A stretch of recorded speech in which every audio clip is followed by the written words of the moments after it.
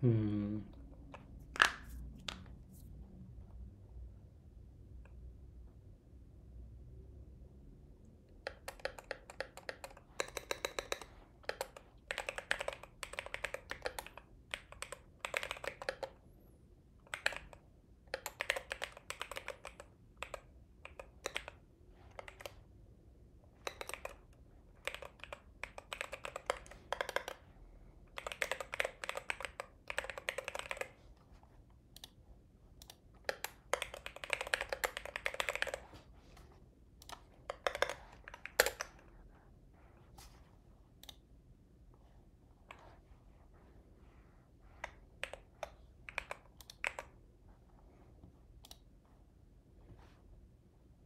Ah, fucking damn it. Typo.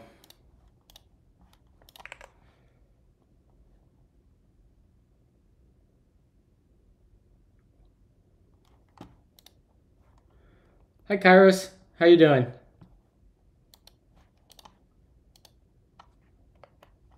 Uh, let's see here. Let's say.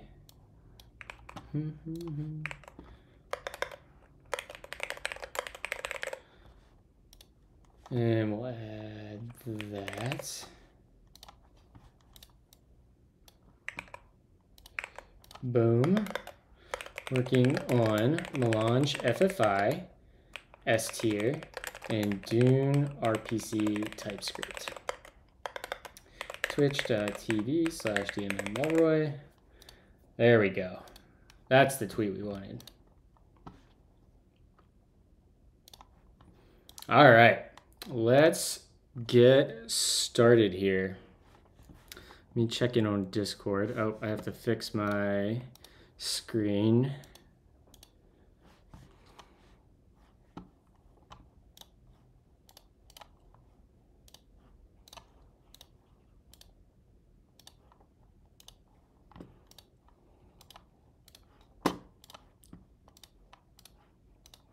Okay, that should be fixed there. Let's bump up the font size. Okay, and let me go check my Discord messages real quick. Hmm.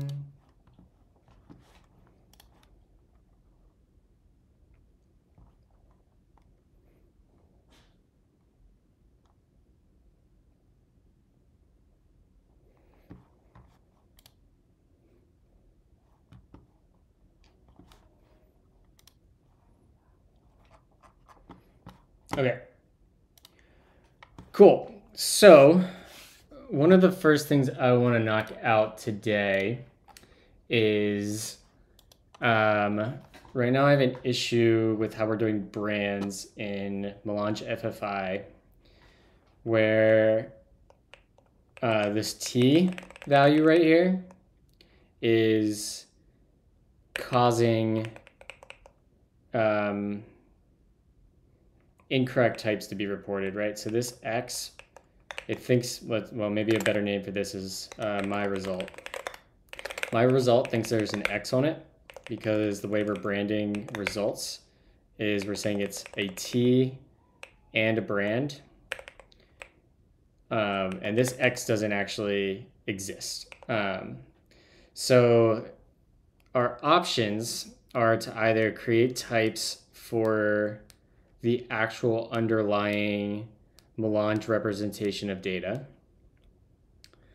Or we do something like um, our result type would look something more like, uh, let's see here. If we went in here, it would end up looking more like, um,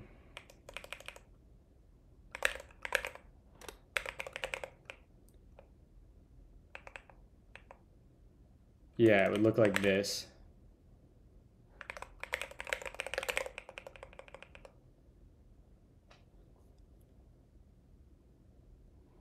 Mm-hmm, mm-hmm, mm-hmm.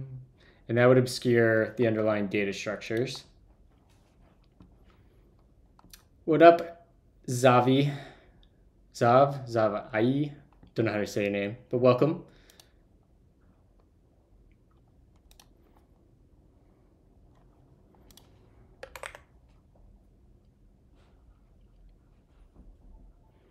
Hmm, hmm, hmm, hmm.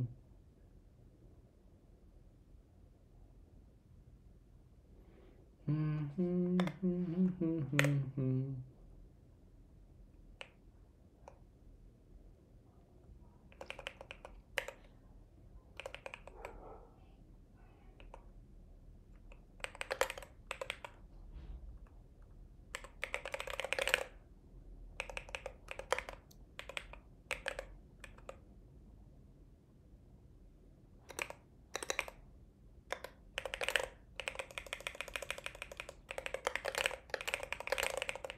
I don't know how to get rid of that diagnostic or what diagnostic that's actually coming from.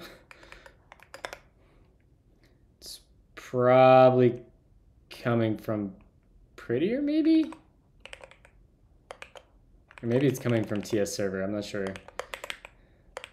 Um, LSP stop TS. Yeah, it's coming from TS server. Okay.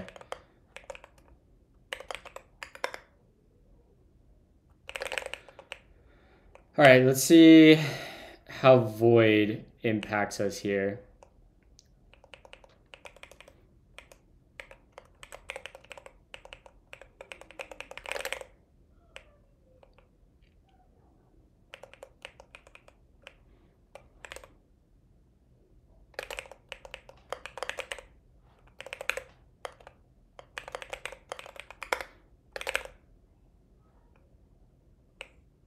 Okay. This needs to get published soon anyways because I wrote a bunch of tests. And I think my, um, if we go run our test, I think my um, list tests aren't fully getting run. So if we do bun test, yeah, my list module is not getting entirely run. So let's go fix that problem before we publish a new version. Uh, list test. Okay, we have some errors in here.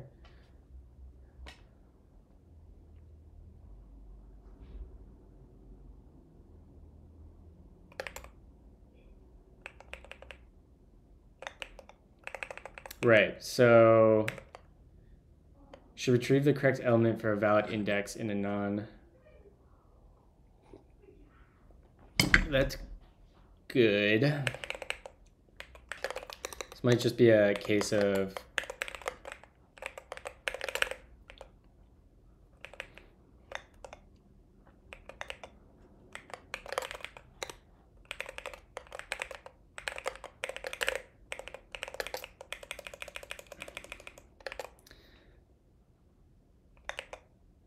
Array is unknown.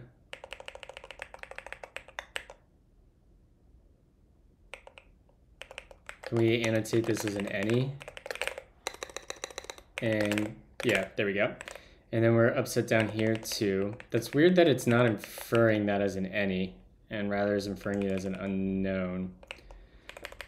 But that's okay. Because we can come in here and just annotate our test with an any. What up? What up, Bio? What up, Angel? So is there an only in here? Yep, there it is. I knew it. Uh, let's look for another one.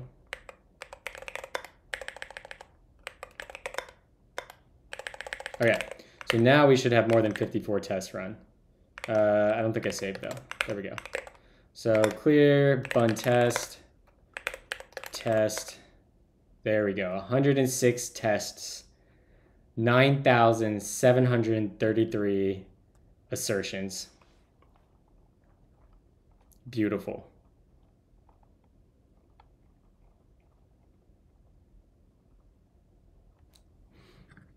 Beautiful, beautiful.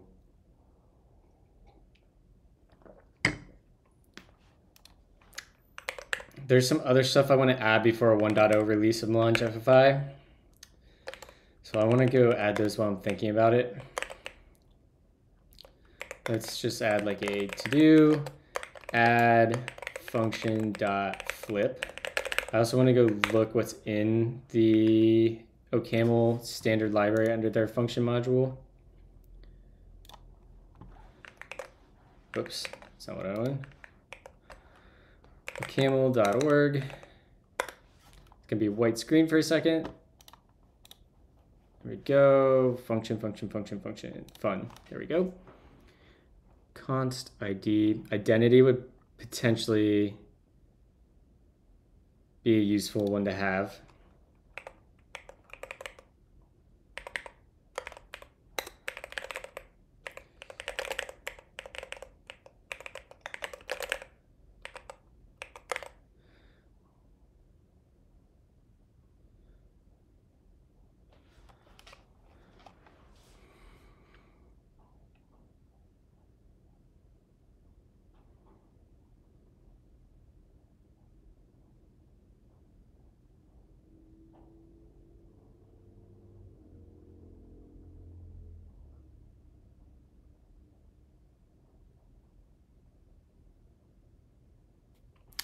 Protect finally work invokes work and then finally before work returns with its value or an exception. In the latter case, exception is re-raised after finally if finally raises an exception. Then the exception finally raised is raised instead. Protect can be used to enforce local invariance whether work returns normally or raises an exception. However, it does not protect against unexpected exceptions raised inside finally, such as out of memory, stack overflow, I actually don't know how that, I don't fully understand this. Protect finally work invokes work, which is some function that takes no argument and returns an A, and that A is the result of protect.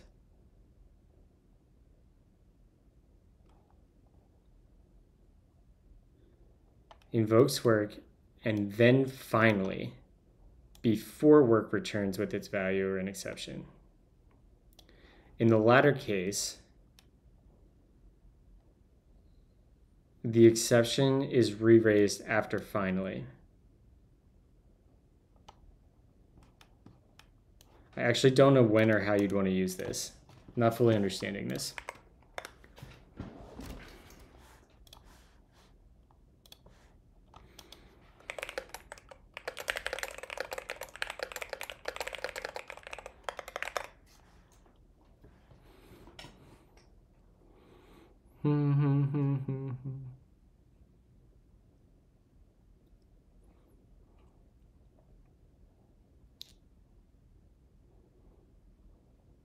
Give me some examples.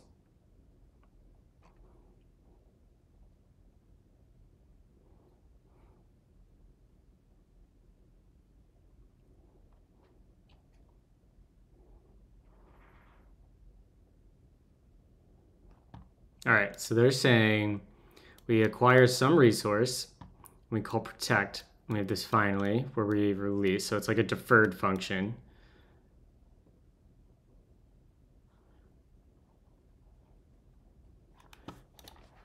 How do exceptions play into this function?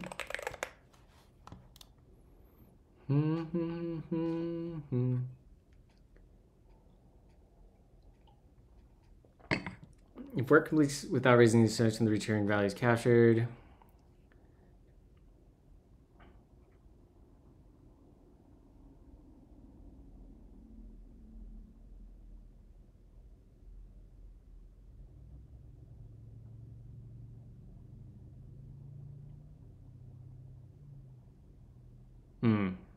Doesn't do exactly what I would want it to, right?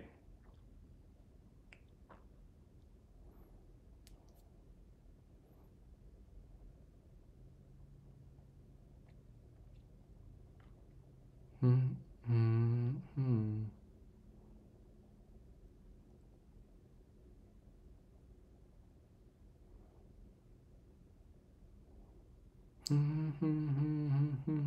Hmm.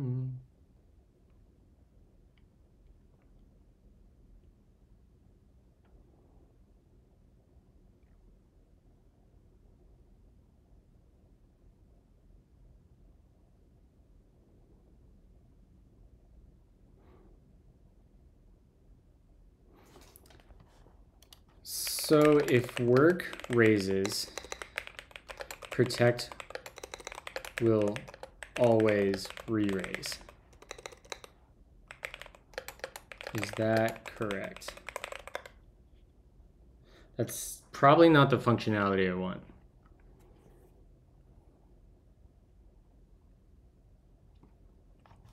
Right, it's too, okay. So this is basically just here to make sure that something happens for sure.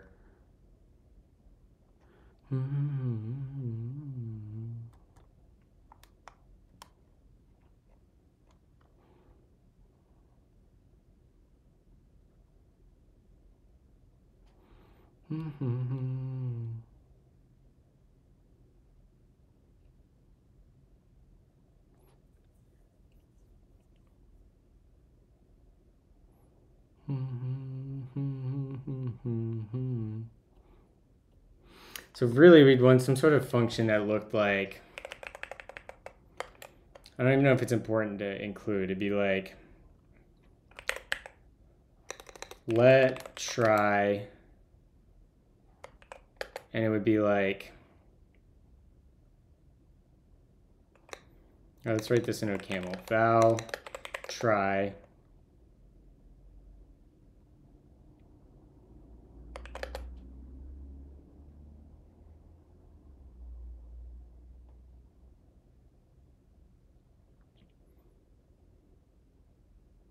That's close.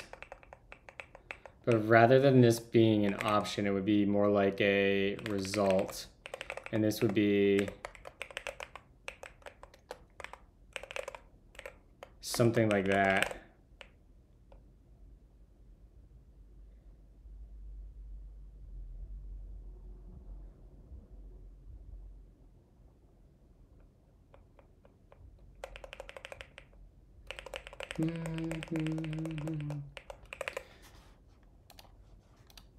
Does this seem like a reasonable uh, function definition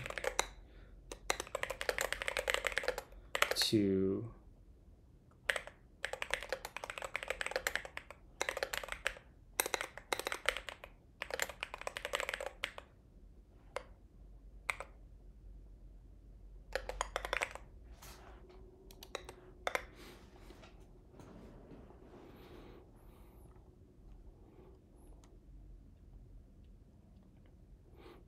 Actually, this that's not right. That's not right at all. It would be this.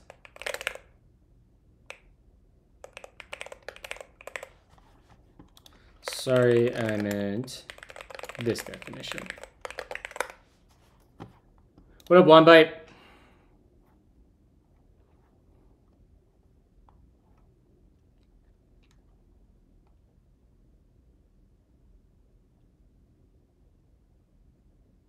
Mm, yeah. Yep, yep, yep, yep. Oh, that's an even better idea. Beautiful. That's exactly what we wanted.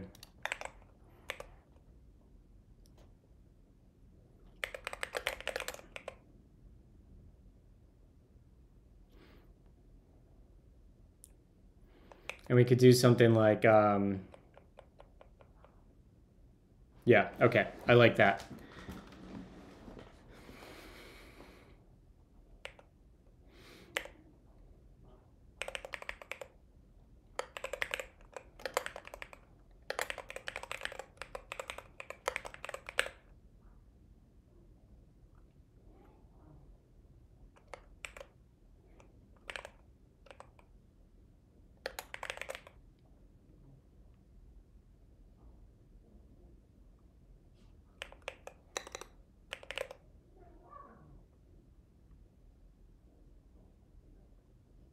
Mm-hmm.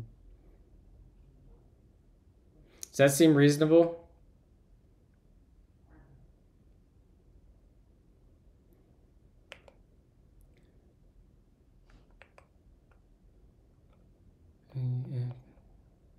What's up, Pascal?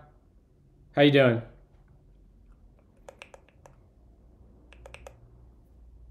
Maybe we could take some inspiration from that protect function where it has the finally.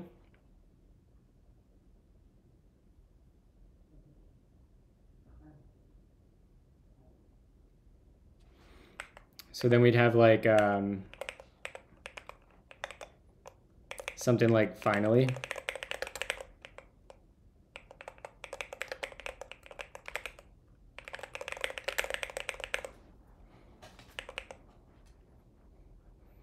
Mm-hmm. And really, you know, camel, this would end up looking like, let's say this is try catch, get an A, and then we could have, this would be, um, uh, finally, which would be, um, unit to unit. Something like this.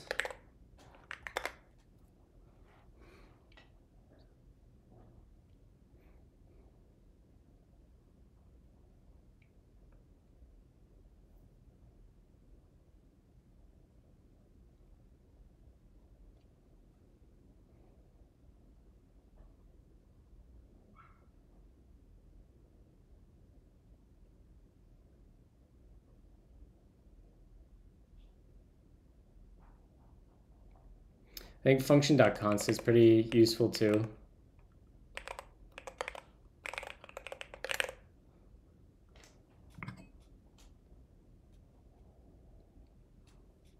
Let's actually go look at the Gleam docs since I've taken a bunch of inspiration from them.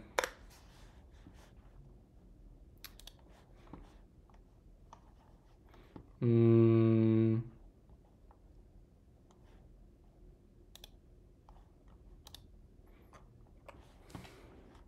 Flip, identity, and tap. Oh, compose could be a useful one. Constant, so I like that. So what do they do with uh, tap? Takes an argument and a single function,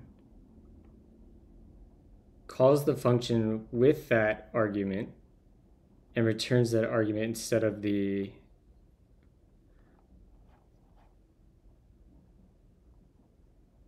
I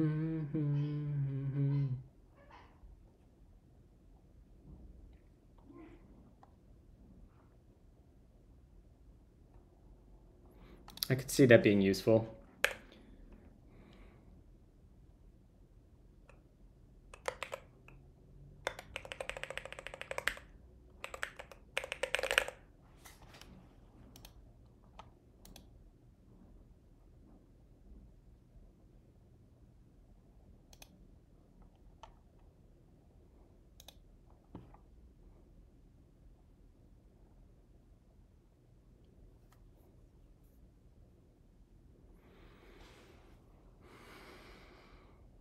Describe What up, Mohib? the world. Thank you for the follow, Shalzo. Appreciate you. And oh man, I'm gonna butcher your name, Shahid world. Thank you, thank you.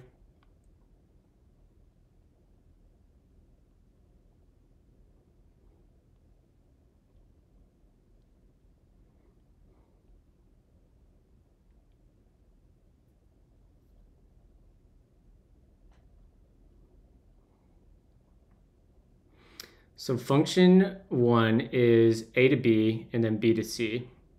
So we probably want a compose function.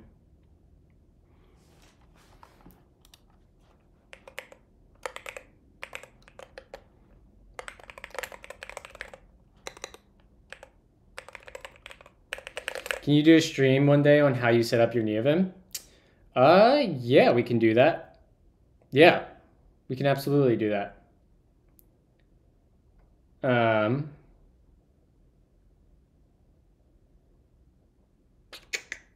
thinking about if I would, would want to do that right now.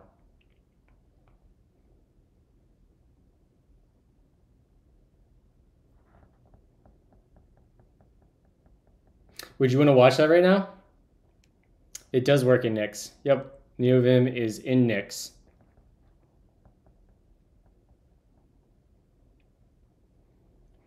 Okay. Um, let me publish a new version of Melange FFI and then um, we'll take a, a brief, like 30 minutes or so to go over my new Vim setup.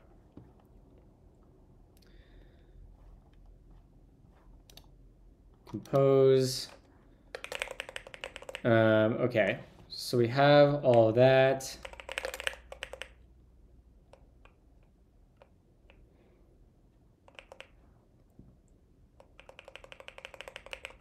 Yeah, no problem, Hey.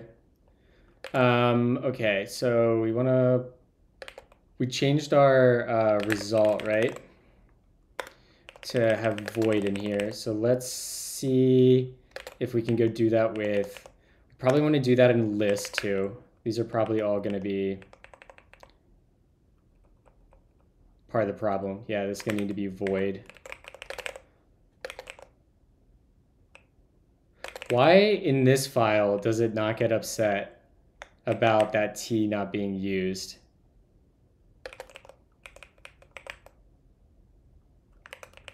But in result, it was like, yo dog, gotta use, gotta use it.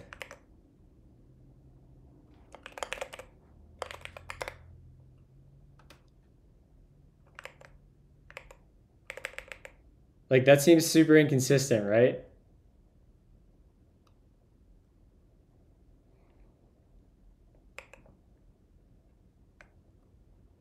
Whatever.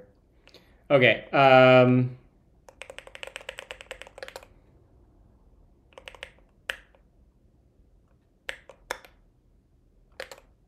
then option is the other one. So this also needs to be void here.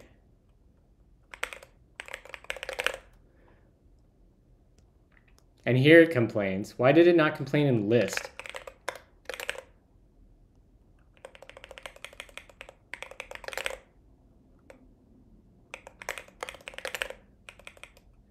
Weird. Okay, whatever. And that the brand's coming from the same file in every place. Yeah, okay. Whatever.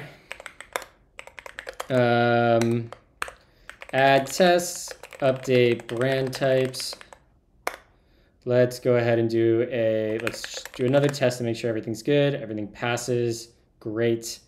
Let's do a, I think I have a cat package JSON. I think we have a script to publish here. Publish patch, yep. Uh, bun run publish patch. Bada bing, bada boom. Uh-oh. Why would that happen?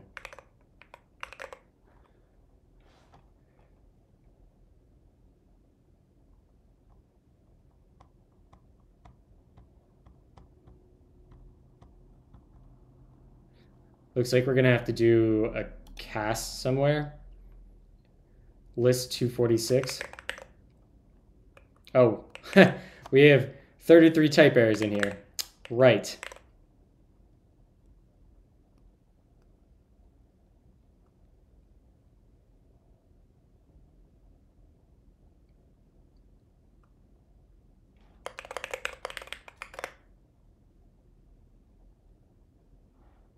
Hmm. Argument of some t is not assignable to parameter of type t. Okay. List.head, does list.head return a t, I bet? It does. Hmm, hmm, hmm, hmm, hmm, hmm.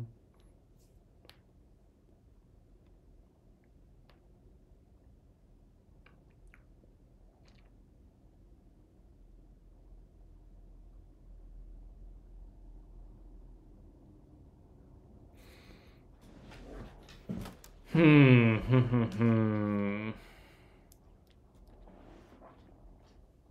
it's not quite what we want.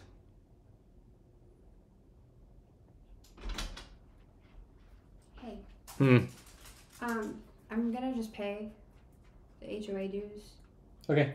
and then update our reoccurring Oh, to cover that extra four bucks. Yeah, because how dumb is it that I can't make a credit card payment unless it's at least fifteen dollars, That's really stupid. and that the reoccurring pay like we didn't get a notice about our reoccurring payment not like syncing with our HOA dues after they Fuck went the HOAs. What I up. have Fuck to the say. HOA. Hi, Belka.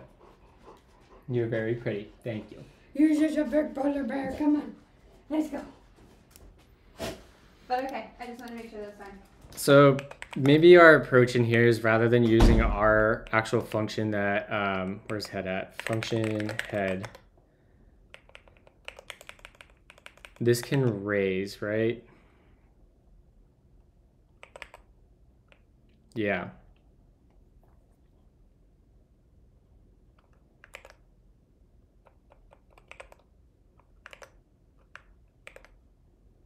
Mm-hmm.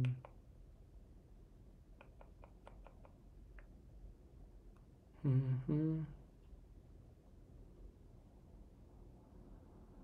So as long as you're not passing a um, hmm.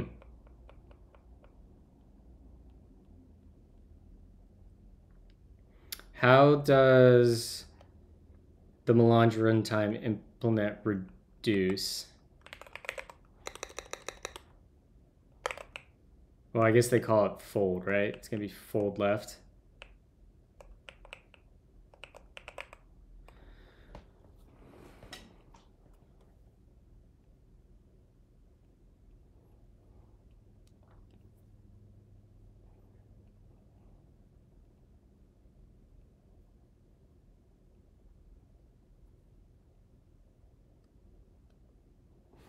Yeah, maybe we just do that. So we'll do just list dot head.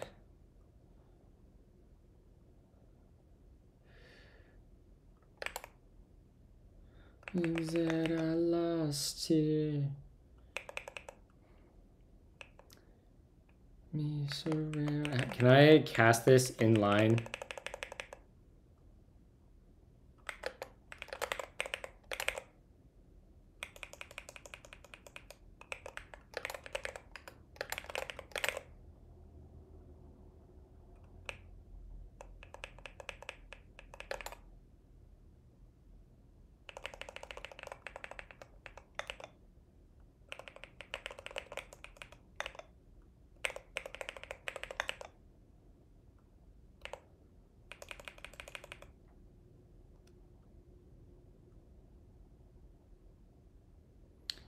How do I cast this in the middle of a function? TypeScript.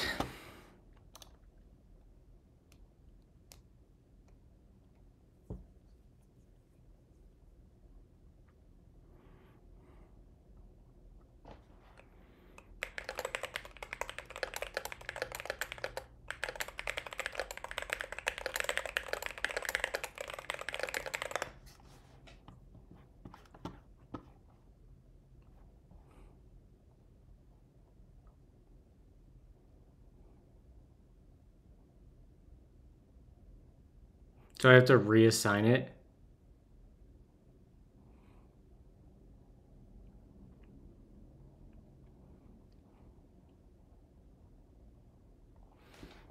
Okay, fine.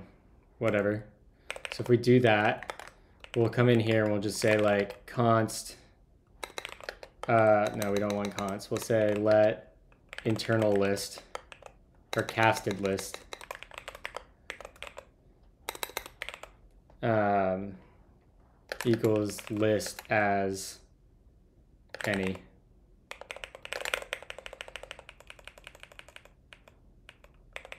Am I really going to do this? How is it being, uh, right, maybe we don't need that. Yeah, okay.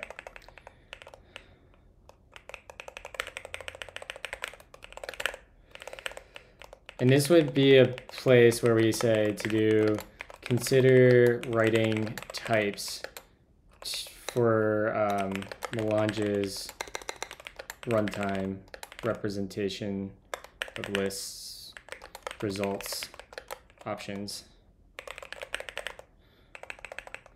And we'll go uppercase on that. That didn't work. There we go. Okay.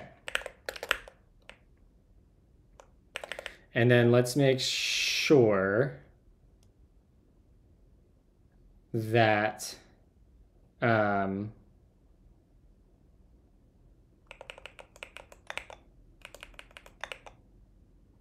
that's not what we want either. That's going to be tail dot list. Uh, list dot tail. Casted list dot tail. There we go. That was almost a bug. Uh, let's run our test and make sure we're good. Uh, button test. Two failed. Okay, what did we fail on? Reduce.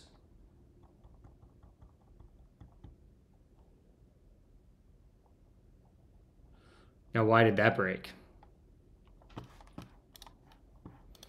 Mm -hmm.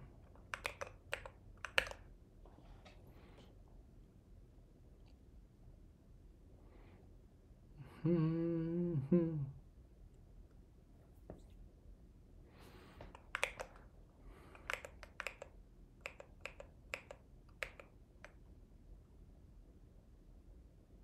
Like that should be fine, right? Because our head function is just passing to this and wrapping it in an option. Tail is effectively doing the same thing. So how is this any different than what we had?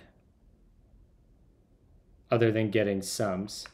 Um, let's go look at the test, I guess.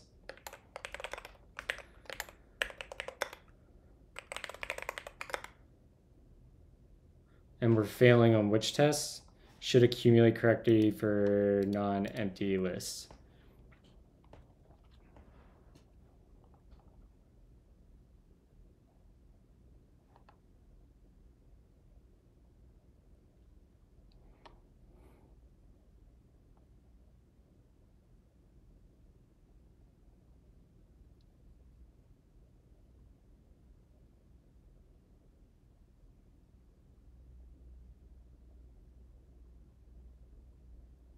That looks fine.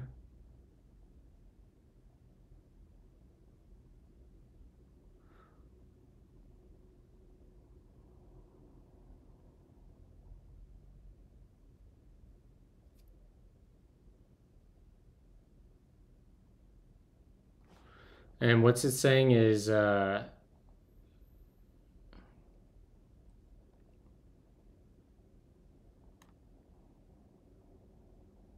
Undefined is not an object.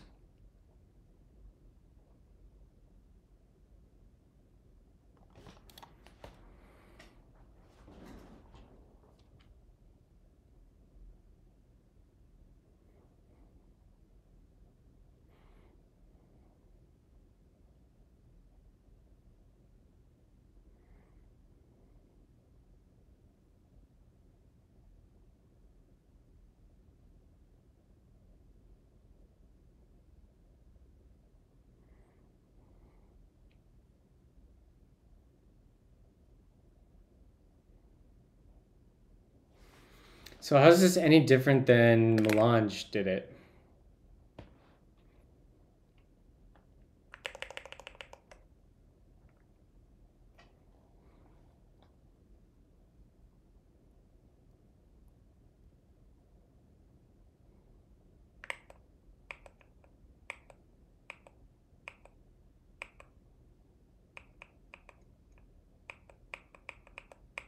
Sorry, Moed.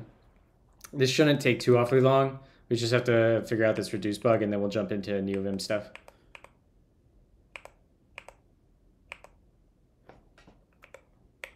Fold left. While true, the list equals the list that gets passed in. Our accumulator is the accumulator, which is the initial value.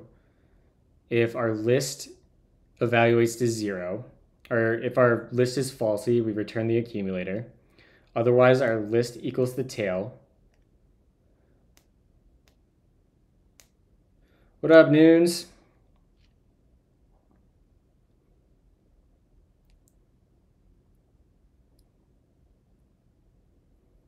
So we call function f with the accumulator and the list.head. They assign the list. No, that's the old list. Yeah, yeah, no, that's fine.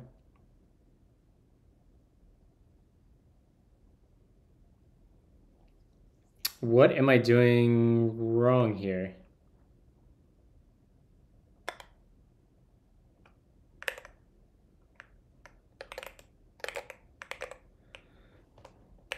we get our list. We start an index at zero. Let's uh let's open up their implementation again over here. Uh, where was it? It was list MJS. Yeah, this guy. We want to go to reduce or fold left, I guess.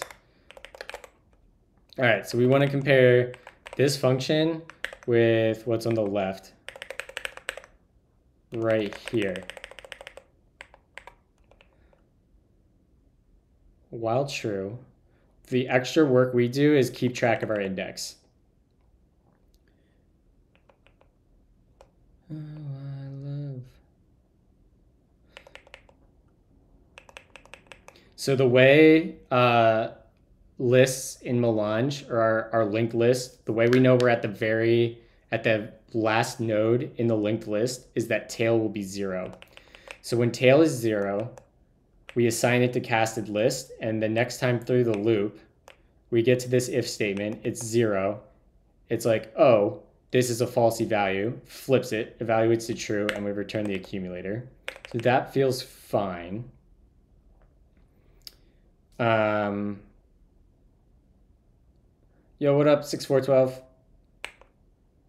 And then we pass in the head of the casted list Right, this needs to be casted list. That's probably the bug right there. Boom. That was in fact the issue.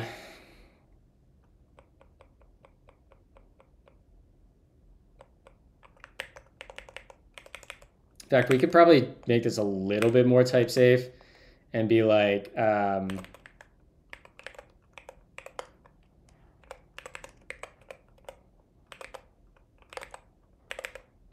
head, which will be a T, and then a tail, which will be a T, or it will be the same structure. So should really make it tight for this.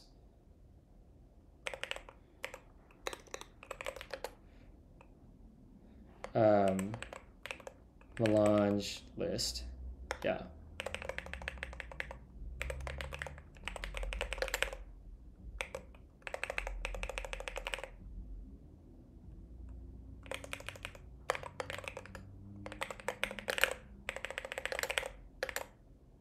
It's not generic? Yes, it is. It's going to be.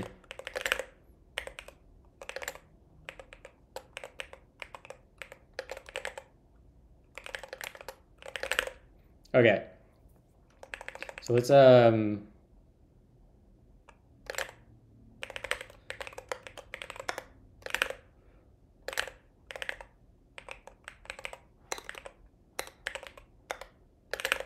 Okay. That looks a little bit better. Uh, actually, not quite.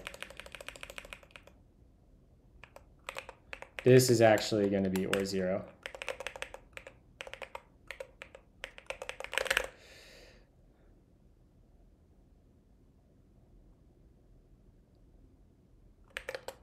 And then this will, I guess, be or zero or really we can do it here to be a little bit more precise. Yeah, there we go.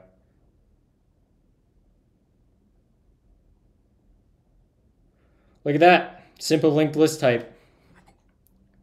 Oh, I'm out of coffee. Shit. Is my uh, mic peaking? Anyone? Or we sound good on volume levels? You good? Thanks. Thank you, thank you.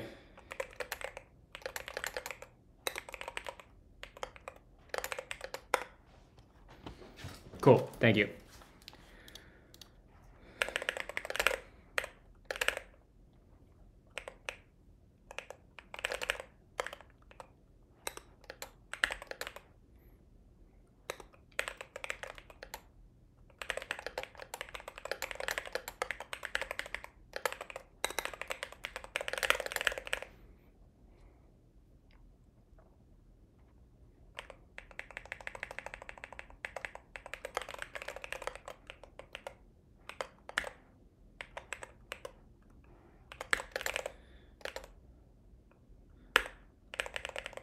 Okay, so that looks good. Let's do a model voice to go with the model face. Thank you. My ego doesn't need inflated though. It's already big enough. All right, perfect. All our tests passed. Let's add, git commit, um, update, reduce, uh, enable all of list tests, and git push. Perfect. And let's do a np bun publish. Hopefully this runs now. Publish patch. Great. Let me go to FA, get this published, and then we'll upgrade S tier, publish a new version S tier, um, and then we'll check our types in S tier testing.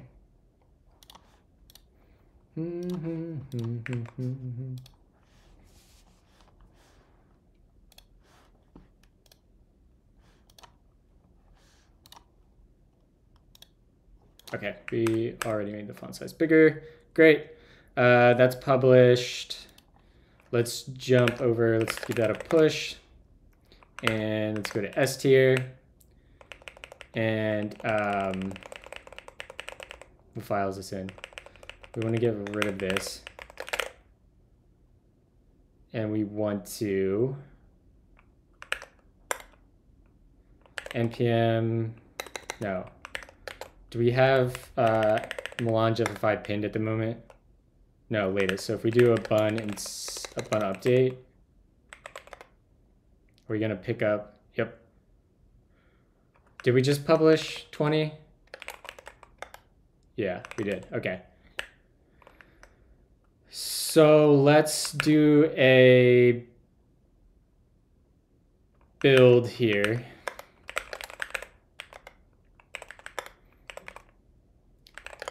uh, bump melange FFI, and we'll do bun publish patch. Frack.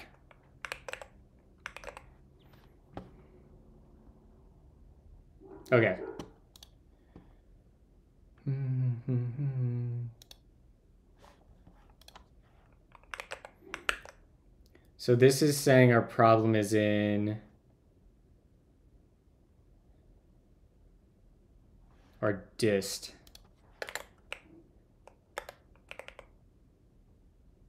There's literally nothing in there.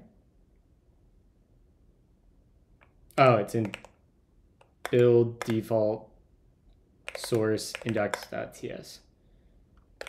And our error here is argument of type list t is not assignable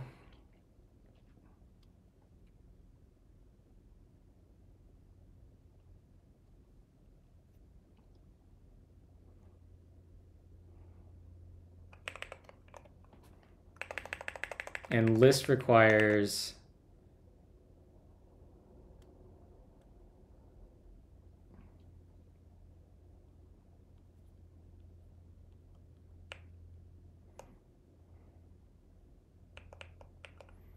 That actually might be wrong.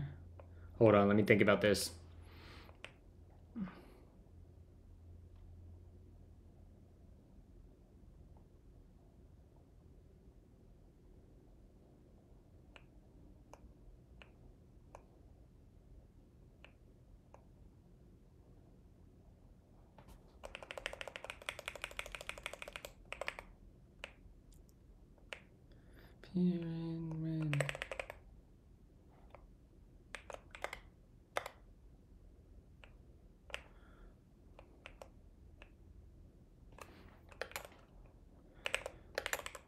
I think I have my types wrong in here.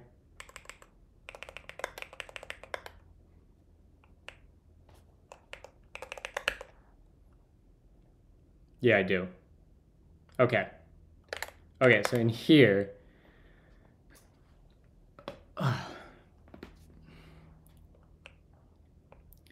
um, what are we looking for in here? That's fine. This is wrong. We need, this is going to be not an array. This is going to be a list. uh, here. And uh, what is this? This will be the same thing. Whoops. The hell? Okay, and we'll do the same here.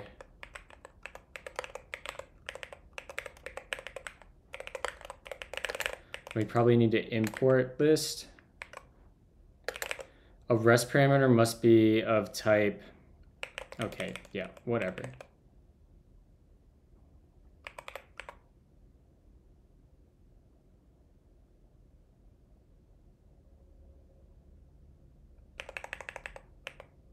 Is this what we actually want though? Is now what I'm wondering. It's potentially we might need to wrap this.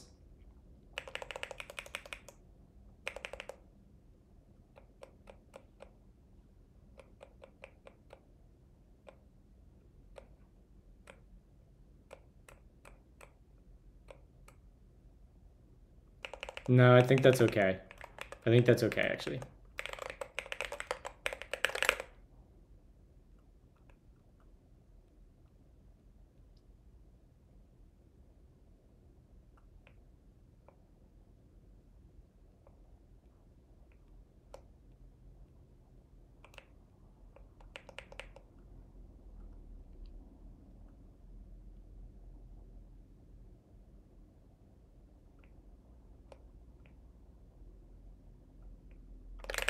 Okay, I think that might be okay.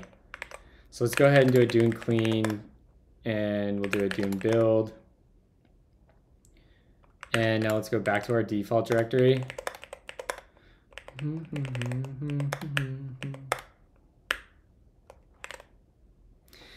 Argument of type list t is not assignable to parameter of type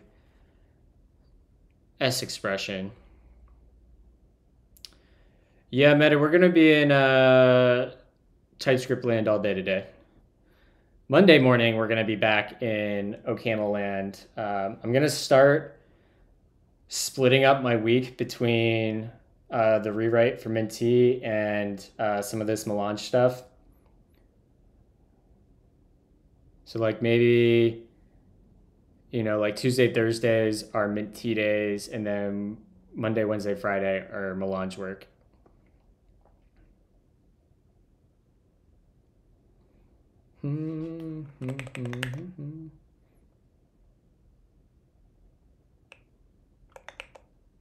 So what does this think it is?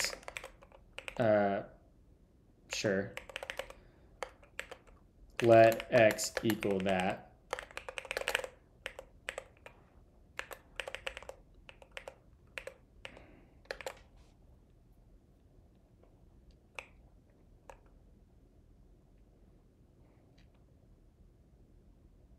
So we end up getting, this should be a list of S expressions, right?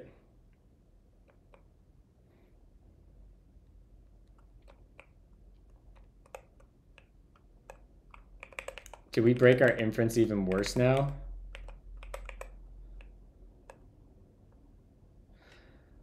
Uh, I said that we're going to be writing uh, TypeScript all day today, but then on Monday, um, we're going to spend a full stream on getting mint tea plan that might take multiple days but then i think i'm going to start doing um, like two days of mint tea rewrite during the week and three days of melange work uh, especially since there's going to be people helping with the rewrite. Like maybe we'll start off doing pr reviews in the morning and then pivot to other work on the days that we don't focus on mint tea or the cma mint tea rewrite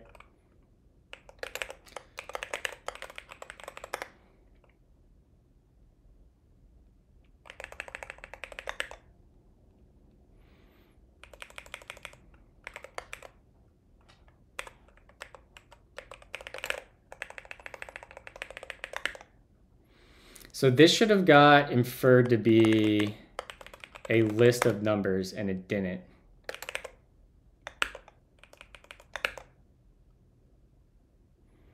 You see this? It did not carry through that T to there, which is problematic. So our types are busted.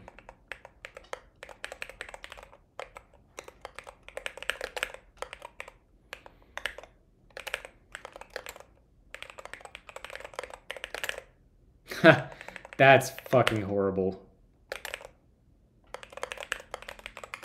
I can't tell if TS server's just being a dick here. Yeah, okay, so branded types are hard. Trying to force TypeScript to use nominal types is a pain in the dick.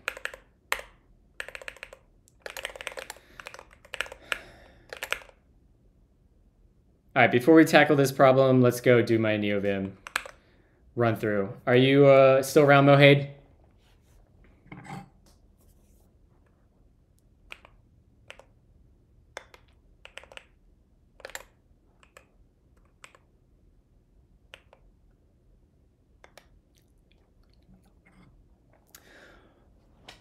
Okay, cool. I might try to publish this to YouTube too.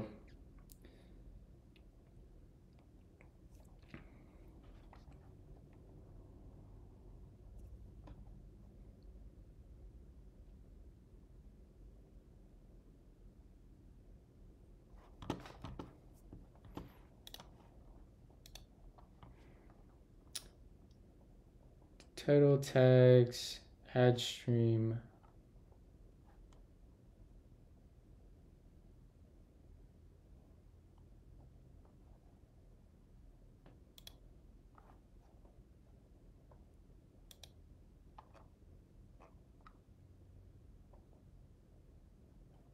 Hmm.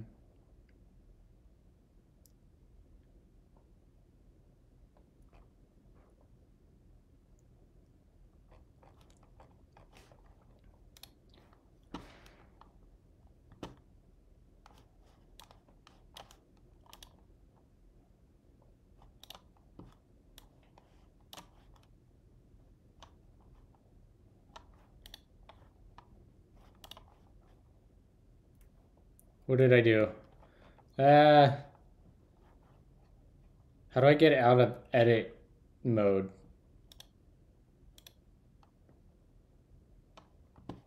Do I just refresh? Okay, so um, okay. So we're gonna start here. Let's rename this to NeoVim. Yeah, I'm gonna have Kyle clip this up and publish it as a video. Um, let me also kind of plan out here how I want to walk through this. So let's, uh, this is not what I want. Let's do a vnew. And let's say um, directory setup. Uh, yoink. Actually, I'm gonna uh, write this in Markdown. NeoVim walkthrough. And we'll say, um, just disclaimer about Nix plus link to GitHub. And then we'll say uh, directory Functions structure describe the world. uh, plus lazy dot nvim. Do I use lazy dot nvim? Do which one's the yeah lazy nvim's the plugin manager. Uh, then we'll go over uh, options, keybinds. Uh, maybe we, yeah, we'll do those first. Or let's do plugins between there.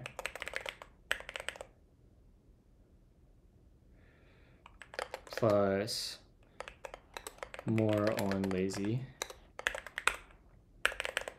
Options, plugins, keybinds, uh, custom stuff.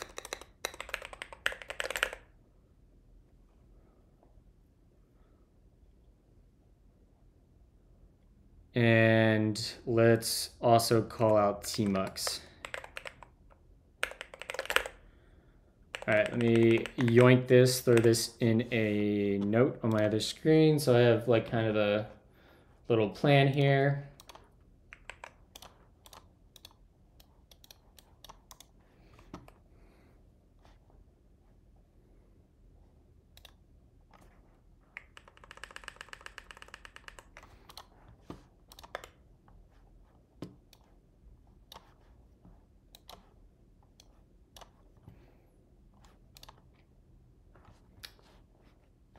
Uh, my key, yeah, you got the keyboard command. Um, yeah. If y'all decide to stick around and hang out, you are able to spend a thousand bytes or points on a chance to win a Keychron.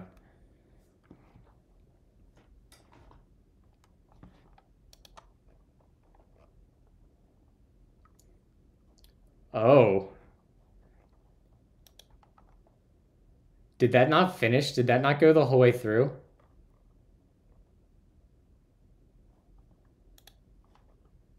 Did we break it by running it at the same time?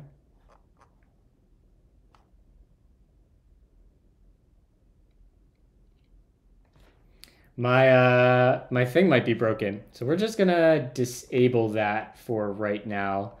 Let me see how I can uh how do I give points back to somebody?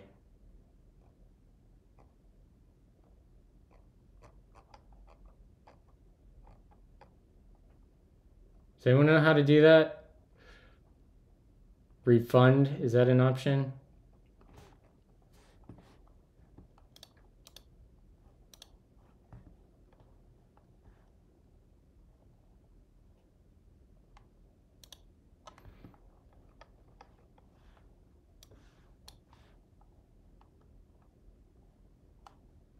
Uh, my bot for the Keychron broke.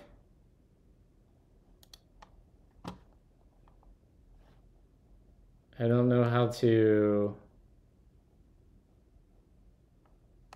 I don't know how to give somebody points.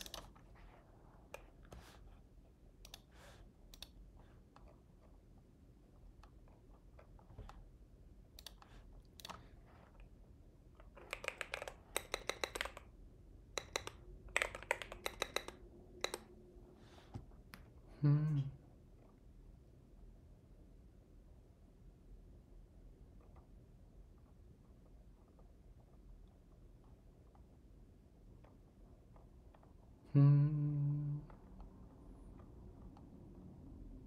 I know it's possible to do.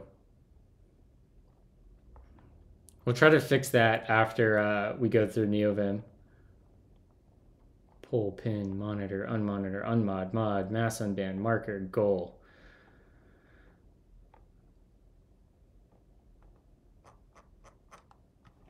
Yeah, I don't know how to do it.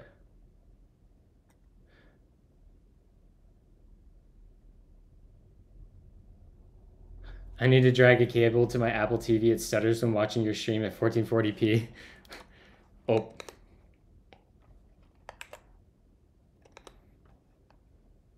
Yeah, I admittedly don't know how to like refund points.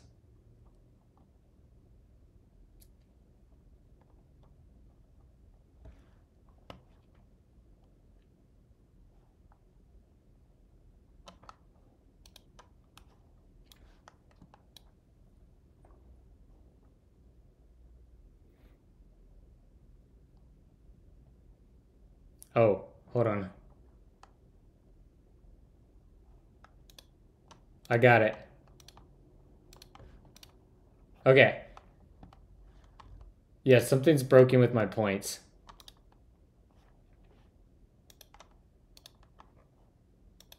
Boom. Yeah, we'll, we'll try to go fix that. All right, so we're just going to do a quick walkthrough of my new then. Let me get started here. This one's for uh, Mohade. Okay, so I often get asked about uh, my NeoVim and my NeoVim configuration, so I figured I'd do a quick little walkthrough. Um, let me first, all my dot files and configuration can be found on my GitHub, which will be here, and we'll get a link in the description. But you can find my dot files at dmmulroy slash kickstart.nix. Um, currently, I'm managing all of my uh, uh, setup with Nix, but I still uh, use Lua and all that for my NeoVim, and anyone who uses NeoVim normally should be able to uh, copy this. So if you go to kickstart slash config, drop into the NVM or NVim directory, all of my setups here, uh, and you can pretty much just copy paste that and dump that into your own project. I've also tried to take a lot of care and effort um, to comment a lot of my uh, Lua configuration to explain what's going on. I had originally started this repo on my NVim configuration using uh, TJ DeVries's um, Kickstart uh, .nvim project, and then slowly expanded out from there. So everything should be pretty uh, idiomatic and standard. But yeah, let's uh, let's jump in, shall we? So if we look here, this is the root level directory in my config. Uh, it's pretty straightforward and bare bones and basic. Um, I use lazy.nvim as my package manager, which is what this lazy lock file is. The entry point to my dot files is going to be this init.lua, which really just requires my uh, specific user configuration. Um, whoops, we didn't want to do that. Let's go back here. Now I'm getting all over the place. Let's get back into our file tree, go up a couple directories. So in the root level, we have these two directories after, which is the typical NeoVim after directory. Um, you can read the NeoVim docs for what that directory is used for, but like the too long didn't read is that's the last thing. Um, the files in the after directory is like the last stage of bootstrapping NeoVim. So uh, things you'll find in here are going to be um, things for detecting specific syntaxes or file types. Um, I have some, some things set up for ReasonML and uh, OCaml. And then the majority of my configuration lives within uh, Lua, which, if you recall, we import user. So if we go back and go look in Lua, we have user and then this init.lua. That's what this outside file is requiring. If we look in here, uh, we basically funnel everything else up through this uh, user init into the top level init, and that's kind of how my NeoVim bootstraps itself. So in here, we bring in my options, uh, all our plugins, um, which our plugins are loaded via this user.lazy module, uh, my key maps, and then I have a bunch of uh, custom uh, plugins, if you will, um, or just like little uh, scripts that I've written in Lua to uh, make my editor experience exactly how I want it. So to start, let's jump into my options. That's probably going to be the most important. Uh, as I said, I try to like I've tried to comment mostly everything in here um, for what it does and what it controls. So I personally enjoy having relative line numbers, so I can see, for instance, like um, let's have a better example. Right now I'm on line 13, but maybe I want to jump 10 up. So I can just say 10K and I jump Functions up there. So that's what relative line numbers does. Um, I set up tabs to spaces. I turn on auto indenting with these options. Um, I turn on some smart indenting and have a link to Stack Overflow for why we need this. Uh, we have incremental searching. I disable uh, text wrap kind of across the board. I use my spacebar as my leader key. Um, so any of my keybinds that are prefixed with leader, I am pressing spacebar and then my keybind to activate those. I set up how I want uh, things to be split. So when I'm doing things like a vertical split or a horizontal split, um, those settings control that. I turn on mouse mode. So right, we can come in here, can do all that. I rarely ever use that, but I do prefer to have it on. Uh, we enable some settings for uh, casing. This mostly is to help um, searching. I actually have no idea what up uptime or update times does. So let's see here. Uh, looks like this is just for writing the swap file. Uh, we set some autocomplete options, our undo file, we update to 24-bit color. We have our sign column, um, which is this guy over here. So it's always going to be enabled, not just when plugins decide to put something there. I really hate having this off uh, because if you have it off and you go into a buffer or you're working in a buffer where let's say you make a edit to git and suddenly git wants to put symbols in there, it's going to push your buffer to the right. I think that's really annoying. Uh, we enable access integration with the system clipboard. Uh, we put a cursor line on, which is basically this line right here. It moves with what line my cursor's on, just easier for me to at a quick glance see where I'm at. Uh, we set up some fold settings, and this is mostly to work with one of our um, plugins. So I'm not sure if I can fold anything in here. Yeah, um, we'll go over folding a little bit later, but these are recommended settings for folds um, from NVim UFO, which is the plugin I use for managing my folds. Uh, then scroll off is basically what keeps the buffer. Um, I almost just pointed at the screen like an idiot. Um, there's always at minimum eight lines above or eight lines below me as I'm scrolling through my files. That is what this does. Uh, the column line is just this over here. It's pretty standard nowadays to have a uh, column width of 80 characters. Um, so I just keep that as the default. Uh, do we have the sign column in here twice? We do. So we don't need that. Uh, we don't need this setting anymore because I don't use Kitty anymore. I use Ghostty. And then right now I have this setting here. Uh, most of you won't need this. And I'm not even sure if I need this anymore, but this is to customly configure the blinking of my cursor. Um, I was having some issues in Tmux and Ghostty that I need to revisit. Um, but for now, it works reasonably well. Um, each thing's commented on what it does. And yeah, hopefully I can remove that sometime soon. So the next thing uh, I want to go through is our actual plugins. So if you recall, if we look in our user init, we bring our plugins in through this lazy module and we're managing all our plugins with lazy. So let's go take a look at lazy.lua. If we look at lazy.lua, this is going to look super similar to your, if you use Packer um, we basically just set up where uh, Lazy can put data. We uh, install Lazy if it's not already installed. Um, make sure it's in Vim's runtime path. Uh, actually load the plugin, and then we set it up and we import plugins. This is going to go look in a directory of this name. So to actually get all of our NeoVim plugins, we keep it in a directory called plugins. Um, and if you're not familiar with lazy, lazy ends up looking like this. You get a command that you can run, and it's going to bump up this window.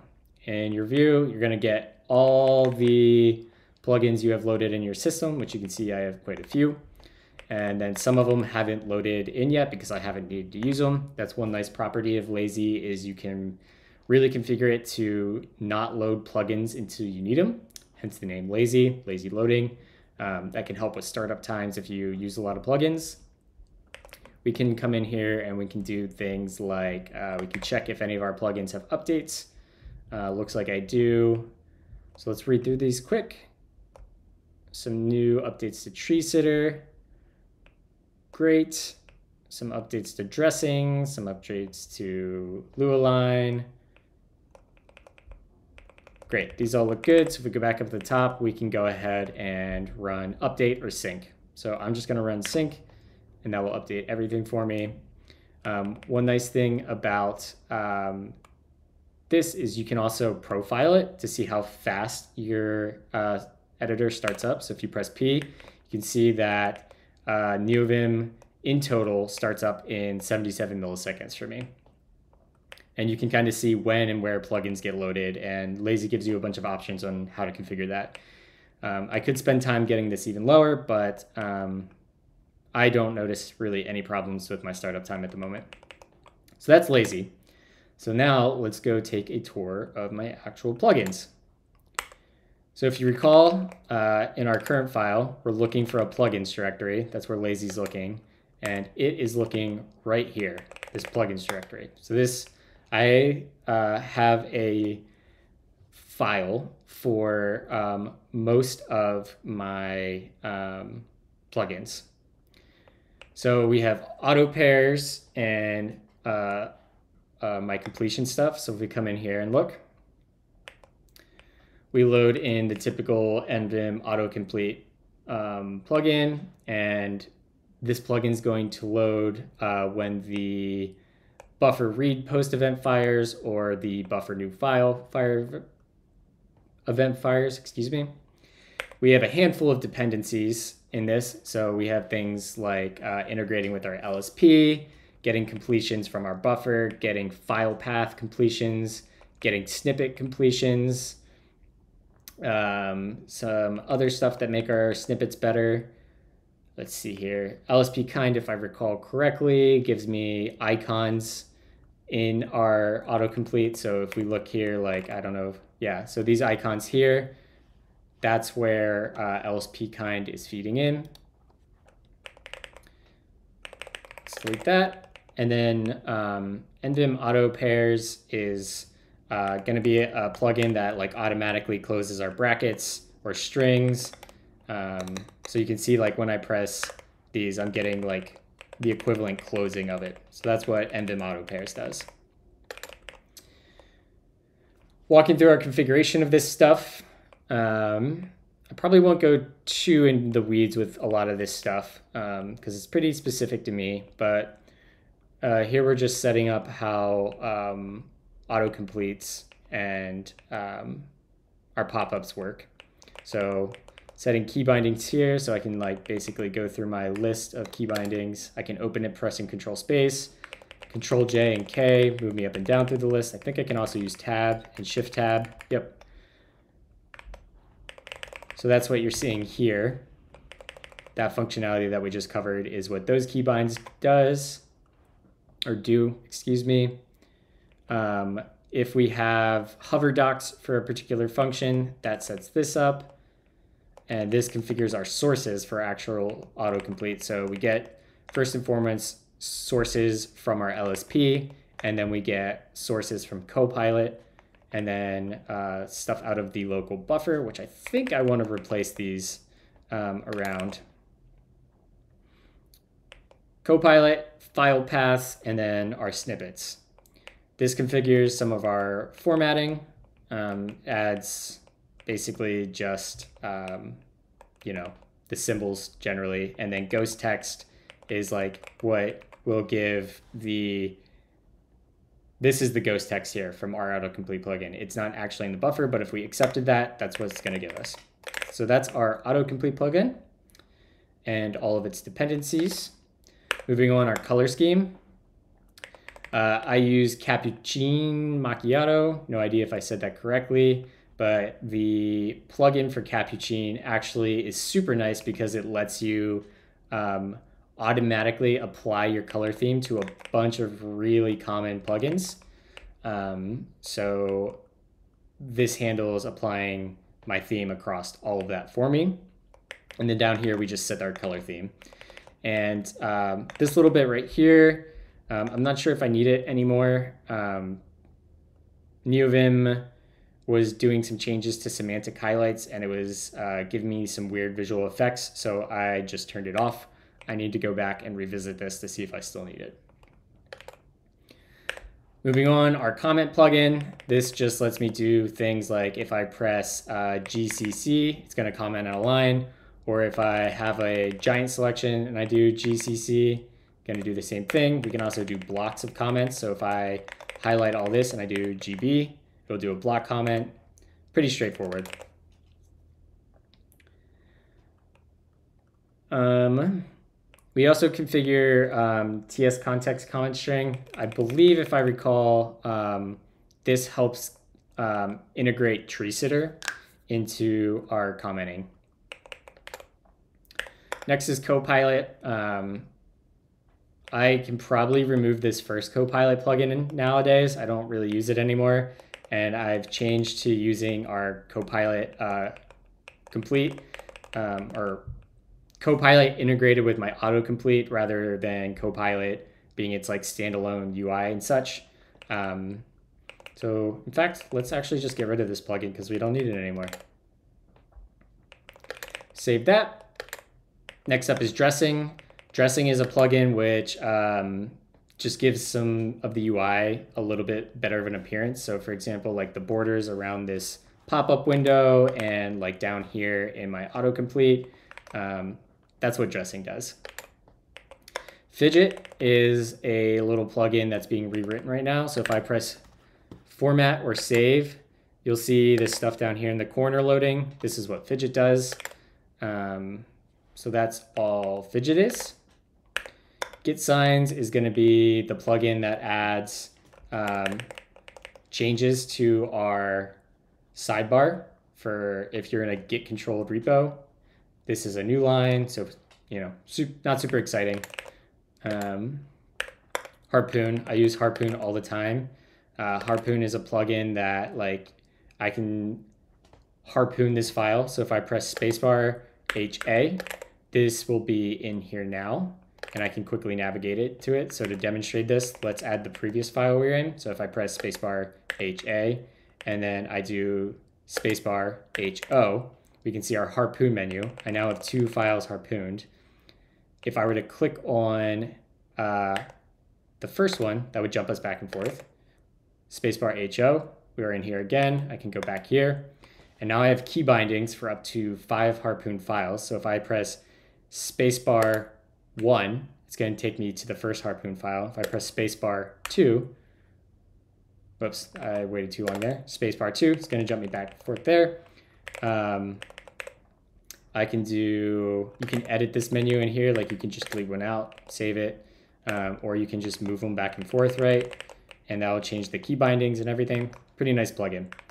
I use that a lot for jumping around file buffers that uh, if I'm working on a feature and maybe I have like a types definition file and a implementation file and a testing file, I'll harpoon all of those and just be able to quickly navigate back and forth between them. After Harpoon, we've got Illuminate. Illuminate is going to be the plugin that uh, highlights um, if there's more than one symbol uh, with what you're hovered over, I'll highlight it. So you can see I'm highlighted over this here and highlights it down there. If we jump back to a file that has two imports, maybe here. Um, let's see here. Yeah, here's a great example. We have multiple require, require statements. When I go over require, it highlights all the other ones. And I think I have, if I press spacebar, open bracket, I can jump back and forth behind all the different symbols underneath my cursor. Um, I'm actually looking to replace this with um, a different plugin, um, but I haven't yet.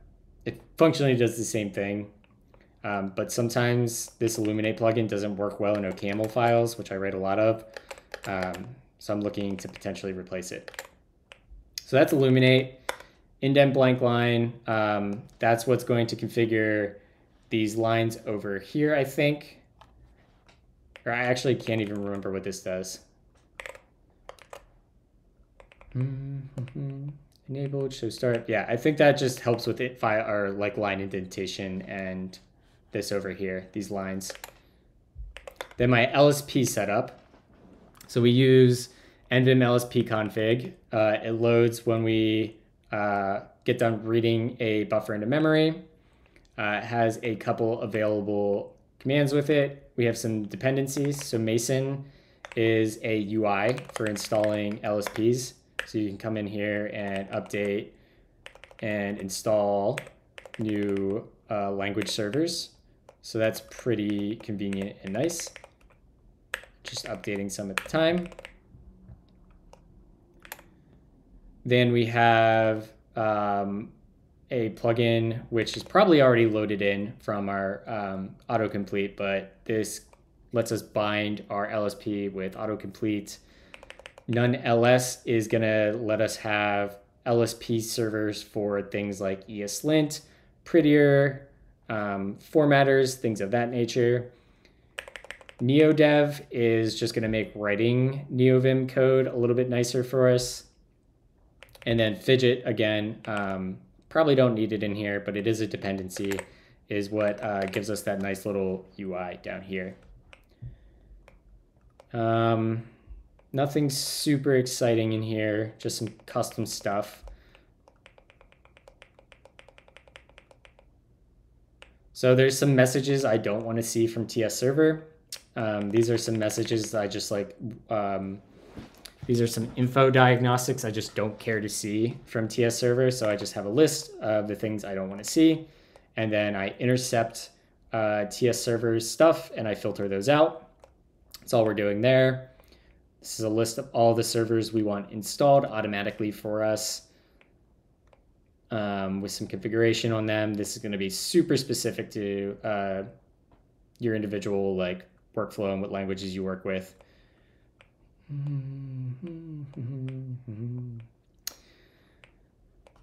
So here we integrate, here's the code where we actually like bind our uh, LSP to um, the LS or autocomplete stuff.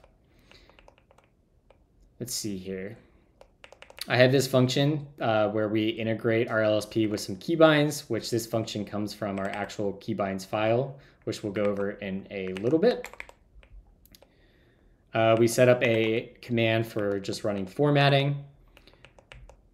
Um, and if you're a TypeScript dev specifically, um, I have this set up in such a way that um, if you're using both TS Server and Prettier, it's going to default to using Prettier to format your code rather than TS Server. That way you don't get like a format from Prettier and then also a second format from TS Server.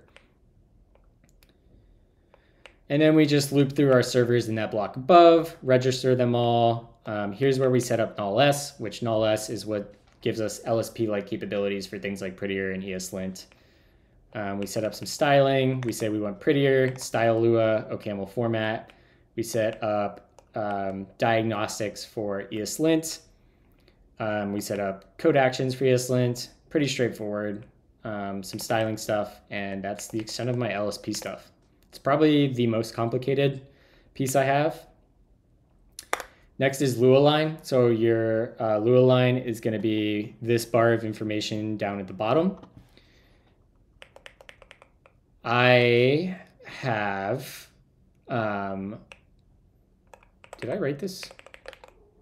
Oh, right. I wrote a custom uh, harpoon integration with um, Lua line. So you can see down here, that has this little harpoon, a dash slash two. So this is telling me that I have two harpoon files in this project and the current file I'm in is not one of them. If I were to add this to my harpoon, you see that just incremented. I pressed spacebar HA to add this buffer to my harpoon list, which you'll see it's there now. And down here, you can see that we're in our third file. So that tells me if I want to get back to this file, I can press spacebar 3. We go here, spacebar 1, spacebar, sorry, spacebar 2, spacebar 1, and to go back, spacebar 3. So that's how that little harpoon integration works. Um, I had this for work previously. Um, it will also show your Git branch down here. You can see we're in main. This basically just like intercepts uh, that data and uh, we had a naming convention at work to name our branches like this. So I basically just parsed out the ticket number and then made it uh, a custom branch name so it didn't take up a ton of room. This is how you write a custom component for Lualine. Like I said, this is like all the Harpoon integration is. We brought in the marks API from Harpoon. We got the total number of marks if there's no marks, we just return an empty string. Uh, we set the current mark to a dash, and then we go ahead and check if the current buffer is one of the marks. And if so, we just spit out the string right here, which you'll see like this is literally that right there. And then we follow the standard Lualine setup and add all the pieces we care about. In my case, I care about my Git branch, my harpoon, uh, the diff, diagnostics, um, our file name, and our file type, which is going to be over here. Markdown preview, this is super cool. I just learned about this, I think from Rond recently. Um, I have a command in my editor that um, loads when I go to a markdown file. So if we just quickly make a markdown file in here, markdown.md, we save that, we go in here, let's just say hello world. We save and I run markdown preview. This is going to open a tab and it's going to have that in there. And it actually scrolls with you, does live updating. Check this out. Like, and we just, you can see it stays in sync with your editor. Super cool. Very useful for editing markdown files.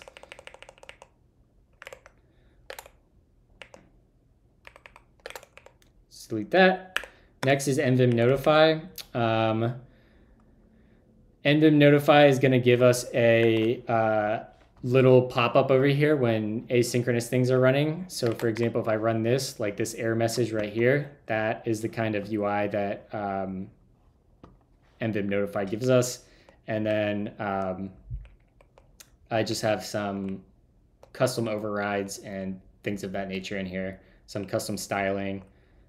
Uh, nothing super exciting.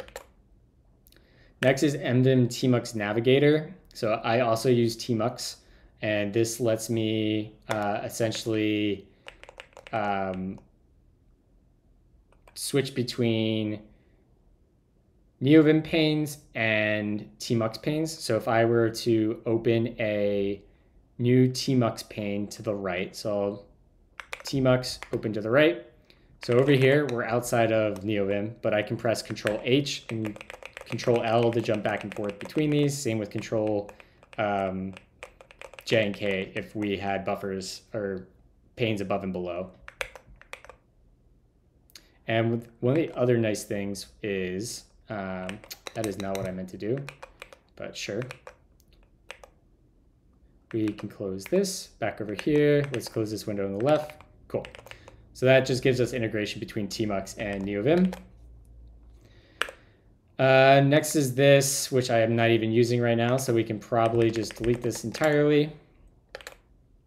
Uh, next up is oil. Oil is what I use for uh, browsing my uh, file directory. I don't use a file tree. You might have seen me already pop open this view. This is oil. This is how I navigate around my projects and explore them. It lets you treat uh, your file tree as an actual like text buffer. So you've already seen me create a markdown file. Like I can say file.txt, save that. Yep, want to create it. Boom, I can delete it. Um, I could go paste it in here. You know, this is what oil is. You can also configure it to open in a buffer. So if we do a new split over here and then run oil, we get a buffer that doesn't go away rather than the floating one. And then these are just my key maps um, for oil. I highly, highly, highly recommend oil over a file tree. Uh, we also have Spectre. So Spectre is going to be a global find and replace plugin. Um, so I can launch into Spectre like this. It gives us a UI over here. This will grep across your whole project. So let's say we want to search for dependencies, right? And let's say we wanted to change this to uh, depths across the entire project. Um, we could do that. I'm obviously not going to do that, but this shows us all our changes where it would change. Um, so super, super useful plugin that I use all the time. Next up is symbols outline. Um, this is going to give us exactly what it sounds like, a symbol outline. So if I press leader SO, uh, gives us a actual symbol outline on the left over here. We can expand it, uh, step into stuff. Yeah, you're just typical symbol outline, nothing too exciting. Next up is Telescope. Um, this is probably like my most used plugin. Uh, if you're not familiar with Telescope, which I it's like one of the foundational plugins in NeoVim, this is going to be our fuzzy finder. So if I do like spacebar SF, it's going to let me search for files across my entire project, um, filter it down. I can also search uh, my open buffers. I can search just a whole bunch of different things. It lets you fuzzy find across in that UI I just showed. Um, so this is how that's configured.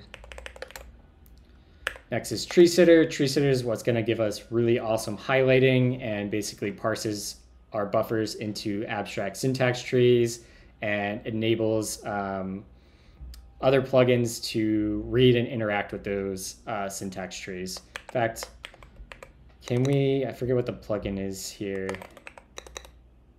There's a way to inspect, yeah, inspect tree. So here is what the current file's uh, tree sitter syntax tree ends up looking like. So plugins will use this tree to highlight things, syntax highlighting, edit files, one of the most useful plugins in the NeoVim ecosystem. And then this, um, I'm not sure if it's worth uh, talking about um, all these settings because they're pretty specific to me.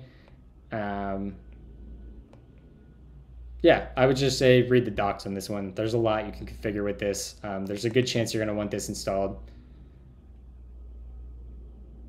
It's all right, uh, Colchis and chat. Uh, this is going to be posted to YouTube. Uh, next is TSC. .nvim. This is my own uh, plugin.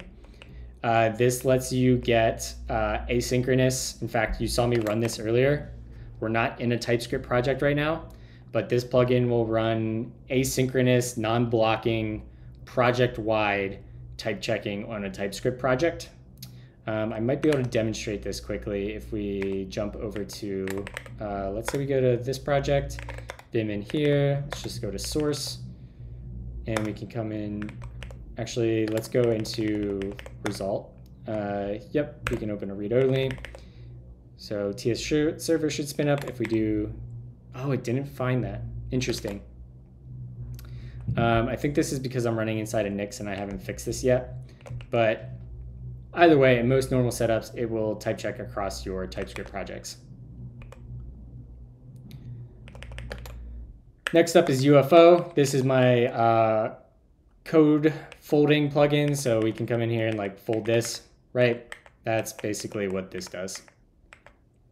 Um, just sets up some custom folding. Next up is Vim Maximizer. So if I have two windows open, um, if I press spacebar M, it'll maximize it or minimize the other or maximize the current pane I'm in, and I can press it again to uh, have them equal out. So very little setup for that plugin. Vim Surround uh, is a plugin where let's say I have um, some text. I can say yank Y S I W and then brackets and it'll surround it with brackets. I can also do that or I can delete surround, all sorts of things like that. So that's what that plugin does. And finally, Wilder um, Wilder is what controls uh, command mode in NeoVim. So command mode is this guy down here. This is going to give me like fuzzy finding and better autocompletes and some different UIs. Um, so that's what Wilder does. And then I have some just styling and custom setups that I've found useful. So that's all my plugins. Um, it's quite a few, but it's still pretty lightweight. Like I said, I have a 77 second or 75 second. Can you imagine a 77 second startup time? 77 millisecond startup time. Uh, the next thing we're going to cover is my keybinds. So let's, what is this, Visual Studio? Yeah, can you imagine what the startup time of like NeoVim with a bunch of plugins is? Probably literal seconds. So my key maps are going to be under here. And again, this is a file I've tried to uh, comment pretty heavily. So maybe one useful thing to cover first is I have these key map utils, which I actually think I'm gonna rip out. I copied this from Primeagen originally, um, but I think I'm gonna get rid of them when I get some free time. But to go look at what my key map utils look like, um, I basically just give myself convenient methods for uh, mapping different key combinations in Vim's various modes, whether that's normal mode, which is what we're in now, insert mode when we're typing, uh, command mode, um, things like that. So that's all these do. Um, nothing super exciting. Some of them are non-recursive, which means it won't override um, underlying keybinds. But let's jump in. Uh, so we disable spacebar since we're using it as our uh, leader key. Um, our first section is all our normal mode key mappings. In fact, I don't use kitty anymore, so we can get rid of our kitty. Well, you know what? I'm not going to edit this now, but I switched from using kitty standalone with no tmux to using Ghostty with tmux. So that's kind of what this is doing here. This enables my keybinds to uh, switch between panes. So we can move in every direction, Control J, Control K, Control L, Control H. Um, I can press um, leader um, Control up to switch between the last buffer, which is, you know, here. That's actually not what I would have expected. Um, I should probably change this, but save with leader key. So I press spacebar W to save my buffer, leader Q to quit out of the buffer, uh, save and quit leader Z. I almost never use this keybind. I press leader E to open uh, a floating oil buffer. Um, I have a bunch of key maps for keeping my buffer centered when I navigate. So ZZ in NeoVim is a keybind to center your buffer around your cursor. So when I'm doing vertical movements, which are all captured here on the left, um, I update them to automatically center my buffer. So if I'm going up and down, it's always keeping my buffer centered. That's what these do. These are some of like my most important keybinds in my opinion. Um, let's see here. I can press leader capital S to launch into find and replace.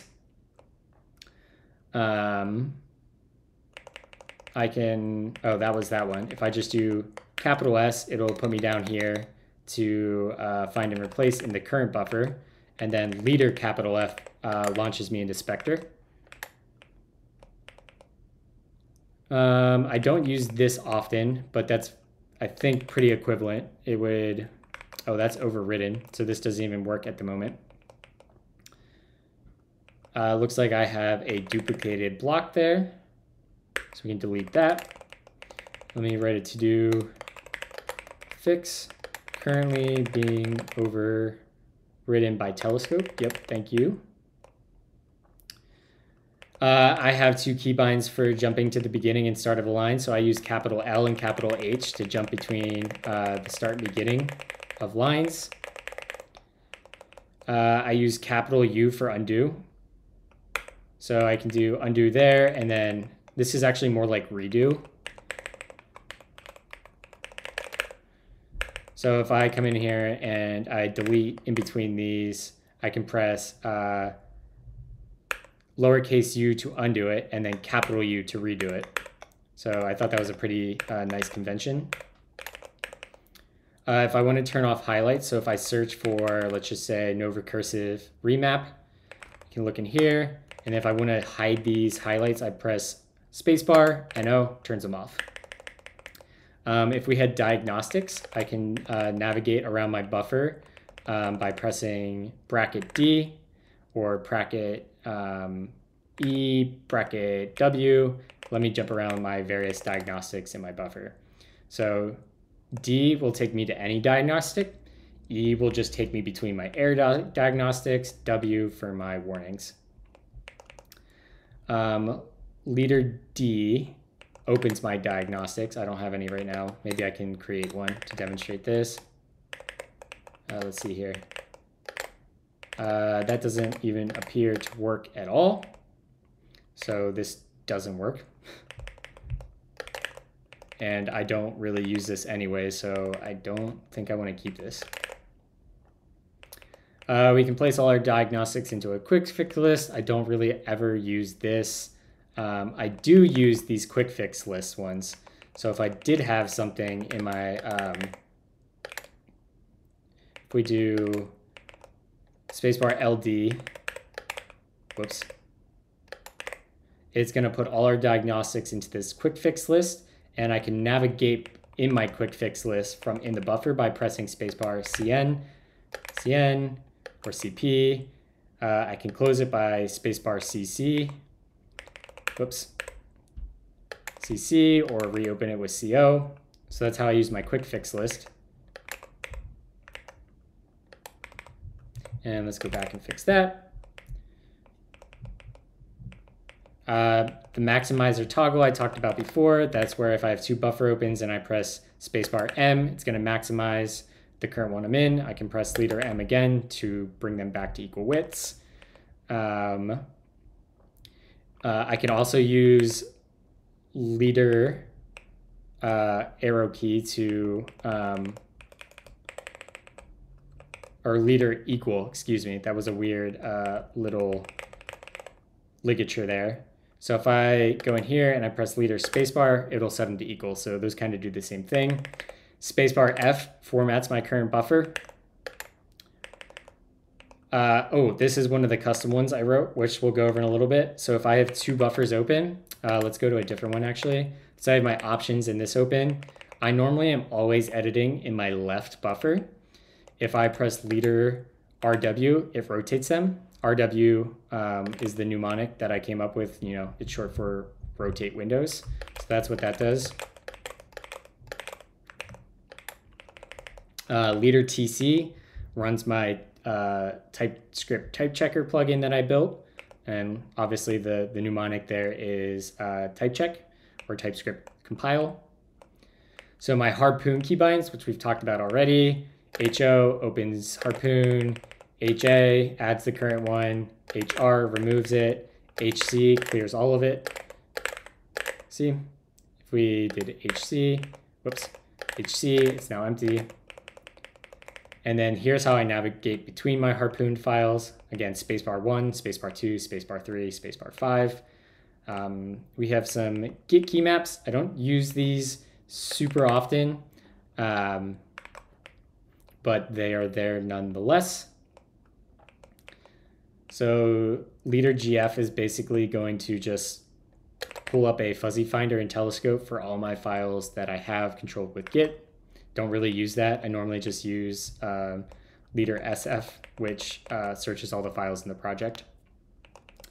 So getting into actual telescope keybinds, um, I can do leader question mark to uh, show my most recently opened files. Uh, leader SB, I also use quite frequently for all the buffers right now. Like I've been in every buffer. I've been in every file in this project, so this isn't really a good list to demonstrate, but it, this will effectively just be a list of all the buffers I've opened. Uh, SF, again, like I said, all the files in my project. Uh, SH lets me search the NeoVim help. So if I press leader SH, I can search all of the help documentation across all my plugins and across all of the uh, NeoVim and Vim. Super useful. Uh, SW does a grep on the current string. I wonder if that's project wide. This is the, the I think we want to get rid of this. Um, so yeah, this must be grepping across the project for SW. I think I want this to be controlled by Spectre, like we had above. Wherever that was. Yeah. So rather than bringing up Telescope for the current word underneath, I would prefer it to open uh, Spectre for the current word. So let's go back up. Uh, can I get back to where we were? No, of course not. That'd be too convenient. So let's go back down to our telescope plugins. All right, we got through our diagnostics, we got through our quick fix, got through all this. Oh, GX, I did skip this one. GX, if my cursor is over a link and I press GX, uh, it will load that link in um, the browser. So if we just have like github.com slash dmmulroy and I do GX, it'll open that.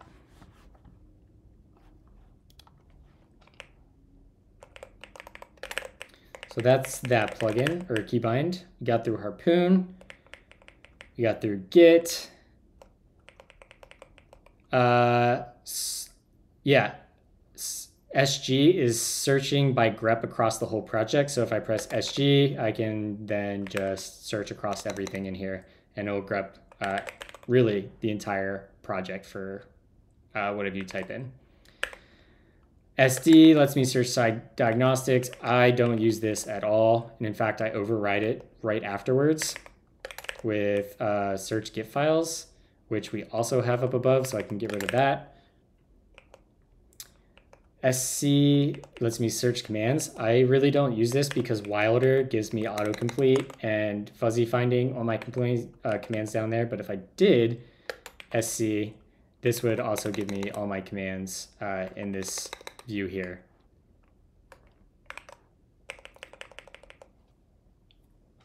Uh, let's go delete that. Uh, leader slash is going to let me fuzzy search in the current buffer. Again, I don't really use this super frequently. Um, I just end up using the normal search down here. Um, so it's there though. Uh, leader SS lets me do a spell check. Uh, I uh, have tons of typos when I edit. So if I do SS, it's just gonna pop up spelling suggestions. And then here's our LSP keybinds. Um, so this is the function that if you recall in our LSP, we have map LSP keybinds in here. We import this function into our LSP keybinds uh, to use and we pass in the buffer. So if we go, excuse me, if we go back, so these are all of our LSP keybinds.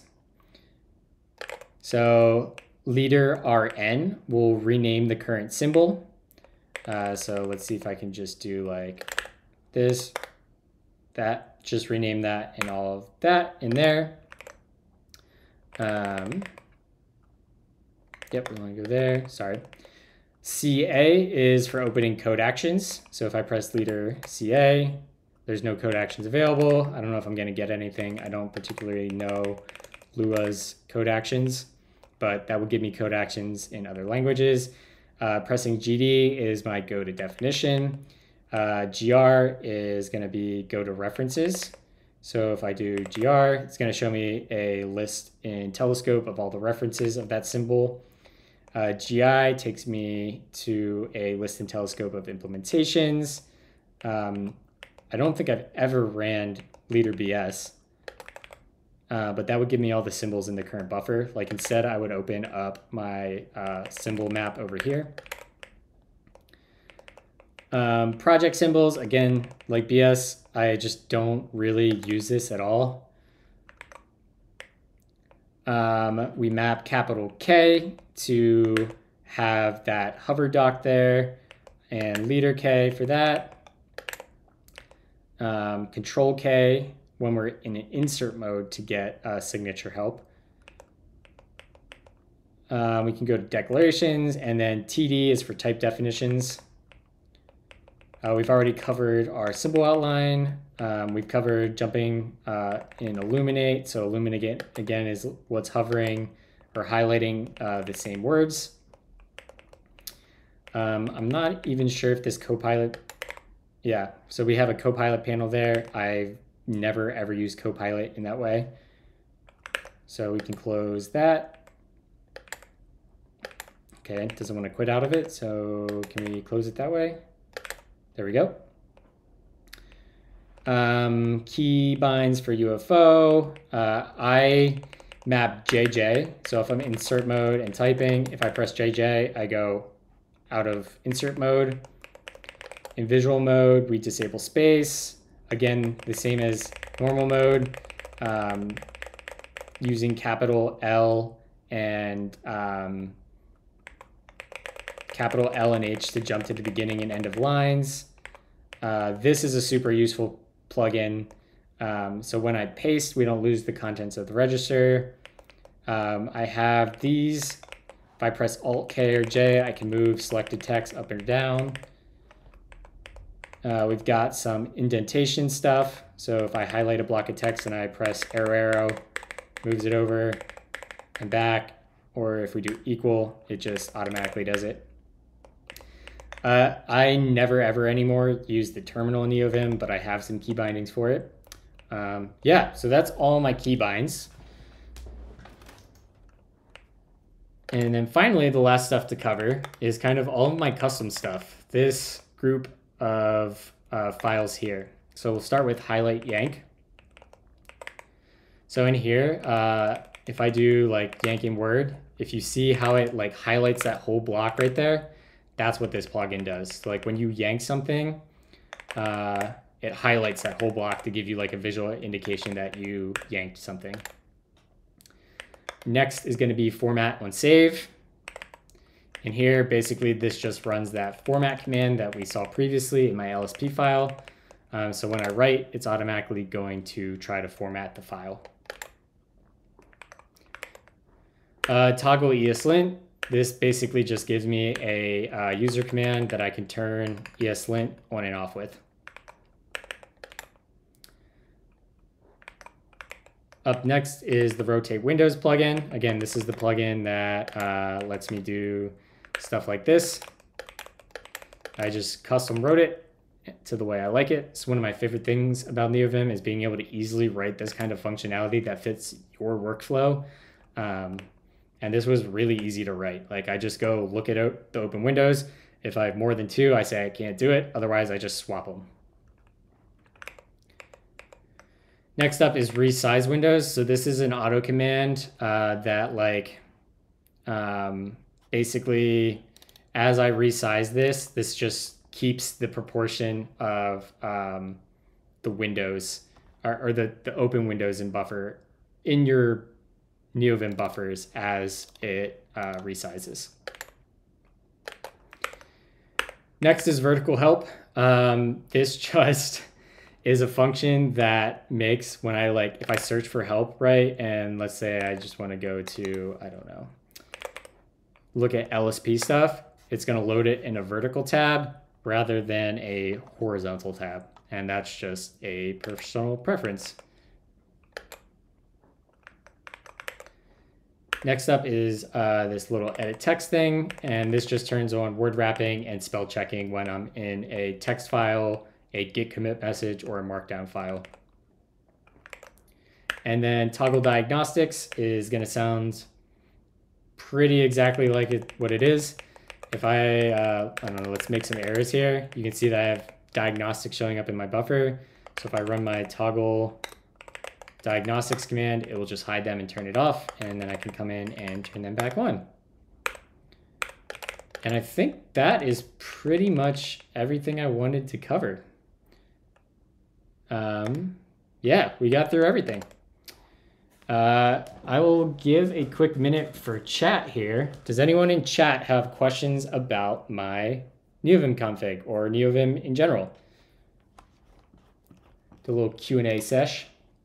Let me catch up on chat because I was not paying attention during any of that. Uh, thank you for the follows, uh, everyone that followed during that. Appreciate y'all. Give this another couple seconds for folks to ask questions. And again, you can find my dot files at uh, github.com slash dmmulroy slash kickstart dot nix slash config slash nvim. If you go to that link, uh, apparently me, we don't think we're in a actual URL. There we go. Oh, looks like I got that wrong. That's good to know. Why? Kickstart Nix, config. Oh, it went to main. That's why. So this is going to be the actual URL. Again, that will be in the description. And bada bing, bada boom. Alrighty, y'all. That's the full tour. Thank you very much. All right, let me add a marker for Kyle. Cool. So we'll get that uploaded to YouTube. Um, I'm going to run to the bathroom quick and grab a coffee probably. I will be right back, chat, and we will jump back into Melange FFI stuff.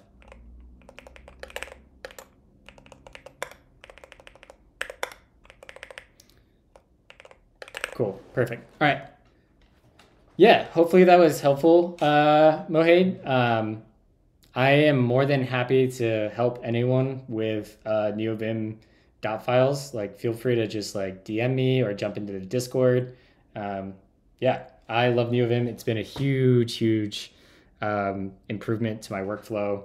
Um, and in fact, like I was having a ton of um, like wrist and forearm pain um, and switching to basically just having a keyboard only workflow, like within weeks, literally that pain went away. And that's actually not the reason I switched to NeoVim, NeoVim in the first place. I was using uh, VS Code up until 2022, the fall 2022. And I had originally started using uh, NeoVim movements in VS Code and had like a bunch of nice little shortcuts and everything kind of set up the way I liked, but I was like, you know, I don't want to take the time to write all this configuration. I like my NeoVim plugin or my VS Code plugins.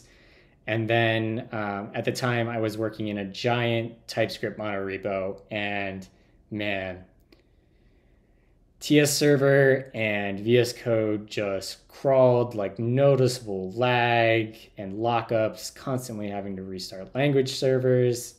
And that's what prompted me to switch to NeoVim. And um, yeah, never looked back. All right, I will be right back, chat. I have like talked my throat dry here.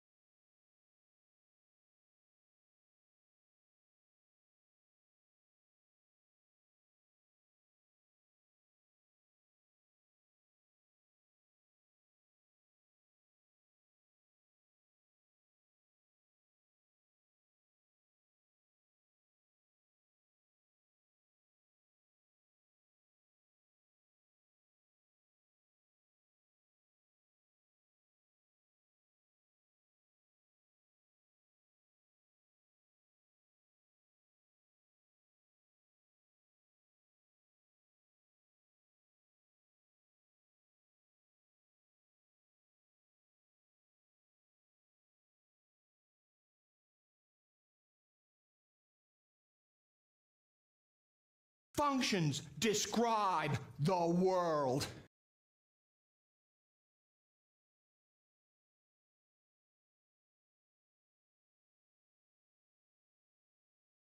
All right, we're back, chat. Let me.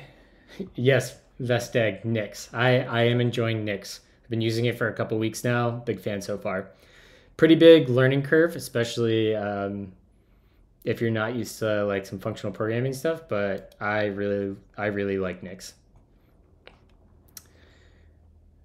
Same reason I switched to NeoVim and Moonlander. Damn wrist pain. I am interested in trying out a split keyboard.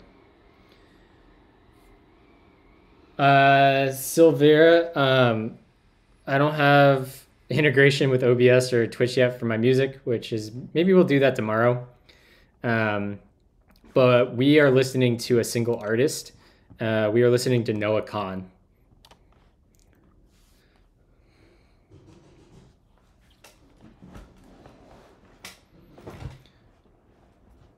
Noah Kahan is probably like my favorite artist I've found in the past year and a half.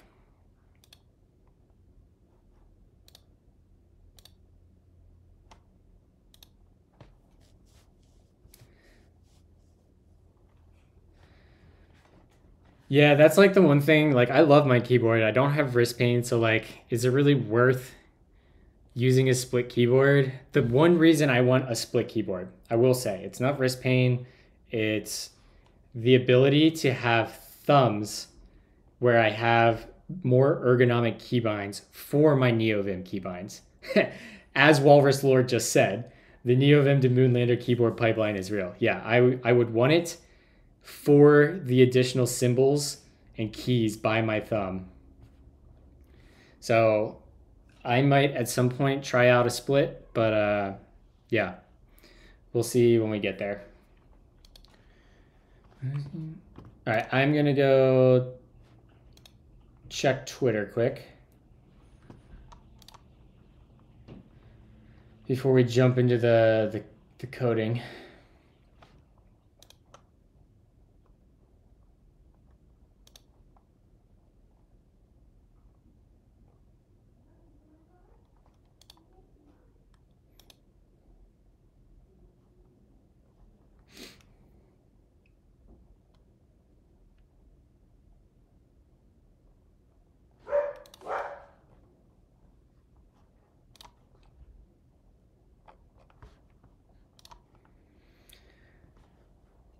All right, let's try to remember where we were at here.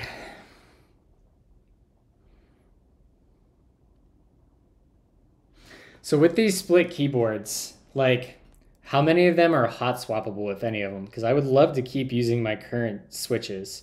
Like I really like Glorious Pandas.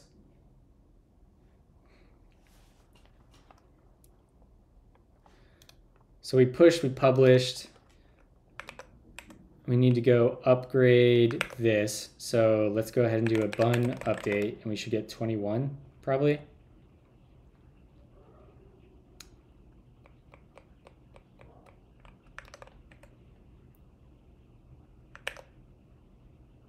I guess we are on 20.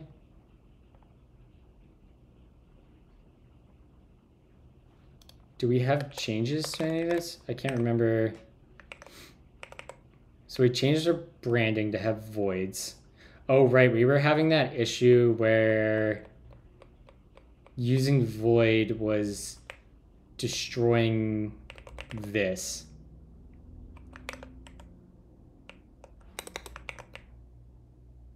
Right? That was our problem.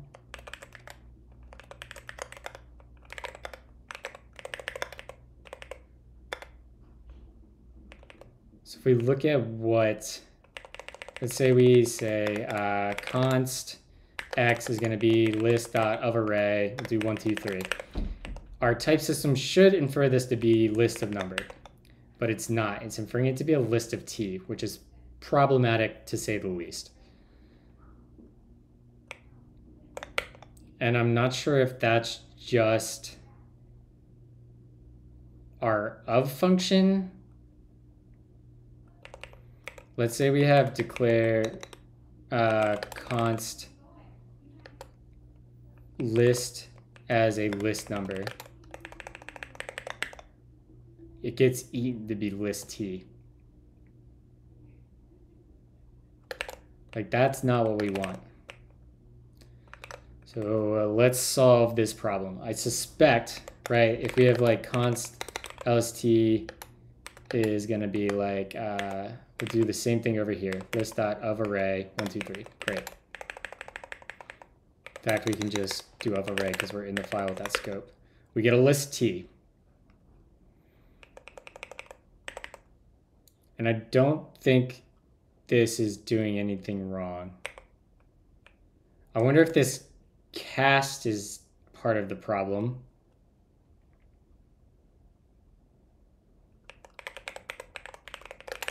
Are we losing our type information there? I'm betting so, right? This is going to come out as... Oh, that actually didn't do what I expected. what up, Extra Sugar? Yeah, we do not do just basic HTML here. We do OCaml, we do ReasonML, we do some pretty in the weeds TypeScript stuff, like uh, at the type level. Um, a lot of functional programming content. Uh, yeah. So you've uh, you found yourself a good home here. Moonlander is hot swap. Okay, so Moonlander might be what I have to check out. Is there any uh, downsides or common complaints with the Moonlander? So I'm guessing if I come back in here and put the T back in, we're gonna get correct inference. Let's go ahead and restart our LSP server. We can close this over here. We already fixed that. So now we have a number.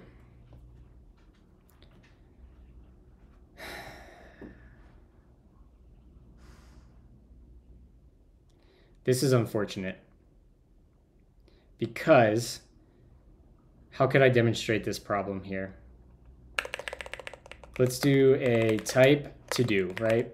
Uh, maybe the price. Other than the price, price aside, what are some uh, other common complaints with Moonlander? Uh, let's just say we have an ID. Yeah, great. That's the exact type we want, and we'll just export it so this doesn't complain. Now let's say we make a to-do in here um, of array, and we'll make a to-do, right? All right, not my best cup of coffee, but it's fine. I also spilled coffee everywhere. Thank you. Appreciate you. Appreciate you.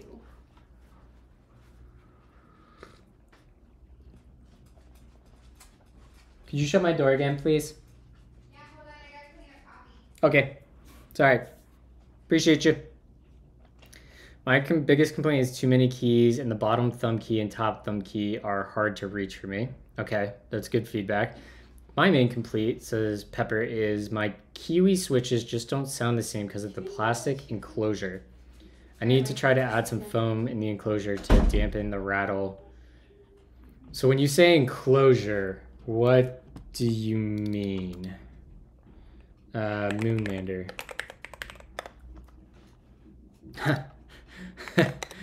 uh, that's mildly funny.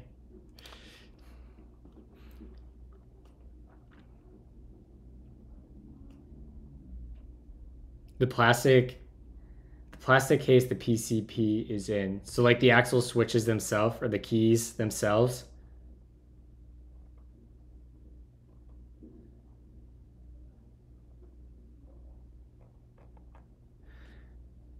Do they sell?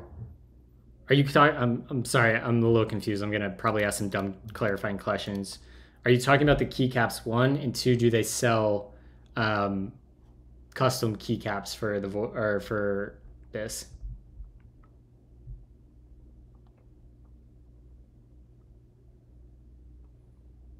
And then PhD is saying that this key and this key on both sides are hard to reach. Trying to imagine what that would feel like. The coffee's great. I uh, I drink coffee from Black and White Coffee, based out of Raleigh. I know I'm local to Raleigh, but it's worth. If I lived anywhere else, I would order from them anyways.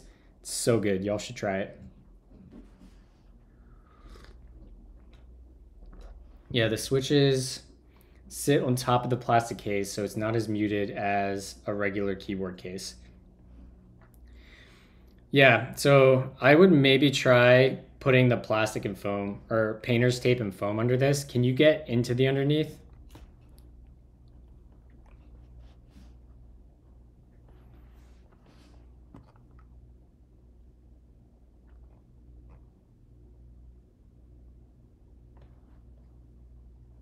I have friends as far as Memphis who swear by black and white. Rad choice. Yeah, black and white coffee is so good every single uh, they have so many different flavors. Every flavor I've tried from them is just like amazing. And like there are you can actually pick out the notes from their tasting guide. Sweet, yeah, maybe I'll pick up a Moonlander. I'll treat myself for my birthday coming up in a couple days. Chat, I turned freaking 31 in uh like a couple days here. Let's see. Next Friday, Groundhog's Day, I turned freaking 31.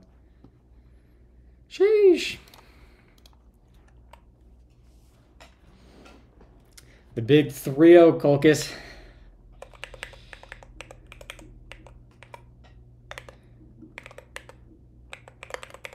All right, so let me demonstrate our current type problem here.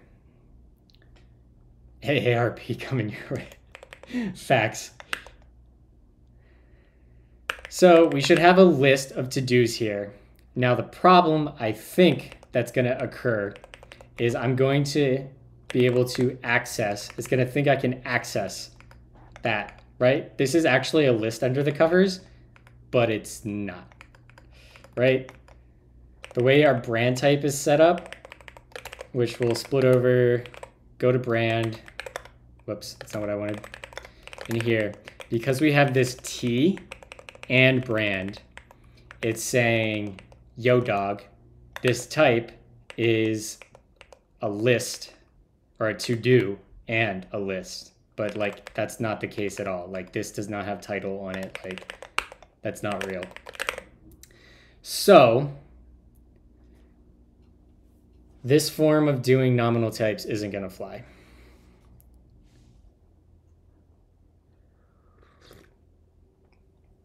And I tried to get around that by using void, right? We came in here and we were like, void. But then this breaks inference somehow, and it's just saying it's a list of t rather than a list of unknown. So we can try another bottom type, like never. See what that gets us. A never. Not useful at all. What about, I'm sure any's not going to do us any justice. Yeah, no. Um,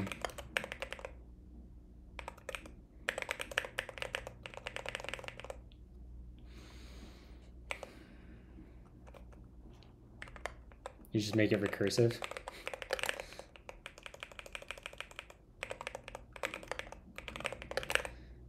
Yeah, that's not going to work.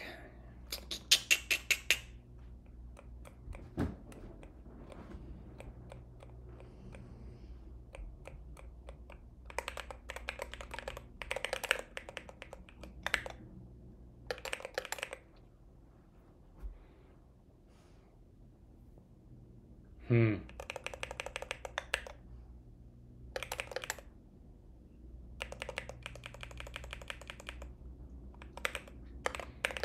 So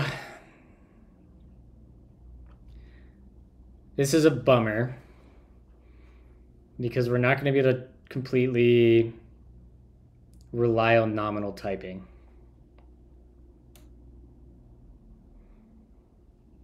Functions describe the world. 45 and 6 pots need to buy a platoon. Dude, you joke, but like there is like companies that make bank off selling graveyard plots. Like it's ridiculous, but it's a thing.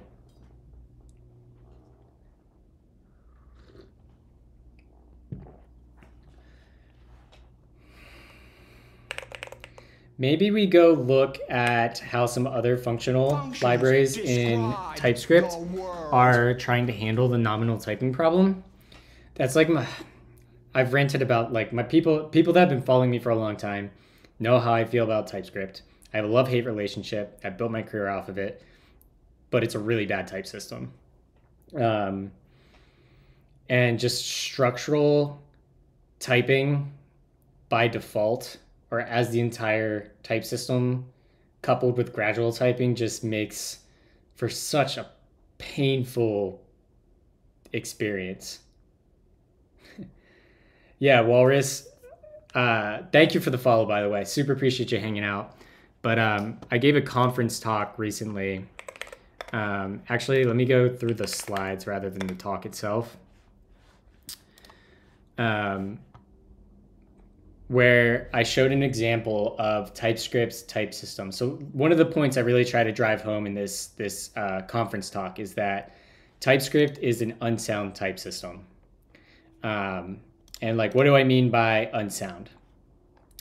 Um, well, let's start here, right? So uh, we'll even just step through these slides. At the International Conference of Functional Programming, which I was lucky enough to attend this year, Anders Hejlsberg, who is the lead architect of TypeScript, uh, gave um, a conference talk on TypeScript's type system. And one of the quotes he said during that was, I mean, clearly, this type system is not sound, and it was never designed to be sound, and gradual type systems aren't. This should probably have an asterisk because what Elixir is doing with their type system, if they execute with, if the theory they have planned out works, they will have successfully implemented a gradual type system that is also sound which is really really interesting. So like if you're into like type systems and stuff looking at what elixir's doing uh, is super cool and interesting. Uh, so that's what anders hejlsberg said right? So then he used this slide to describe the type system. He called it erasable gradual and erasable goes to your point walrus that it's uh, a linter right? Like all the types get erased at runtime. Gradual, structural, generic, inferable, which kind of, I hate TypeScript's inference, expressive, object oriented, functional, and unsound. So, what does unsound actually mean? A type, a type system is considered sound if it guarantees that a program will not cause certain types of runtime errors, assuming that the program compiles and type checks successfully. So a type system is sound if when we compile, everything's good, and that means we don't get runtime type errors at all. Like it would literally be impossible. So there are type systems like that that exist. TypeScript is not one of them. So what makes TypeScript unsound? Our usual culprits, right? Any type assertions using as, non-null assertion, typecasts when we use uh, type guards or predicates, or when we function overload, um, surely, if we avoid these features in our code bases, we'll have type safe code. Unfortunately, not. So here's an example where you can have TypeScript configured on the most strict settings and get no errors but a runtime type error. So we have an account that's just a read-only username string, um, has an admin flag on it. We have this function that validates a use um, validate some username function, right? So we could pass different types into this because TypeScript structural. So it's going to take some input that has a username on it. We're going to check if the username has a length of five. If not, we're just going to raise an error, and then we return the input back out to the caller.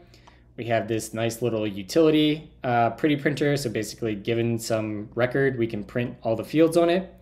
And then you can think of this bottom code as like our application, right? We're going to create a new account. Username DMM Mulroy is admin true. We're going to validate it, and then we're going to print it.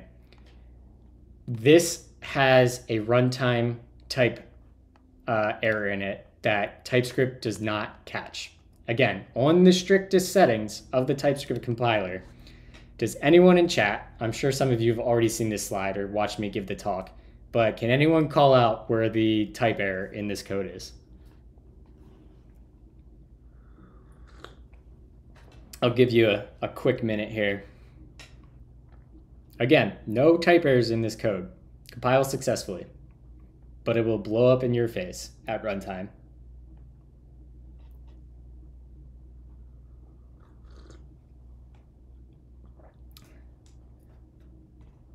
Anyone? Bueller? Bueller? Boom. Exactly. GG Matios got it. So this code lets us pass in uh, exact, Well, this is the line that causes the problem, which, as uh, Matios calls out, we're going to end up having um, a Boolean passed in here. And even though we said this function accepts a record of string string, it's actually operating on down here a record of string or string unioned with boolean. And it doesn't catch this. And this will like this is super like innocent code right? Like you could imagine like this print record code is like in some utilities file somewhere like all of us could make this mistake super super easily. So that's basically what an unsound uh, type system is. And that's why uh, typescript leaves a lot to be desired. And i think if elixir delivers on a sound gradual type system um, i would hope that that would cause the typescript team to kind of consider their approach and maybe down the road have a um, uh, like maybe some opt-in features or a backwards breaking change on a major or something. So yeah, that's my rant on TypeScript.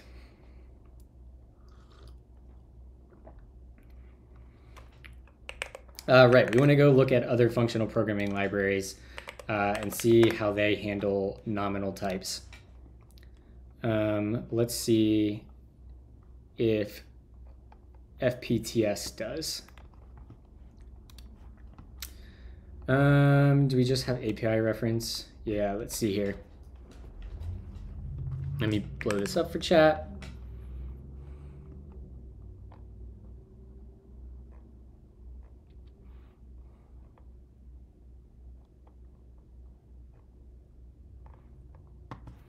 We have a monoid, monad, n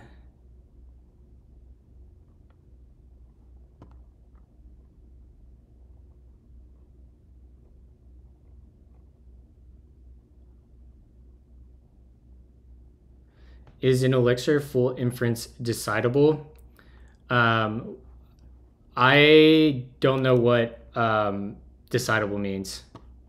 They basically took the opposite approach of TypeScript on their inference, where rather than bubbling up a bottom type, they will bubble up the inferred functions return type. Um, if that's what you mean, I'm not completely sure there's a really really good talk on it. Um, in fact, I'll just link this since I've been talking about it so much. Uh, Jose Val Valim uh, Elixir types. Is this it? Seven months ago. Yeah, this is this is the talk right here. So this video basically covers the entire type system in like deep detail. So they have this concept of um, uh, they call arrows, strong arrows, and I think that addresses what you're talking about. Let me drop this in chat quick. Because this, like, even if you're not, I I don't know Elixir. Um, but like if you're into software engineering and like types and stuff in general like i think you would have an appreciation for uh, this talk there's a follow-on video uh, elixir strong arrows is what they call them yeah. A new approach to why would they delete that link?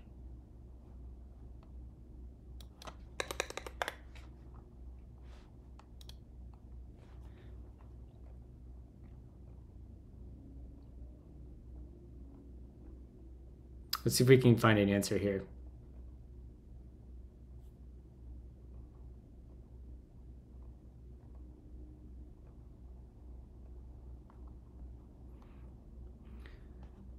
For the type curious readers, set theoretic types implement a limited form of bounded quantification a la kernel fun. In a nutshell, it means we can only compare functions if they have the same bounds. For example, our type system states a to A when A is an integer boolean is not a subtype of A to A when A is an integer. We get lower bounds for free. Uh, enter gradual typing.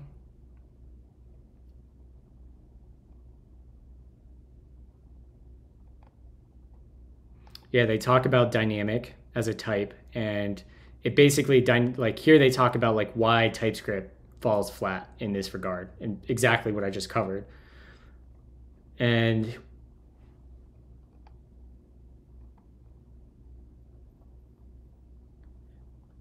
calling static code from dynamic code returns dynamic, which is what TypeScript does. Um, calling static code, or maybe this is what, oh, this is what TypeScript does. I'm sorry. Calling static code from dynamic code returns a static types with an additional runtime check. Um, introducing strong arrows. I always said that um, Elixir, thanks to Erlang, is an assertive language. For example, if our identity function is restricted to only numbers, in practice, we would most likely write it as a to a when a is a number. And they use the guards. Um, we say Elixir is strongly typed because its function operators avoid implicit type conversion. The following functions also fail when their input does not match the type. So binary to binary, integer to integers,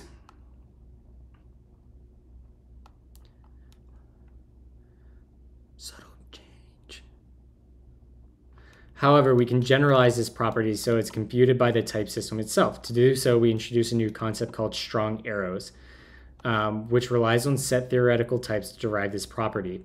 The idea goes as follows A strong arrow is a function that can be statically proven that, when evaluated on values outside of its input types, i.e., its domain, it will error. For example, in our increment function, if we pass a string as an argument, it won't type check because string plus integer is not a valid operation. Thanks to set theoretic types, we can compute all values outside of the domain by computing the negation of a set given increment 1 will fail for all types which are not number. The function is strong. By applying this rule to all type functions, we will know which functions are strong and which ones are not. If a function is strong, the type system will know that calling it with a dynamic type will always evaluate to its return type. Therefore, we say the return type of increment dynamic is number, which is sound and does not need further runtime checks. Going back to our debug function, when used with a guarded identity, it will be able to emit warnings at compile time, errors at runtime, warnings at compile time, errors at runtime without introducing any additional runtime check. A to A when A is a number, def identity arg when is blah blah blah.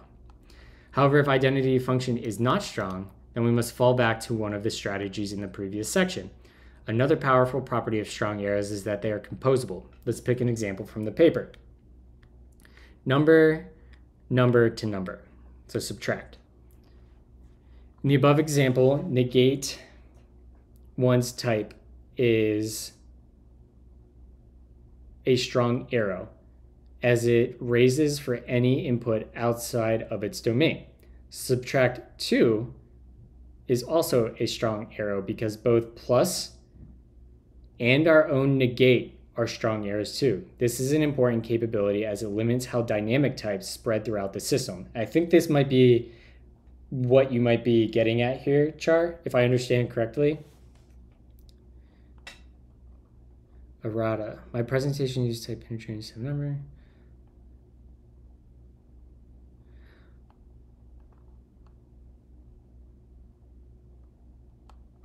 Luckily, other gradually typed languages can also leverage strong arrows. However, the more polymorphic a language and its functions are, the more unlikely it is to conclude that a given function is strong. For example, in other gradually typed language such as Python or Ruby, the plus operator is extensible and polymorphic, and the user can define custom types where the operation is valid. In TypeScript, foobar plus one is also a valid oper operation which expands the function domain. In both cases, an increment function restricted to numbers would not have a strong arrow type as the operator won't fail for all types outside of number. Therefore, to remain sound, they must either restrict the operands with further runtime checks or return dynamic, which is how any's percolate through our code base. Yeah, so this is really cool. I'm really excited about this. Um, I think if Elixir pulls this off, um, yeah, it'd be a really impressive feat.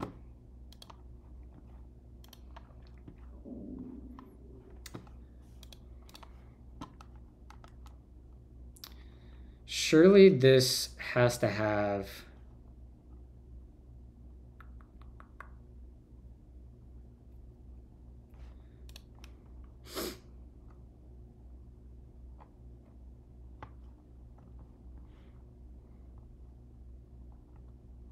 Hmm.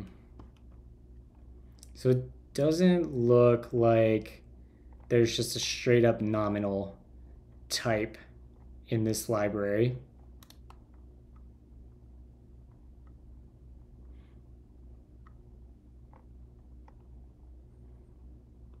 Higher kinded type?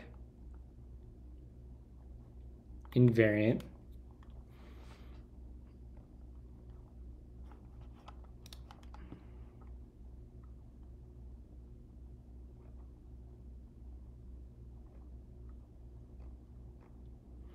Don't think this is what we want.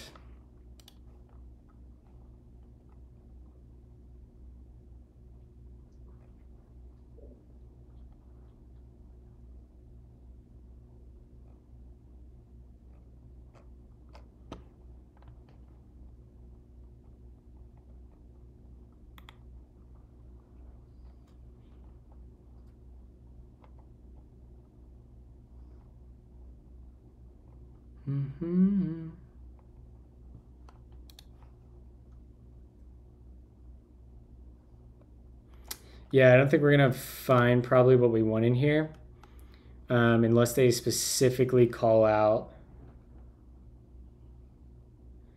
Yeah. Yep. Exactly. I uh, I talked about that in my conference talk too. It's like TypeScript TypeScript has to be that way. One, because it's a strict superset of JavaScript and then inherently has to support all that dynamism and all the warts of JavaScript's runtime. And two, I don't think TypeScript would have became popular if it wasn't a strict uh, superset of JavaScript. So it's like you're damned. The TypeScript team was damned if they do, damned if they don't, because like clearly they understand type systems. Clearly they understand that their type system is not sound. Um, and like TypeScript wouldn't have caught on if one, it wasn't able to be gradually typed and slowly introduced to code bases. And two, I really think TypeScript wouldn't have caught on if it wasn't for the DefinitelyTyped repo um, and community contributions. And that only existed because it is a gradual type system and yeah, so it's it's a bunch of uh, yeah, it's it's a bummer that so many devs. It's simultaneously a super positive that so many devs have found value in static typing through TypeScript, and also a bummer at the same time that uh, so many devs' perspective of static typing is TypeScript because static typing can be so much better than TypeScript. Like, just the amount of loopholes you have to jump through when you're making these super huge generic types using type mappers and um, uh, I can't even think of what it's called. The question mark operator. Why can I not get it? Ternary expressions I've implemented Hindley Milner Damas inference for JSON logic. That's awesome. That's like my like a little side project I would love to do sometime is implementing uh, Hindley Milner. Um, yeah. So you know exactly what I'm talking about. So part of like the reason why I stream and make some of the content I do is like I had the light bulb moment about a year and a half ago when I started learning OCaml and Reason ML, where I was like, oh shit, like, like type systems don't have to suck, and like, it was such an eye-opening moment for me, and just changed the way I thought about programming and problem solving. That like, I I want more TypeScript devs to have that that experience. So that's a huge uh, part of the ethos behind my stream and my content.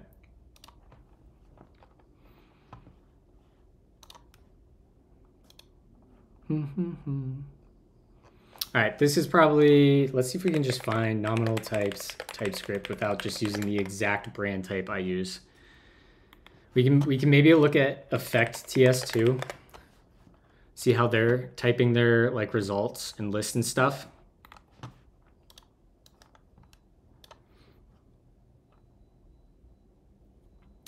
FFI is the foreign function interface. So with this package layer, I could load a C library into a Melange project. Not a C library, although uh, we use the same syntax in OCaml and ReasonML for FFI for JavaScript as we do C. Melange just, um, Melange's FFI layer lets us bind to JavaScript types and functions from OCaml code even though that OCaml gets compiled to JavaScript too. It lets us write our applications in OCaml. Um, it that FFI layer lets us safely call into TypeScript code we don't uh, control. Now, I think that, um, well, let me take a step back. In native OCaml and native ReasonML, we can use the same syntax or the same uh, FFI syntax and bind to C functions uh, instead. So if you're writing native, that's how it's going to feel super similar. Um, what Melange FFI is, this project I'm working on, is uh, building a library to basically flip the FFI model on its head. So rather than from Melange code binding directly to uh, like an npm package or a third-party library, what you would do instead was you would write a tiny little FFI file and you would wrap the functionality from the node module you're looking for in this library. And the beauty of this library is it has all of Melange's, or basically OCaml's standard library, all of its types, all of its functions, currying, has all of that ported to JavaScript. So we effectively have all of OCaml's type system in JavaScript. So the idea is you would massage JavaScript types to be more OCamlish or ReasonML-ish before writing your external. So when you go to write your external, it's just super, super easy. You don't have to worry about all these attributes that are super confusing and worrying about the dynamism of JavaScript. You get to put this tiny little wrapper there that you control um, and turn it into OCaml types beforehand. And I also think we could potentially get it in such a way that you could generate the externals uh, that you have to write or the OCaml FFI side from these FFI files. So I've got a lot of ideas in this space. I've been largely inspired by Gleam and how they do FFIs, um, JavaScript FFI. Uh, Gleam has this JS prelude. Let me see if I actually contributed to this. Um, Not Gleam, Gleam.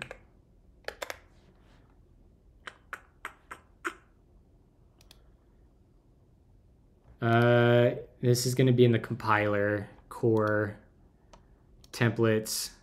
Yeah, so if you look at the prelude,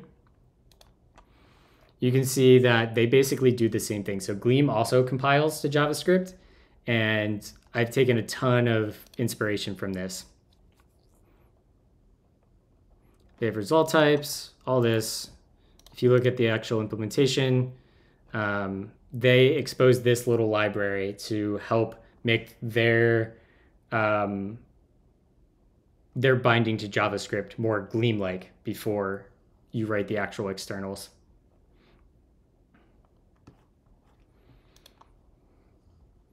The worst thing that ever happened to JavaScript was Microsoft slash Yahoo voting no on ES4. If that never happened, we would have a real type system by now. So we got ActionScript 3, which was awesome and tied to a dying platform. I actually don't know this history.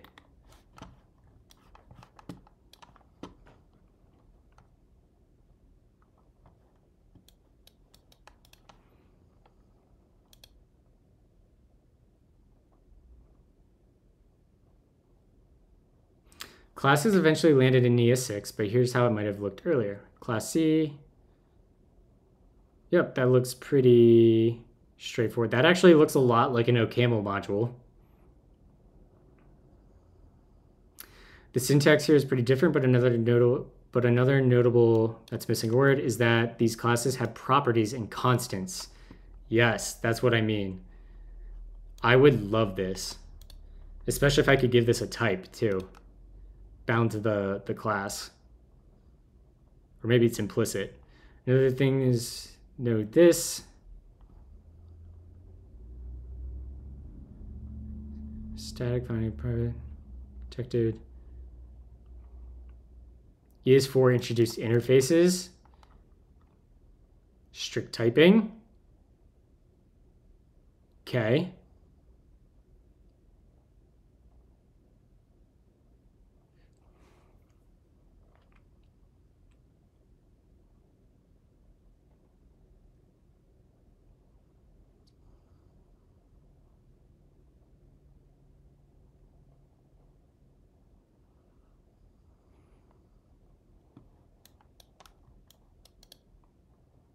Okay. That's nice. I like this feature a lot. Amazing.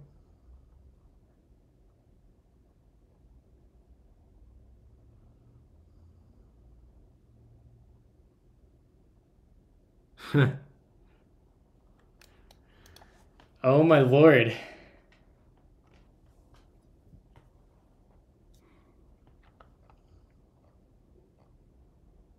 Dang. Have you um have you seen I think it's Ezno? It's a type checker that's being worked on. Uh, I want to go to my stars. Where are my stars at?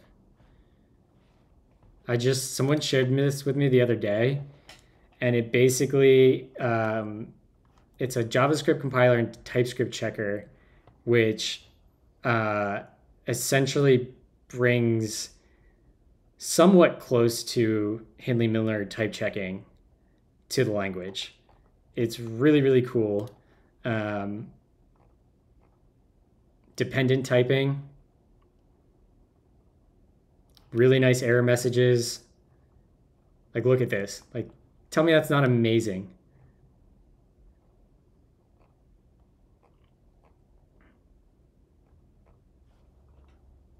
Yeah, so Right now, it's a, a very early project, but I think it's pretty promising. Because, like, if we could drop in something over top of TypeScript like this, like, man, that would that would be close to what we want or what I want.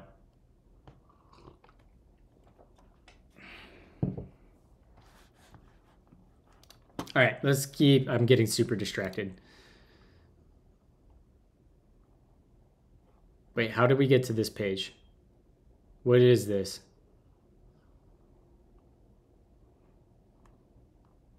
Type T value, ID foo, foo ID.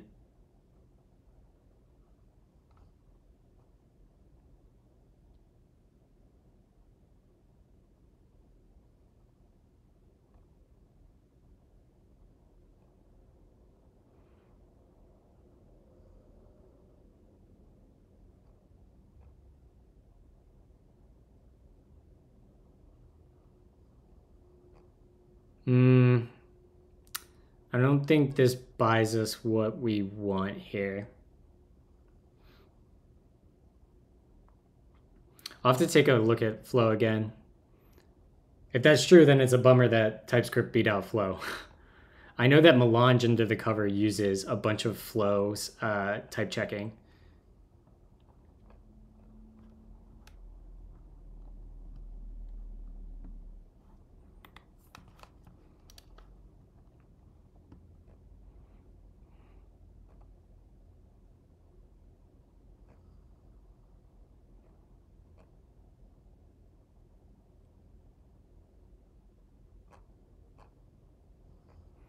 I wonder if we could abuse enums here.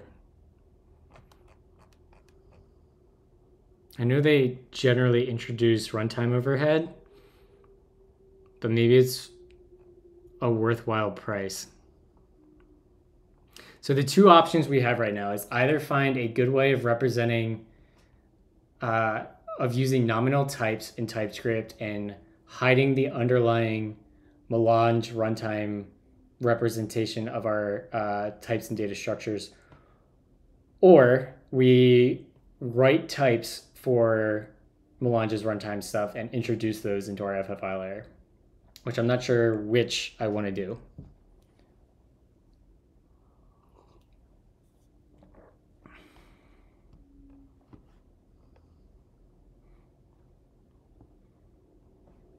Where was that nominal types? We were just there.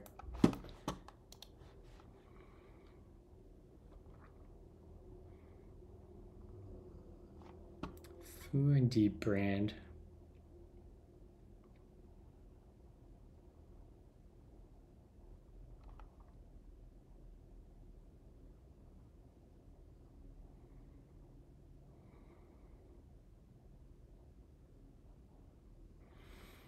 So I'm curious what that ends up looking like. Let's say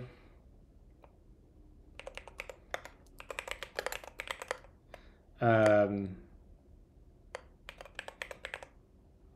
I guess it wouldn't be that, right? Be enum list.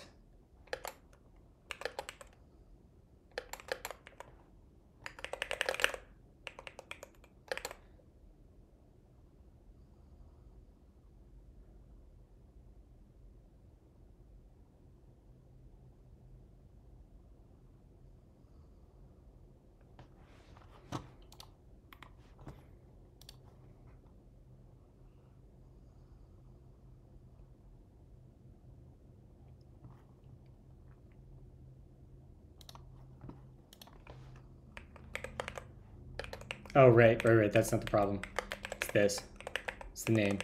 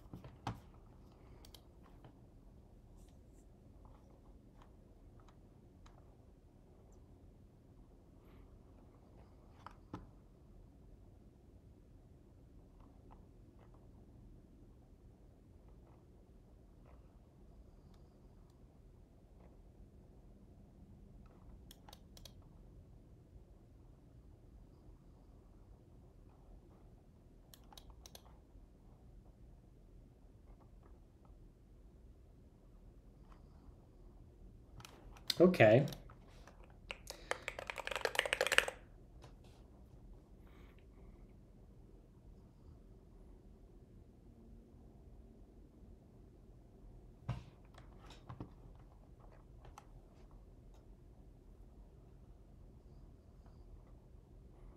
That's not bad. That's not bad at all.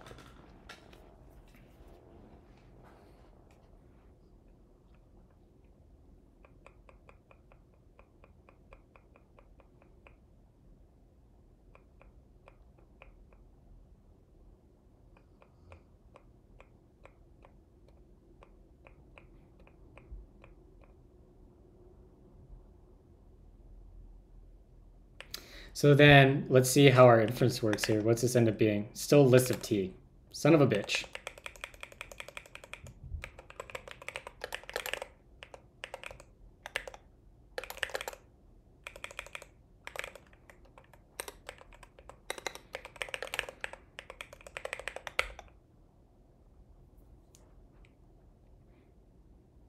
And I'm assuming enums can't be generic. Can TypeScript enums be generic?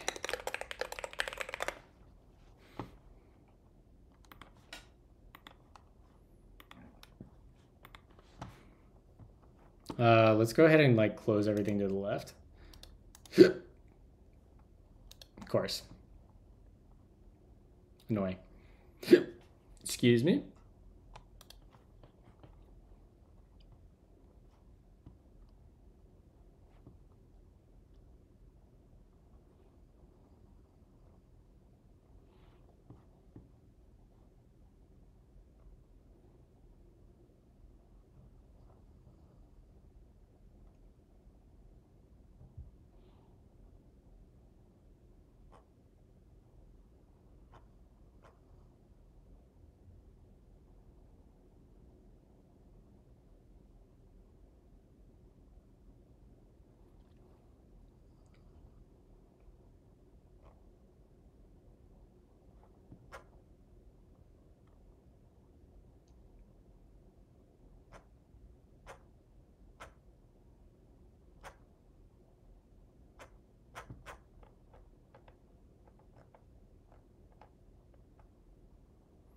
Okay, so this is a pretty recent update here.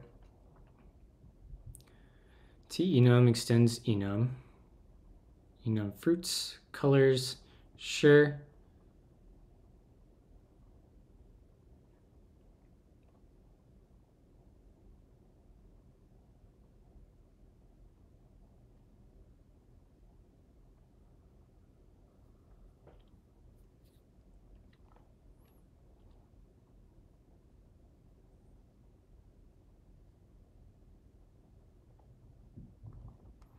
Type enum value has a generic type enum, key of t enum, and a number in string. I don't know if that's super useful.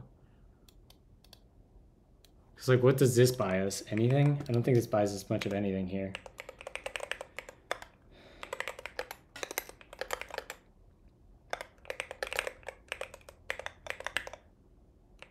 Say this is a list.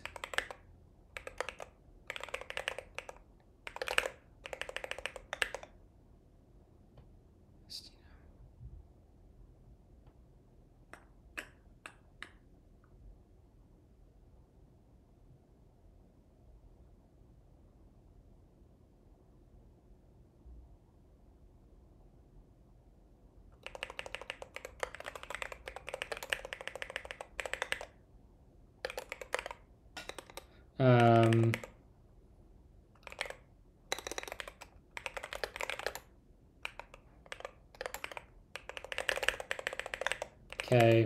give us?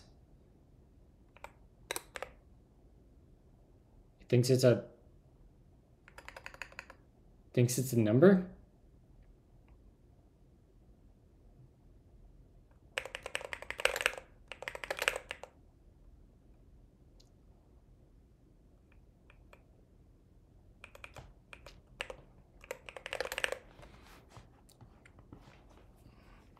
So we have this t enum extends an enum object.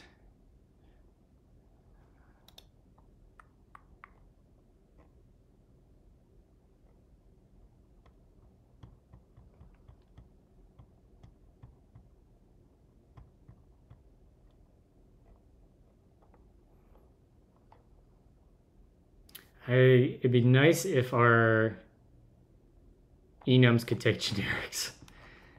This isn't what we want here. Blah, blah, blah, blah, blah, blah, nothing useful. Heterogeneous enums.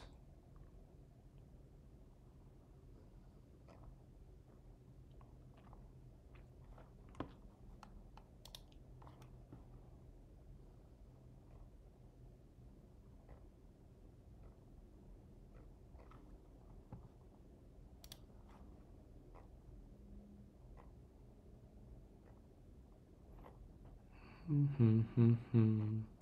Yeah, not being able to give a type parameter to an enum is kind of a non-starter for this.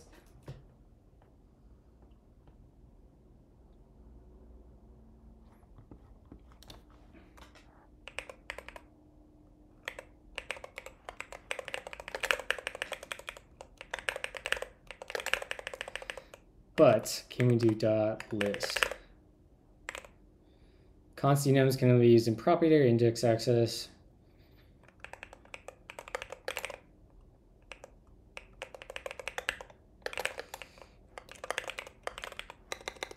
And let's just make sure our uh, language server is playing nice. and just for extra shits and giggles,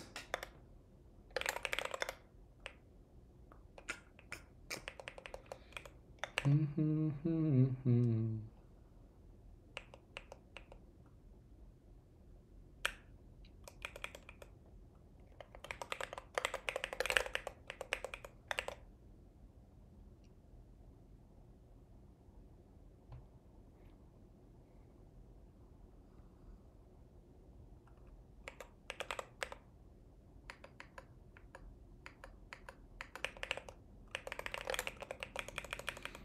Might be getting closer.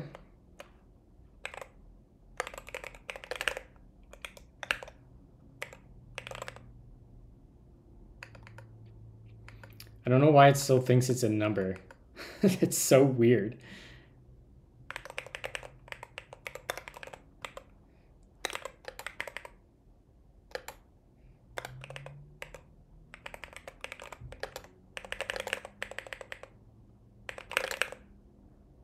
Like, that's weird.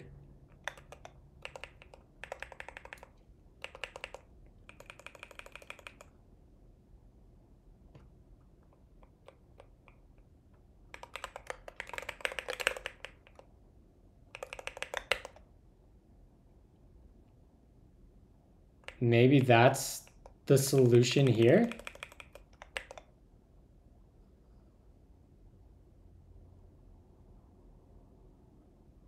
Because that looks like we just got the inference we wanted. Rather than using a symbol as the brand.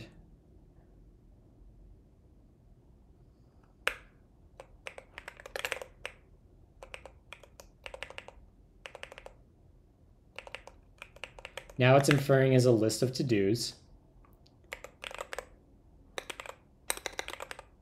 We can't get anything. Okay, that actually just solved our problem. We don't even have to do anything fancy. Am I missing anything obvious with this solution?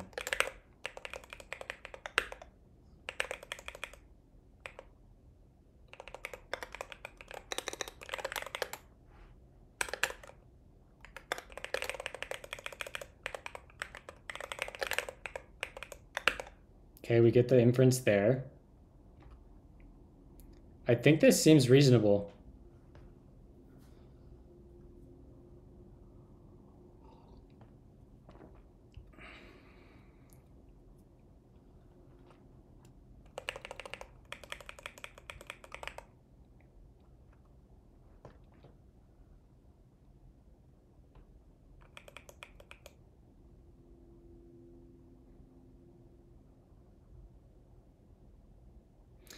We're saying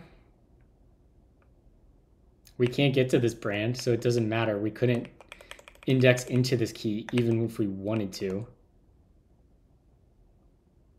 Okay, I think this is actually close to what we want. In fact, we could like say nominal dot ts, write that. All right. We've got some inspiration here. Um,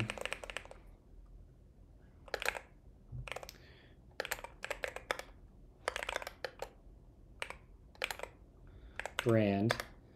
And we could say import uh, brand from brand. And then we export type nominal. We'll take a T and we'll do brand and this will actually be void, and this will be t, right? Um,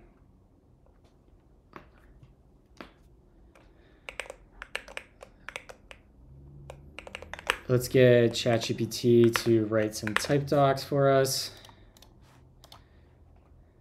Given these type docs, uh, type slash JS docs,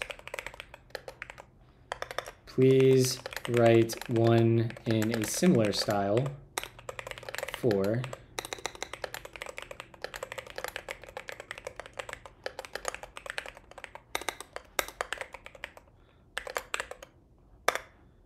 What up, Roasted? Good evening.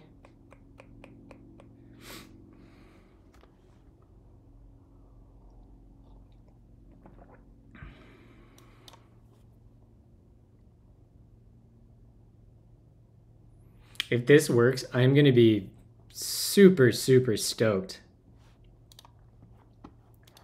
that we just cracked a nominal typing. I don't think we need you.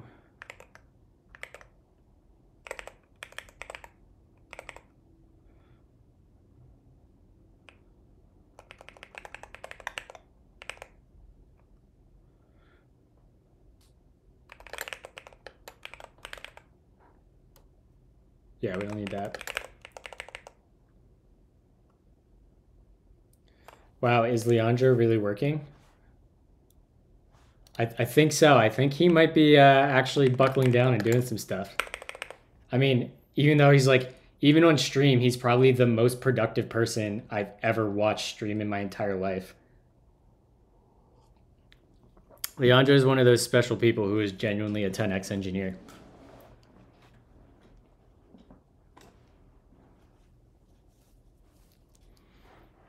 Uh, let's see here. 20x dev for real, Ryan. Ryan, if you just showed up, you missed me. We went over uh, Elixir's set theoretic types and strong arrows on stream earlier.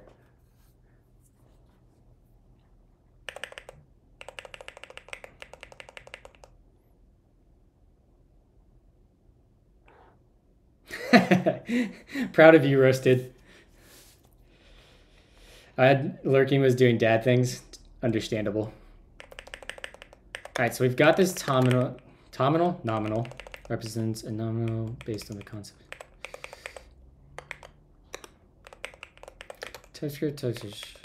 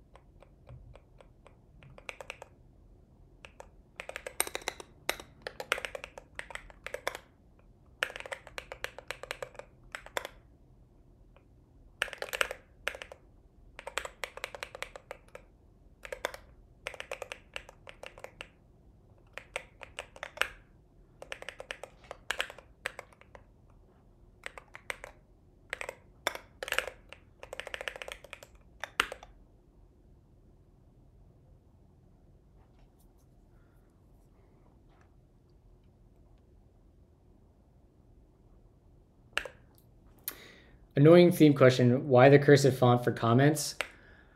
Um, so I recently switched fonts to MonoLisa because um, I was having some rendering issues with the font that I've been using for almost a decade. I was using Dank Mono, and um, Dank Mono also has cursives for italics, and I've just grown to really, really like that and grown to really accustomed to uh, reading code in that way.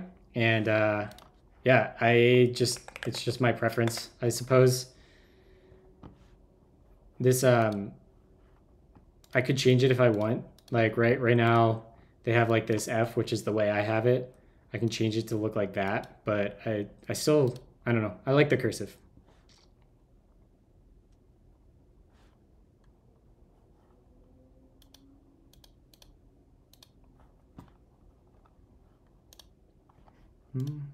I love also that MonoLisa uses reason as a syntax variant.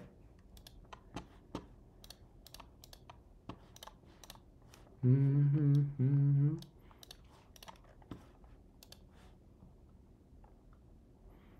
Hmm. Like I love this, right? Like this syntax here.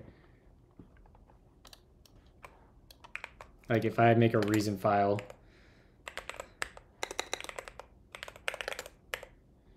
jump into here.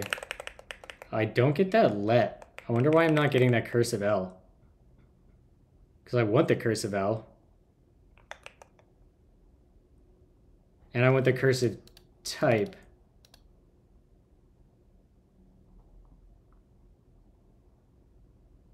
It's probably my syntax highlighter. I have like custom shit for for um, reason.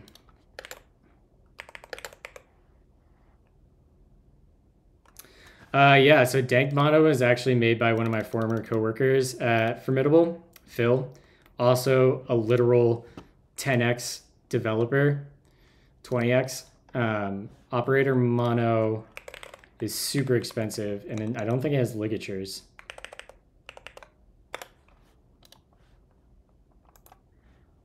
That should probably get taken down.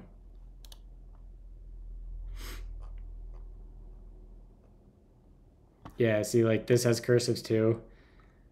Um, operator mono just doesn't. I would have paid for opera, operator mono, but it doesn't have ligatures, and I love ligatures.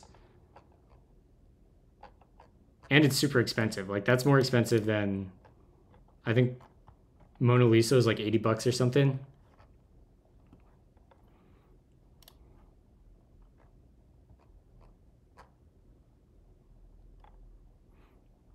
I probably still would have paid for it if it had ligatures, though.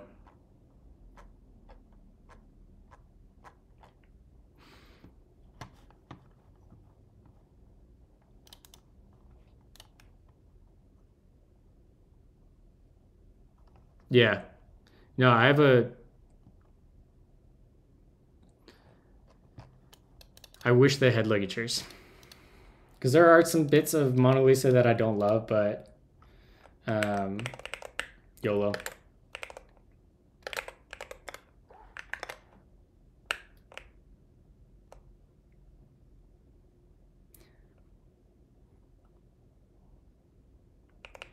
Nominal type T uses void as its base and brands it with a unique type T. This results in a type that's considered different from void or any other types branded differently, even though it structurally resembles void. Sure. All right, so now we should be able to go into list, right? And everywhere brands at in here, we should be able to come down here and be like, uh, nominal T.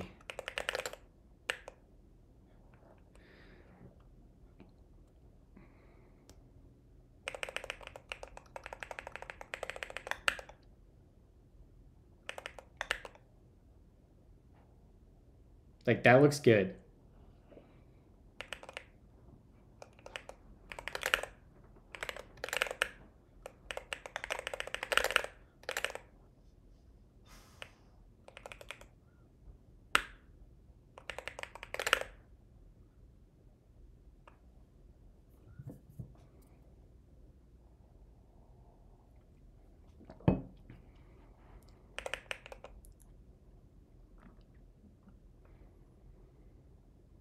So let's go try doing a publishing a release of this using um, this type here. So we can get rid of u and this will become nominal t.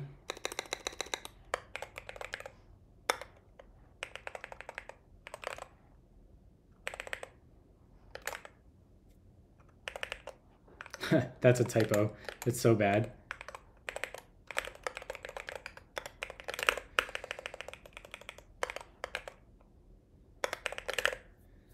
My worry is, though,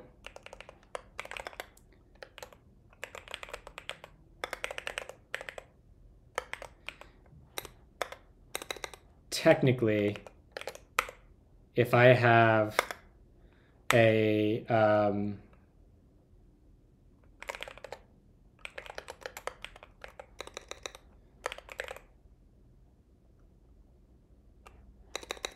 let's say this is a declare const sum is a sum of number, or let's make a uh, number will be fine to test the theory.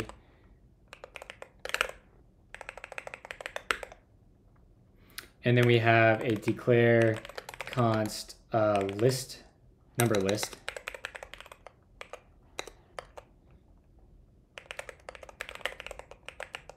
My worry is this is going to be structurally equivalent.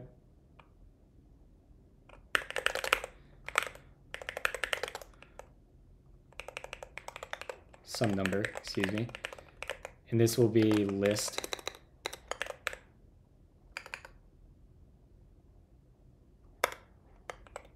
of number.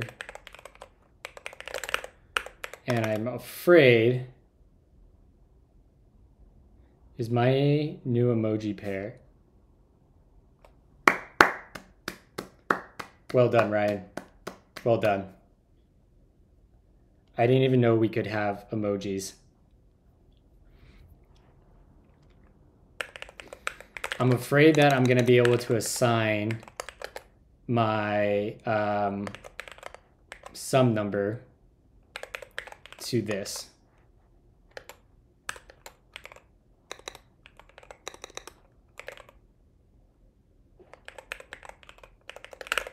Yep, no type problem.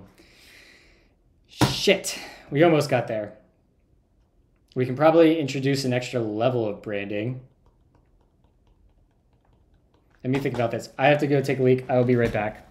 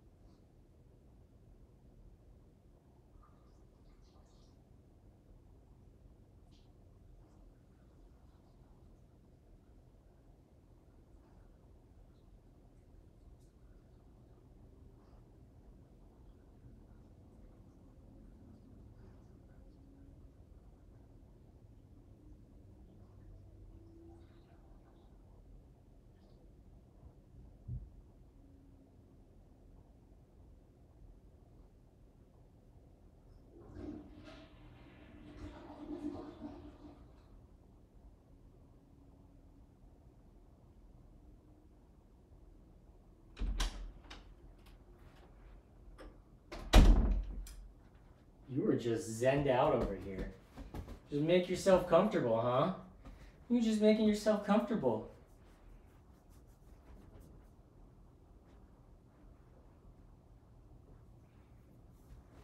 You a girl. You good girl.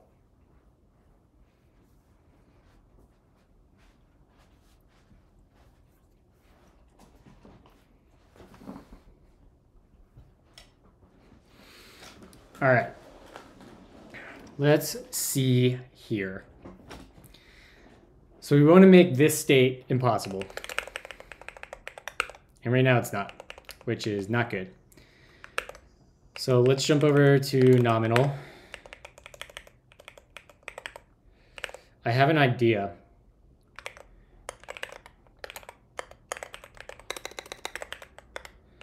Let's uh yoink. Well, hold on.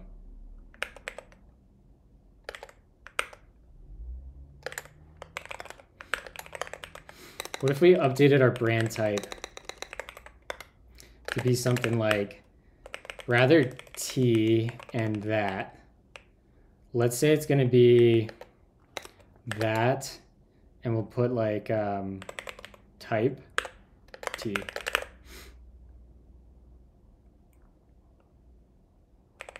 Something like this.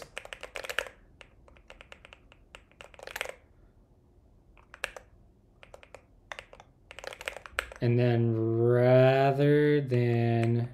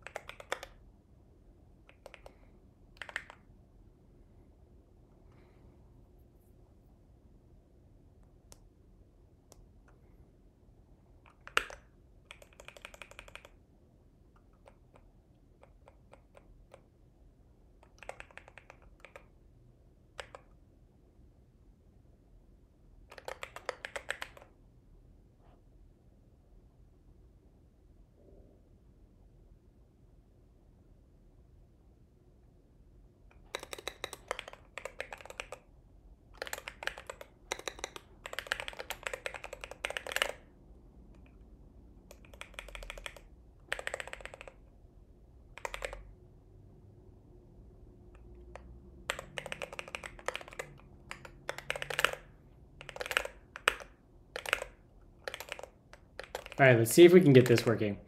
Um, let's go back to our list and let's undo. And our nominal, we need to get our, yeah, that back. So this now takes our T and this will take a brand of type of list. Now does this, that, that looks good.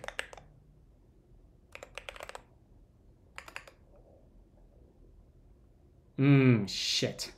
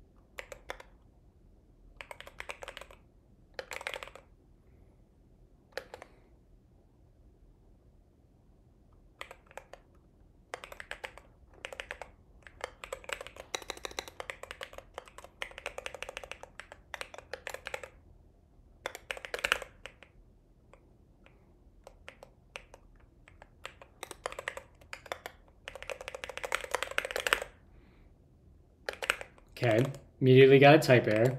That's good. All right, we don't have anything on there. And let's make sure that's inferred correctly. That looks good.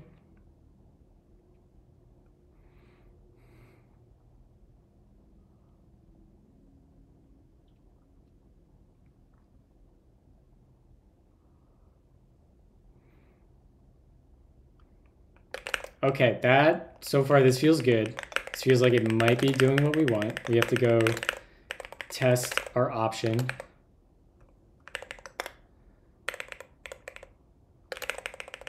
And instead in here we say, this will be um, nominal. Yeah.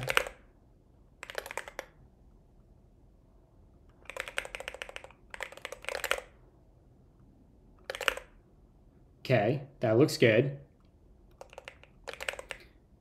Get rid of you.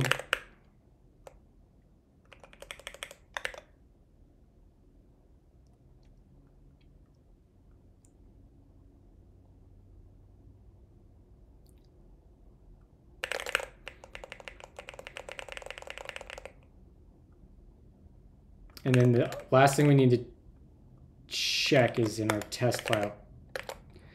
Type some number is not assignable to type list number.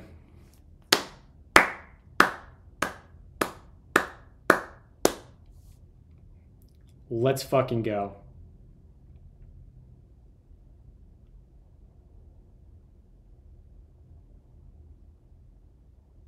Let's go, chat.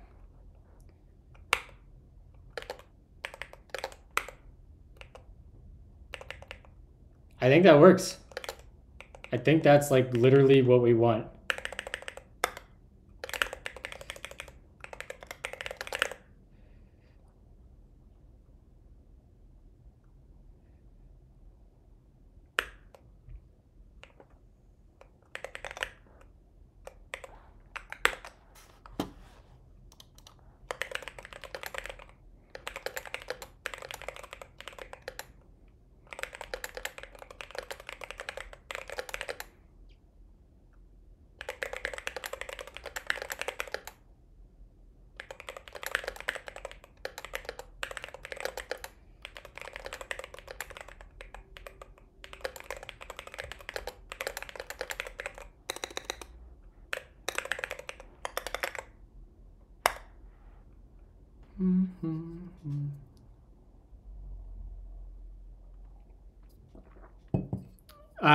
Ghostty.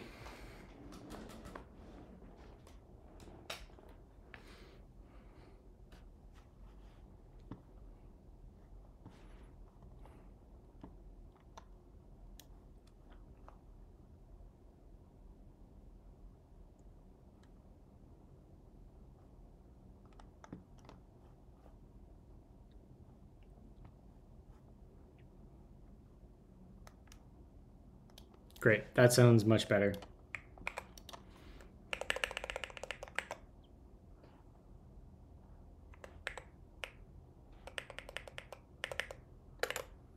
Um, not particularly. It's been a pretty seamless transition. Especially not Neovim. Neovim just worked perfectly.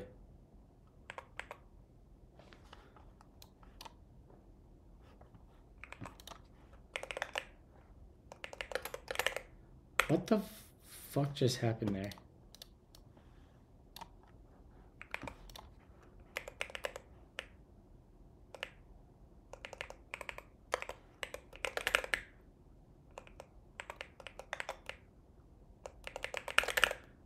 Okay, that looks good. So I think we might have cracked this code here.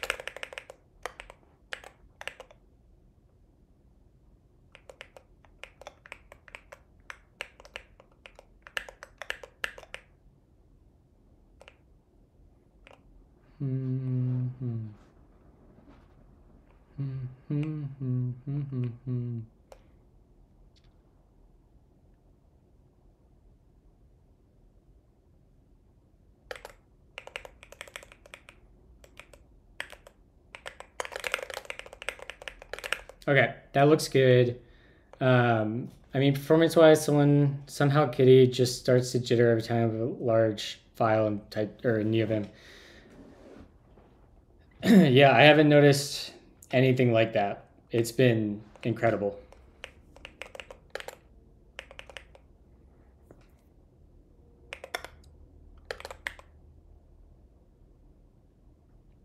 Okay, so we do have some type checking problems, which is okay. Uh, that seems like a mismatch.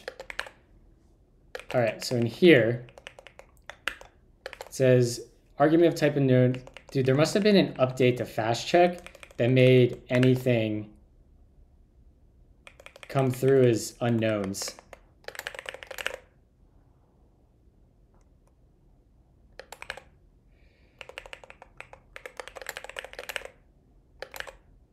This is going to be the problem every spot.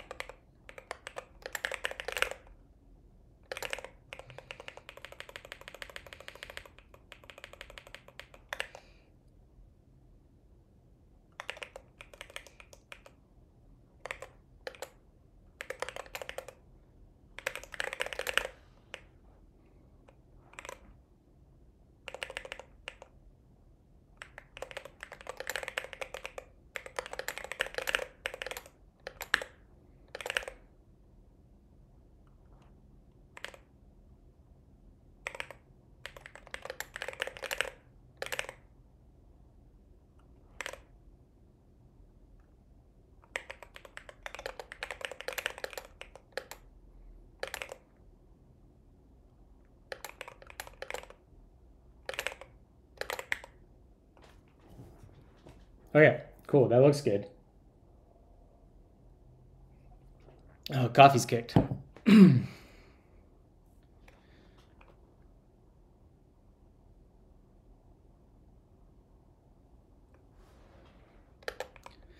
right, let's run our tests and um, then publish a new version as long as we're good here.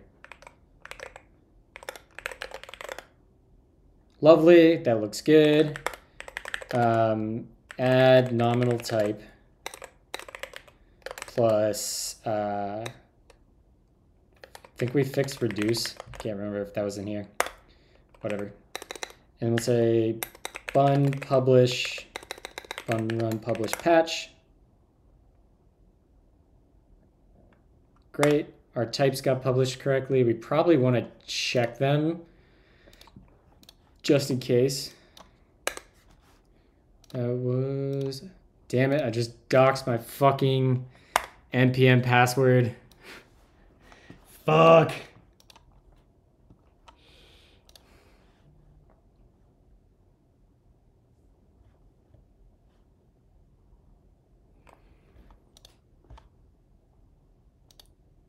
I was moving too quickly. Good thing is I have 2FA on, but regardless, I should probably roll my password now.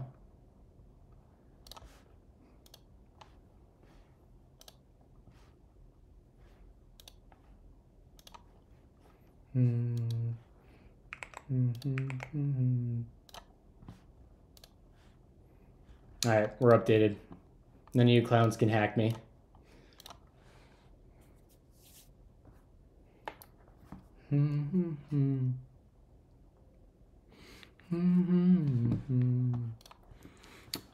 After this song, we're going to switch it up a little bit.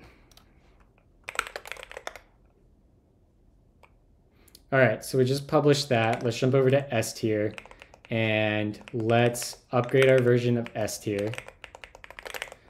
Uh, so we should be able to open this and say bun update. Facts.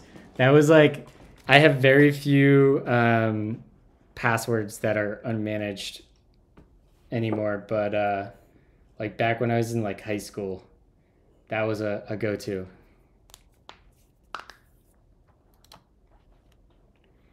I use Bitwarden for like everything nowadays. Anything important is on Bitwarden.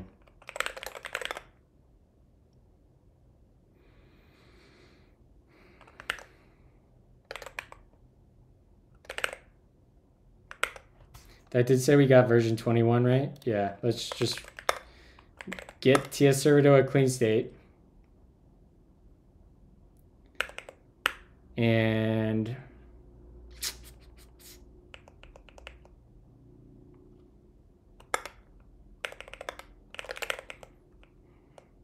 we should also update our brand type here. Because rather than this, we should do the same thing, right? Delete type brand.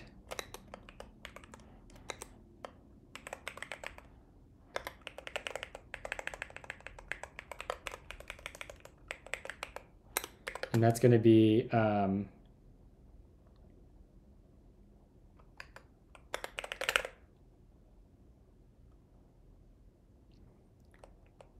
that. And then how did we do this in our list? We had this nominal type, right? Maybe we export nominal from our library and let other people make nominal types.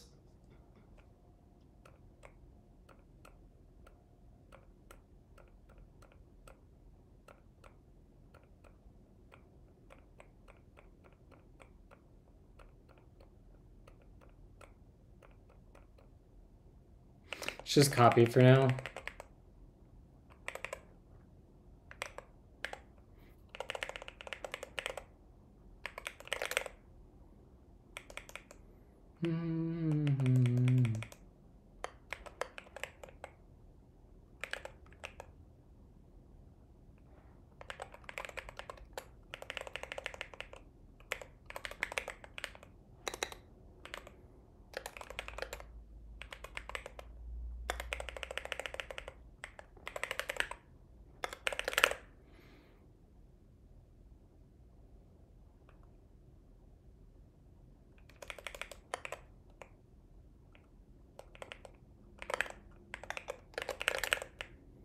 Mm-hmm.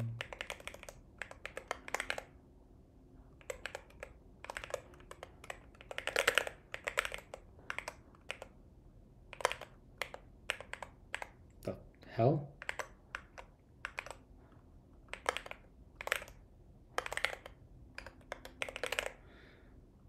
Okay. Let's see how that works out. If we come down here, uh, let's clear a terminal. Let's do a, uh, I think I have cat package JSON. Build OCaml build. Yeah, let's just do a do uh, bun run build. That looks good. Also, I want to jump back and look at the type definition that this generated.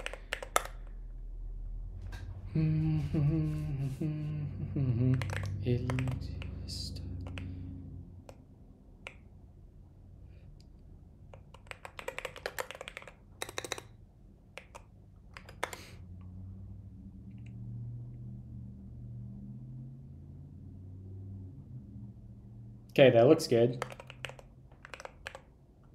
Let's look at what we generated over here. So it's going to be in dist index.d.ts.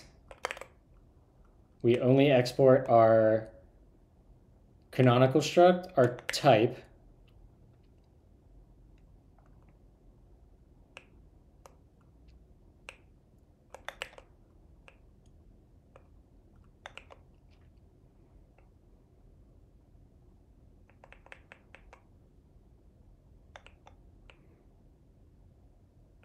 Did we actually do that right?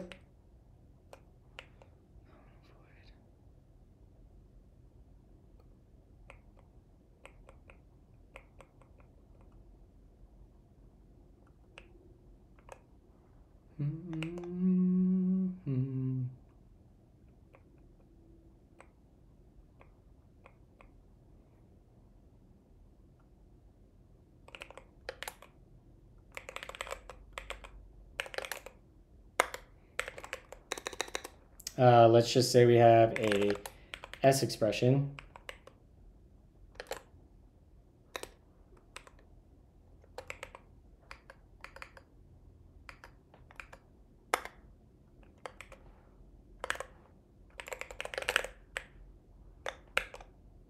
That looks good.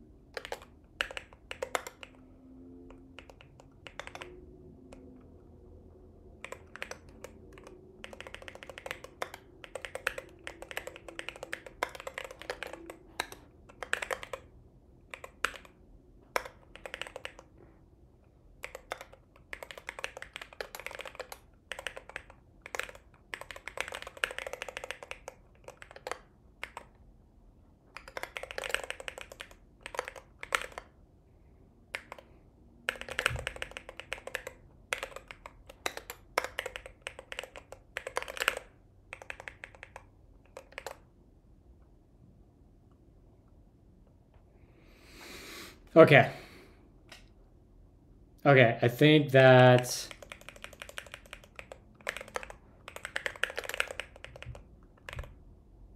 I think that covers it. I think that's exactly how we want this nominal type system to work.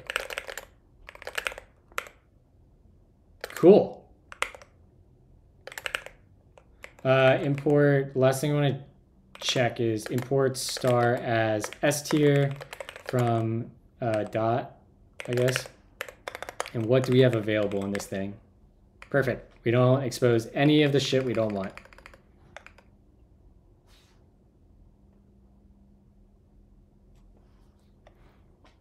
Sweetness.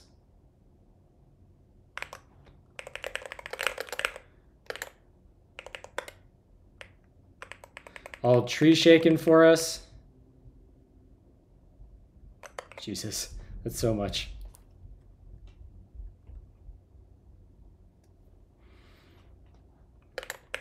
Delete that. and then we can bump and publish a new version of S tier. And then we want to write a test for S tier, and then we're going to try to introduce like a pipe slash chaining mechanism to Melange FFI. And then I think we're like pretty close to publishing Melange FFI version one. Like we're pretty damn close. So let's publish this. Um, jump down here, clear that, git status. What we got? Cool. And let's do a npm run publish patch.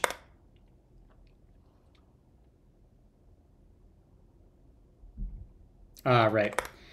Git add, um, git commit, um, bump launch FFI. And then we do a bun run publish patch. Just gonna keep npm on the other screen this time so I don't dox my new password. Great. Okay, so S tier 21 is published. And the last thing we need to test or check really is that um, all this still works real quick. Um, bun update. We should get new versions of Melange FFI and bun. They're both on version 21 coincidentally. So what's this say our type is? We get an S tier S expression. That's what I would expect. It should be a string. It's funny that that consted it. This should be a result. Ooh. That's not correct.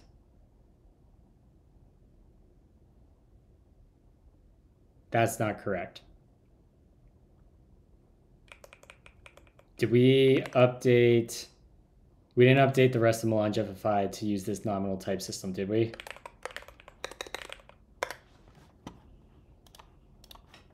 I don't think we did. Brand, yeah, we did not.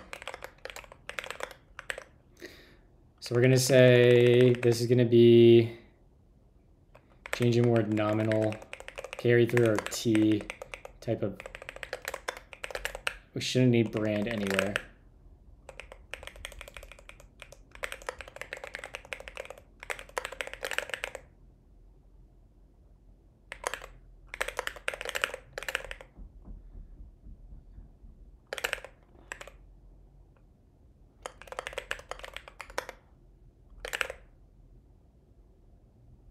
Okay.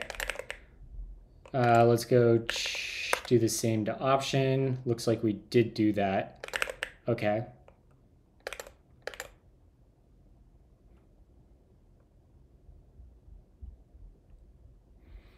I don't think we have any other types in here that have branding. Uh, yeah, Justine. I will be right out.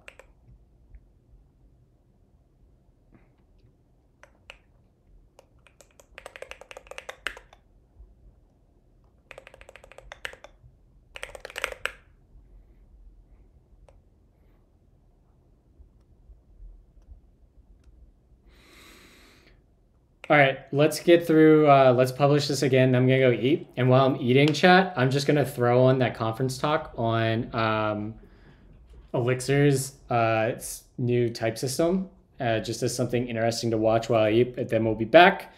Um, might come back with a glass of whiskey. Do uh, you know up the Ballmer's Peak a little bit. Let's go through and make sure everything is cleaned up and good here. That's good. That's good. And finally, you're good. Let's do a type check. Everything's great. Great. Okay, let's publish everything again. Um, use nominal types for results.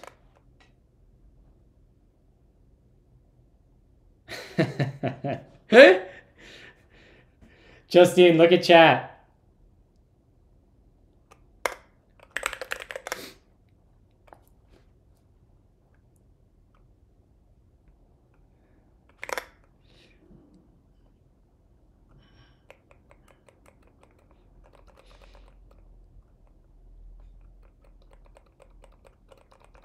Ryan, I give you full permission to take Justine on a uh, a nice dinner date. She has expensive taste.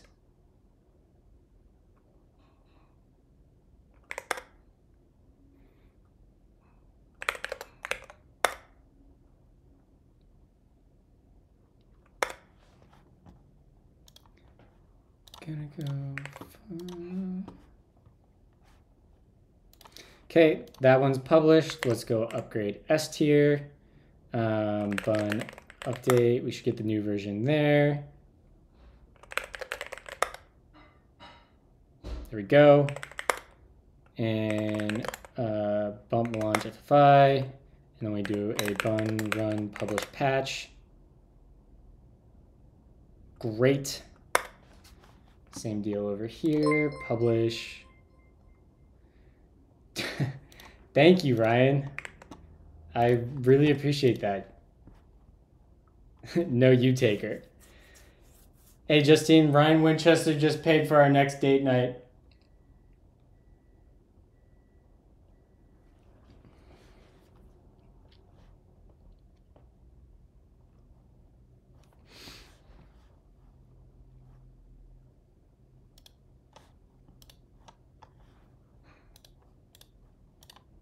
Okay, uh, da, da, da, da. so we publish that, do git push, and then let's go see if that actually worked. I really hope it did. Uh, let's just right quit out of here. Let's give TypeScript every opportunity to do the right thing.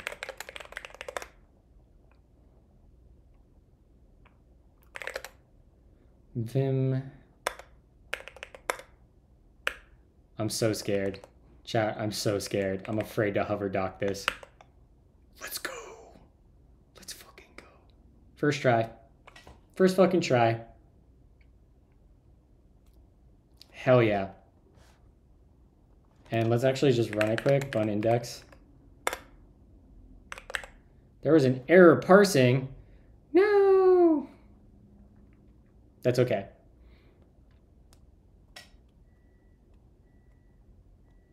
We did parse the first one okay, so we'll come back and work on that after I get done eating. Let's go watch and learn about set theoretic types in Elixir. Uh, Elixir types. Da, da, da, da, da. Seven months ago, this one. We'll pause you. How's the volume, chat? Granny.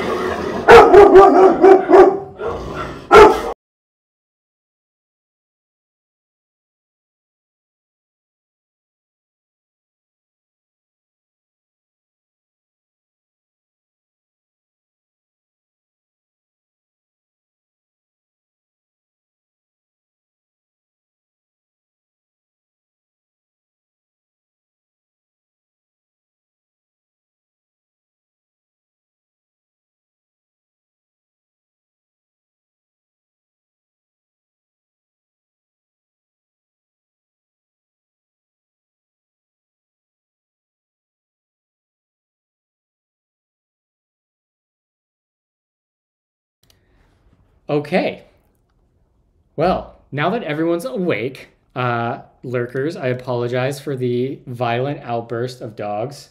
They thought that the timer on the stove was the doorbell, and hence the apocalypse was starting. Um, but I'm going to full screen this. And uh, yeah, I'm going to go eat probably for 10 or 15 minutes with Justine and uh, enjoy this talk. It's really, really good. I'll put it on like 1.25, so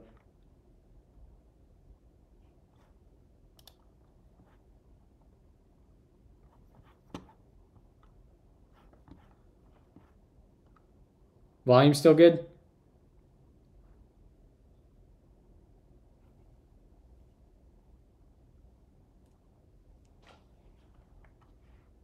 Yep. Okay. Cool. I will be back here shortly, y'all.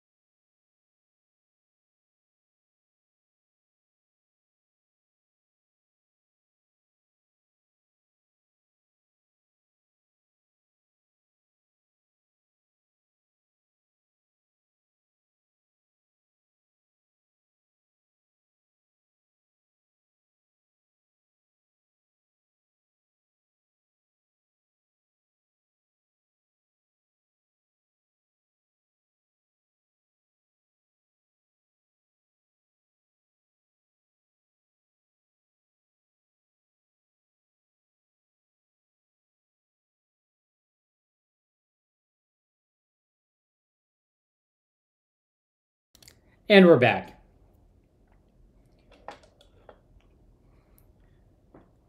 What did everyone think of the video? There's still 34 people hanging around.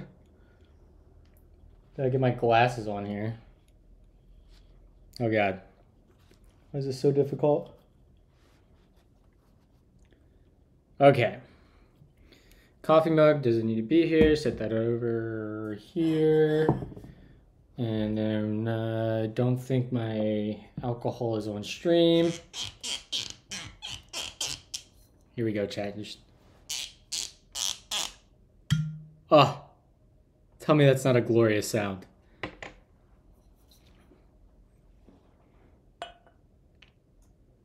We are having the finest monkey shoulder scotch whiskey in the world. And actually, we're going to Oh, that's a steep pour. Whatever. We're kicking the bottle. I'm drinking cheap wine from Boston Pizza Delivery. I didn't even know you could have wine delivered. Look at this fucking pour. We're going to be really experimenting with Ballmer's Peak here in a bit. Let me get the music started. Let's turn the vibes up.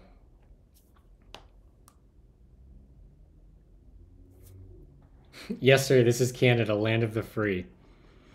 That's that's a you know, Justine, we're moving to Canada. Oh, I guess she can hear me. She's listening to the stream. Uh, let's go to radio, and we're gonna click my radio. Oh, sure. We'll go with Wonder Years.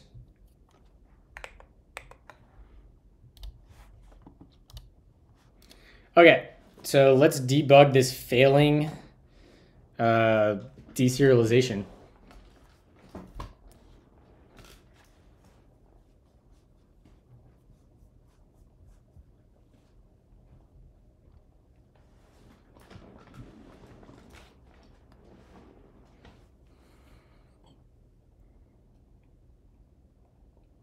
Mm. So good. Okay, so we want to effectively jump into, okay, we already have this. So we're failing on canonical deserialize.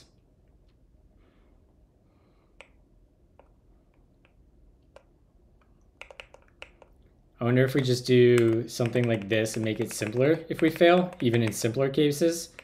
Um, so let's delete that. Try something like this, bun index.ts. Okay, yeah, so we're definitely, oh, because we're trying to deserialize a, um, that's not a canonical expression, right? I mean, idiot chat.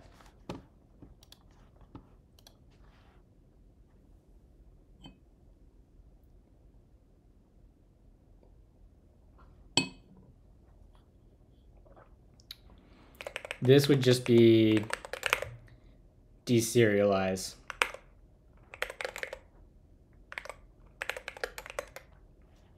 That looks like it worked. Beautiful.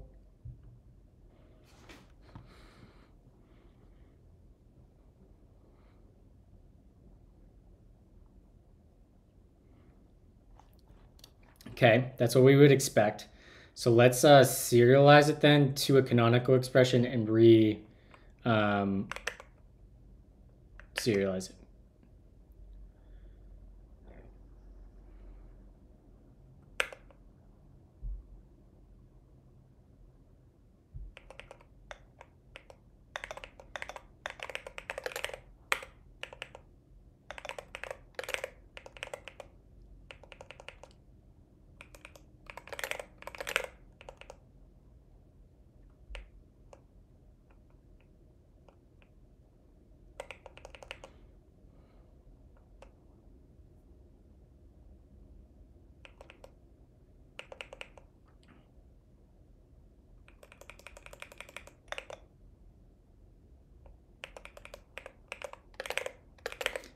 Um,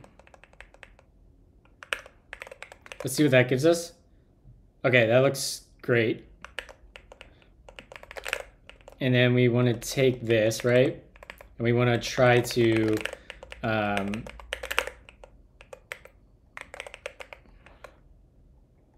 we want to try to uh, deserialize it, right? Uh, const c s expression equals do string, and then let's say console.log um, con yeah.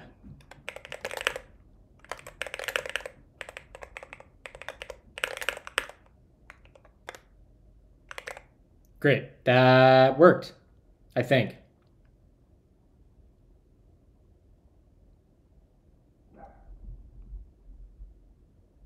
Did that work?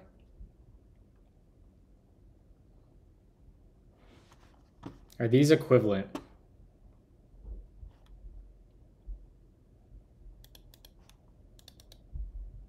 Hello, halfway home.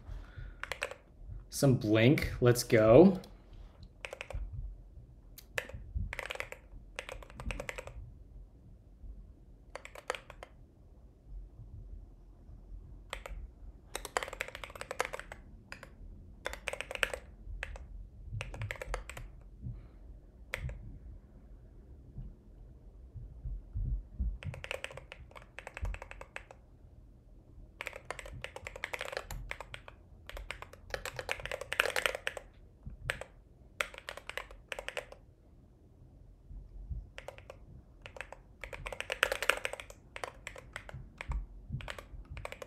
All right, so theoretically,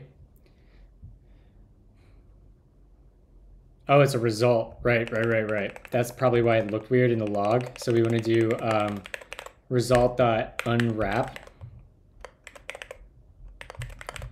And we should be able to do that, right? Bring that in. That should give us a canonical S expression. Okay, let's, boom, that looks good. And now let's make sure they're equal and then we'll go write uh, some property tests for S tier and then try to copy TechSavvy Travi's uh, piping library to our Melange FFI library. Well, not copy it, but take a lot of inspiration from his stuff.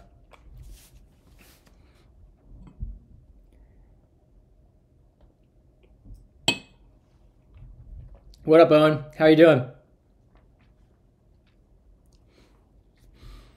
Uh, so let's say um, const equal is um, s tier dot canonical dot serialize. Yeah. So I would expect this to be equal.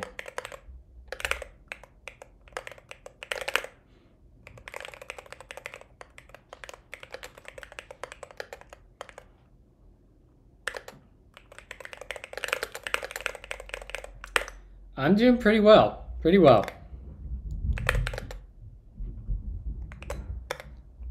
Cool. Okay. Everything is working. Our yeah, great. Great, great, great.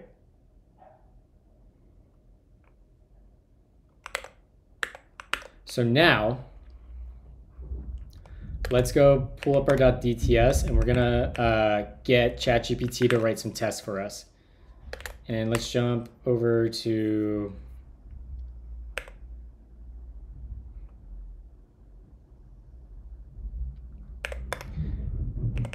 probably just want to put it here. S tier dot test dot ts.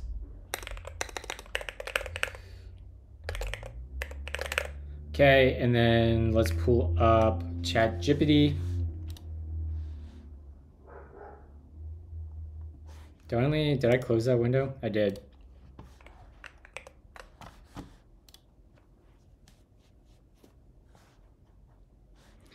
Uh, where's our test? Here we go. Just working on some PHP stuff for a few client sites. Nice.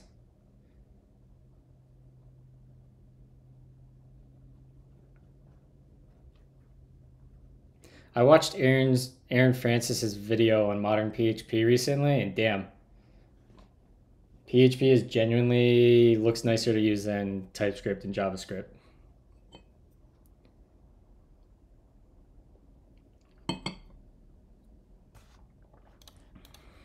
Okay, now we're going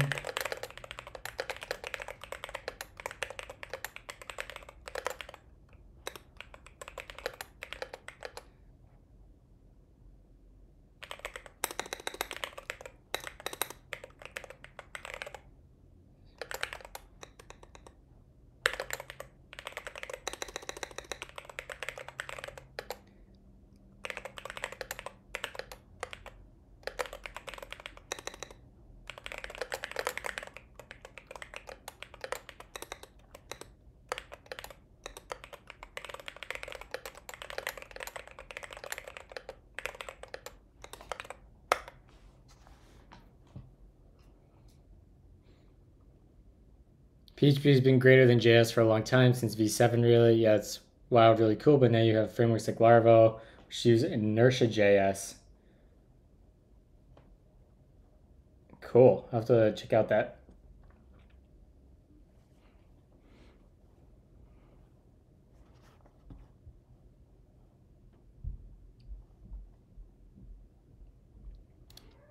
Okay,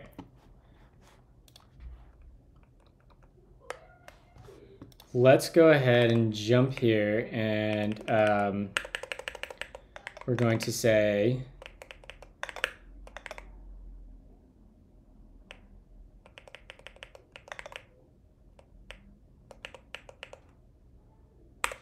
right fast check um, here is the .d .ts file for S tier. I want you to initially write fast check test for atom and list.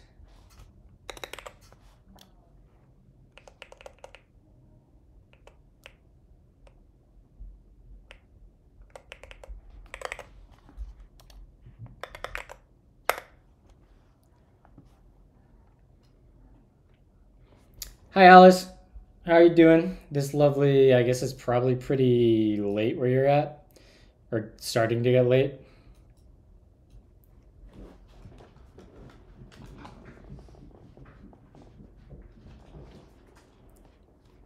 Almost midnight. Are you are you a night owl person?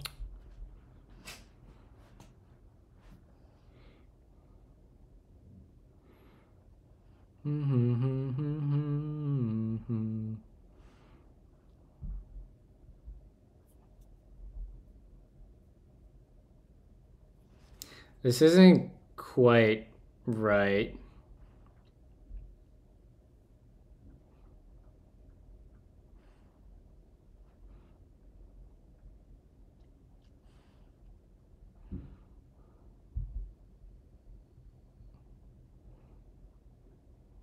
All right, we might just write this ourselves. Functions describe. I watched Glitch's stream until 3 a.m. yesterday. Yo, how awesome was it watching Leandro sing? Who knew the man had pipes?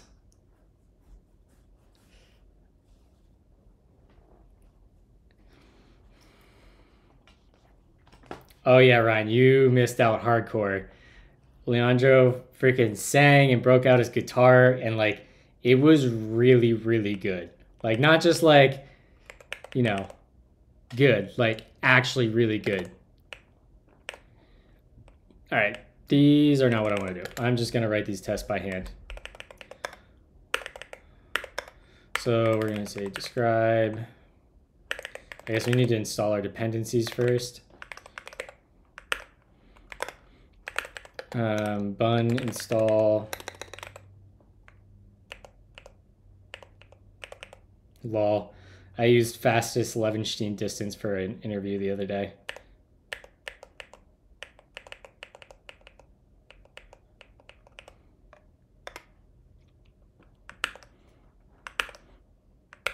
Um, and then we, we can we can crib a lot off of our Melange FFI test.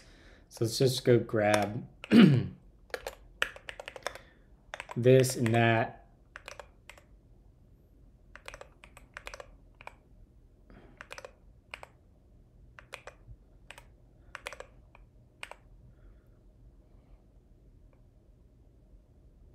Hey Dill, contractor's coming in about 20 minutes to get some final measurements. Does that mean we're gonna have to move the desk out?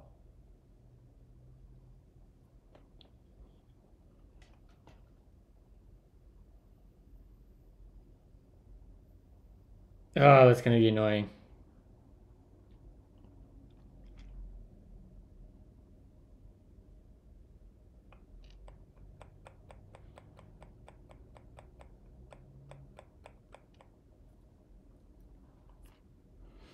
Justine, can you ask him if um, he'll need me to move the desk?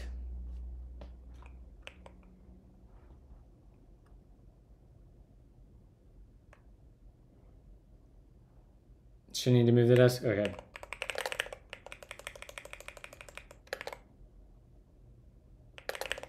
Do we not have bun types installed?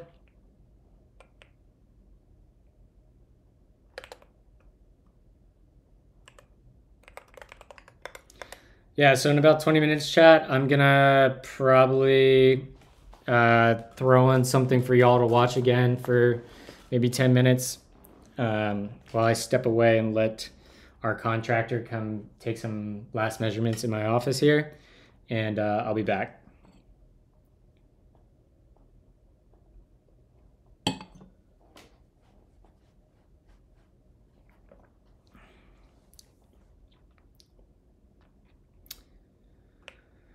Um, we do have bun types installed.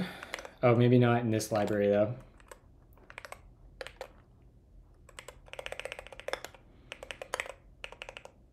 Def no, we definitely have bun types installed.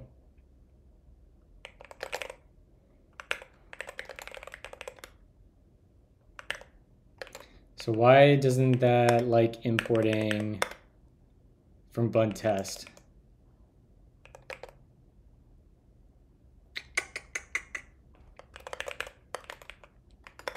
Uh, I bet it's probably our TS config. Types, bun types.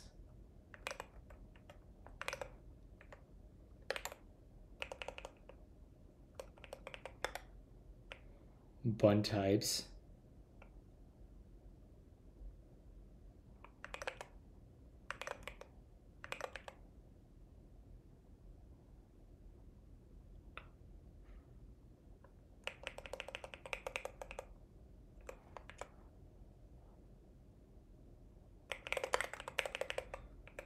I hate TypeScript and JavaScript tooling. Like once you get it set up, it's great, but then uh, getting it set up is a pain in the ass. Pain in the ass. Uh, dot slash source. Yeah, let's just do that. Dot ts, and then we'll do another entry that's uh, change left MJS. I don't think I have any MJSs, do I? No, I don't. So it's just going to be TS.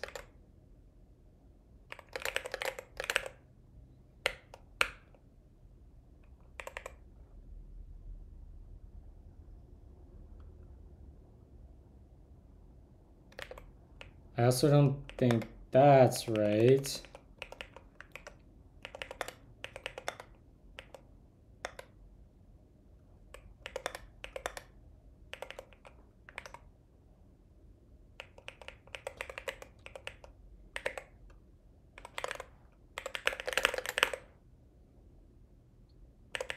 Okay, let's, I don't know why it's not picking up bun types. That's very confusing to me.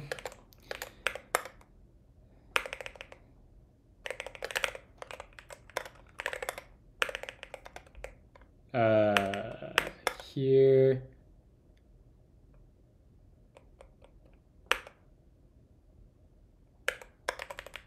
Okay, now it's working. So one of those import or include statements uh, must have fixed it up just fine.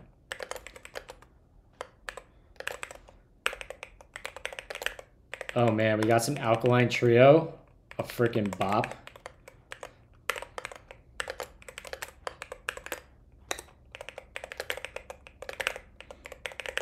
Um, okay, so we have that. Uh, let's actually make this full screen, do a split, going to here. I actually want to go to here. No, not there either. Build, default, source. Nope, dist, source. Yeah.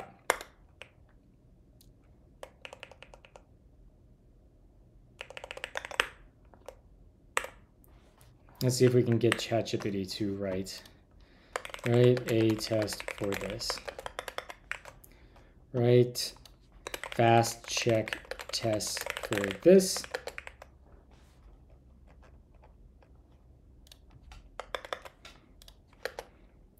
You can you, for the following code, you can compare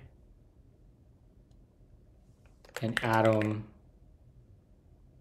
to an expected value by calling maybe we start with the deserialization stuff so we teach ChatGPT how to deserialize and serialize.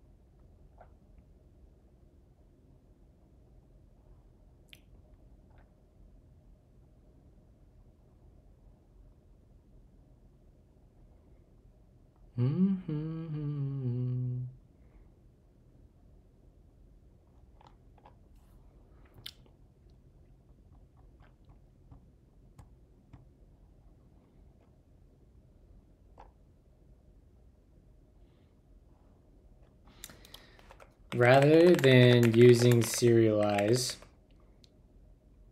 to check equality,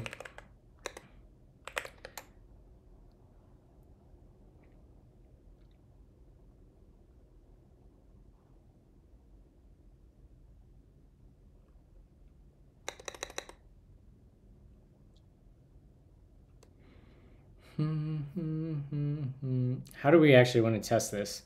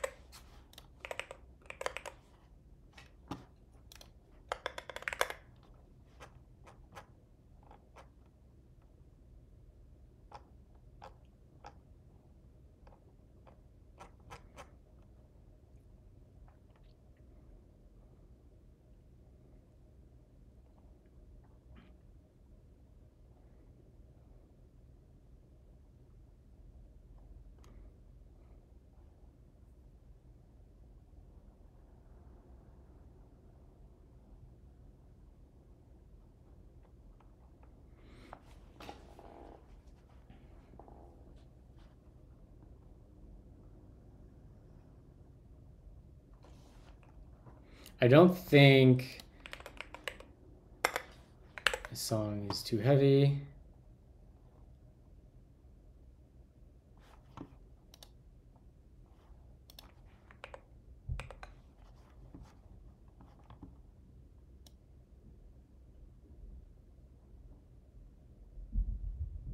Sorry, I'm updating the volume here.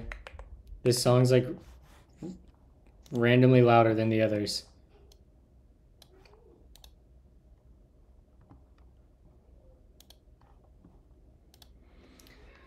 Okay.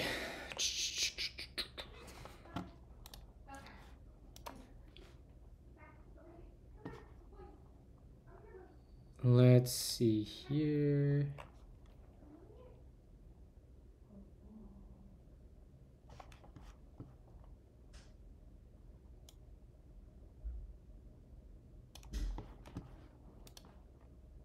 Hey, Dylan. Yeah, what's up? In my office.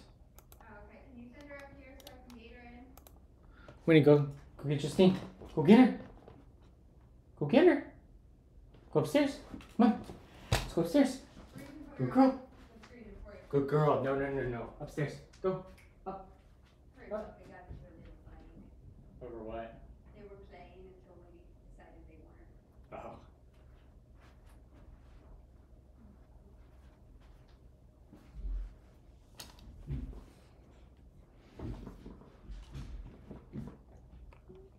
All right, so does this have, we should probably just go to the ocaml.org docs and see if there's a comparison.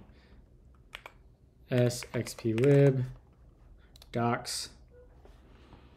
Let me turn on dark reader. Sorry, chat.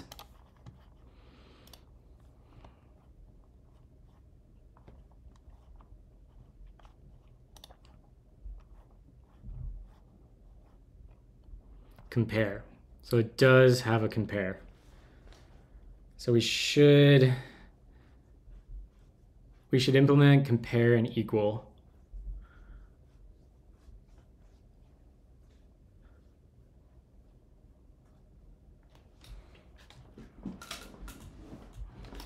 So let's add that to our library because that's going to make testing easier.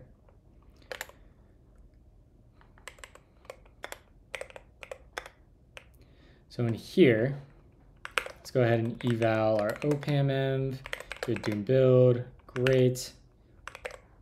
Whoops, it's not what we wanted. Okay, so we want a compare, I don't know how you would compare it to. What makes, what makes one S expression greater than the other? Just the number of atoms?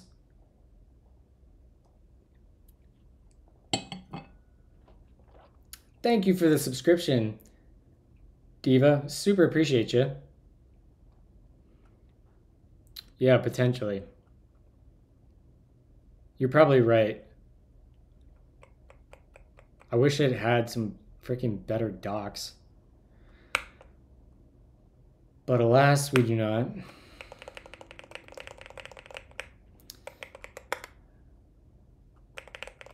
Wait, why did that say it's a read Weird. Whatever. Let equal will be a b, and then we'll say s expression dot equal ab. Okay. We're not gonna play nice here.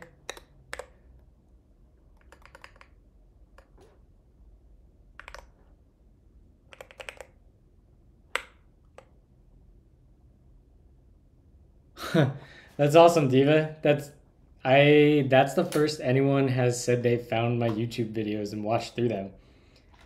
I super super appreciate you watching them and subscribing and coming and hanging out. Um, yeah, how has your experience been learning OCaml so far? So we probably have to re-export from here. Include S expression. Just S expression, right? I might have to grab another file here. Yeah, I'm going to have to. So let's go grab um, that from Jane Street. Crazy change of paradigm, loving it. What's your background in? Uh,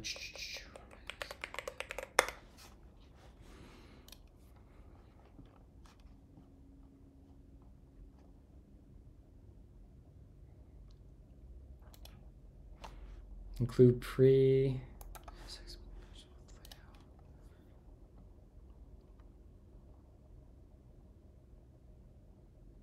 Physicist working as background engineer for 18 years. Nice. What um what's your background in programming languages?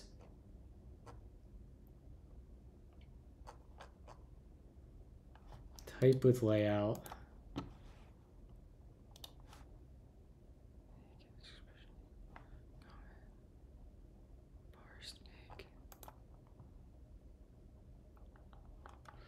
Where is the comparison stuff.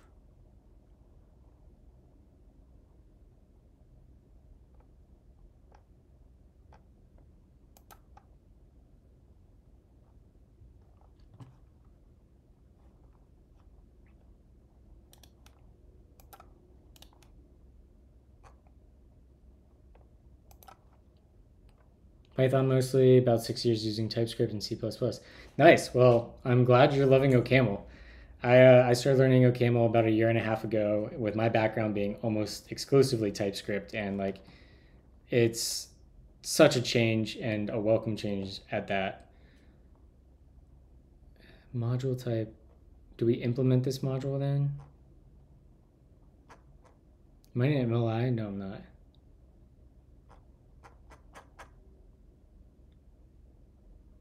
This is all signatures.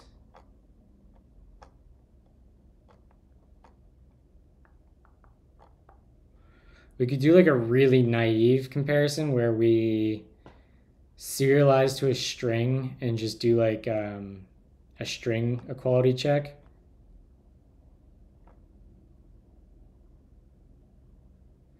Do I think functional is better than OOP? Yeah, I definitely think functional is better than OOP.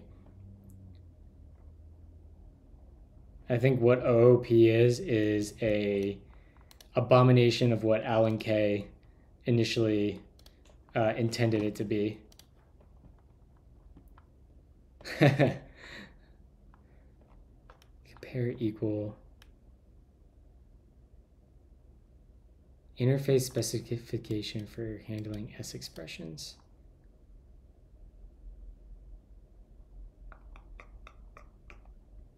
So where's the probably functor that spits this out?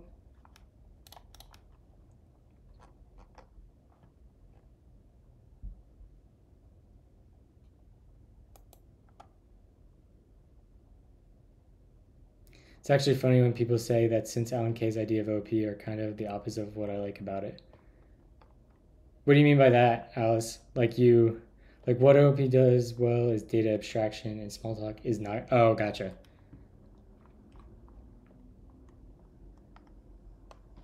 Where the hell does this Lexer? It's not gonna be. I don't think it would be the Lexer.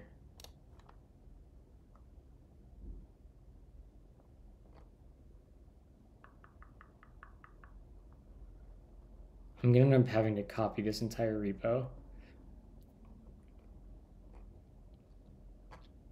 And in that case, there's probably system dependencies. All right, y'all, contractors here. I gotta go take care of this for a bit.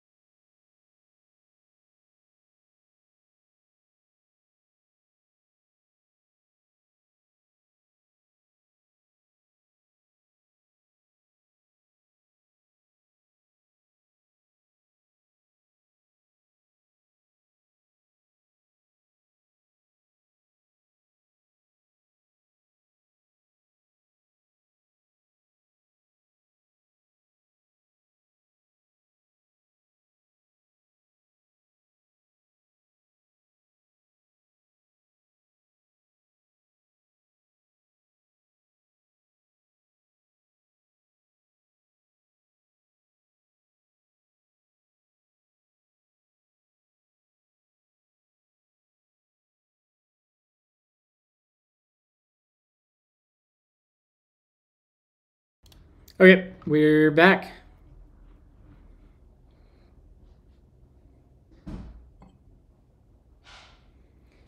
I have a take on that version of OP. I think I even talked about it earlier today or yesterday.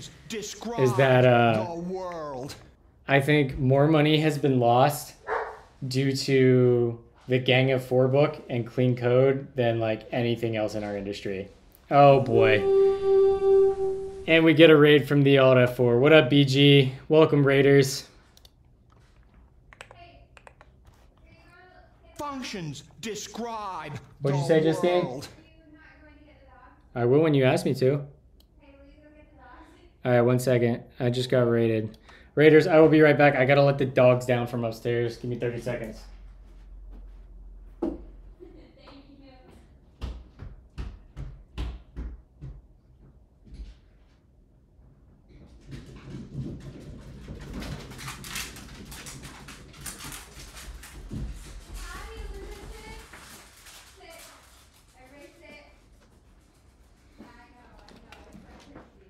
Okay. And we're back. So everyone that came from BG's raid, uh, we are writing TypeScript. Uh, actually, we're getting ready to write just a little bit of OCaml, but today's mostly mostly a uh, TypeScript day.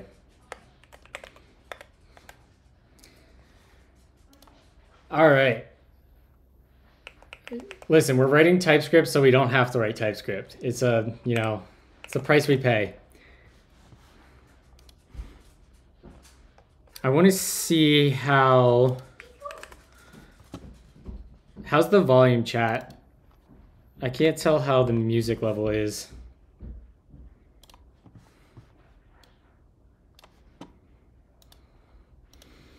I want to see how they implemented equality checks. Not in this file. Maybe in this file? No. Oh, Lord. Thank you for the gifted subs, Diva. Super appreciate you. I mean, I can show you what we're working on explicitly. Um, little loud, but just the song. All right, let's try another song then. Try to keep it. Is that a little bit better?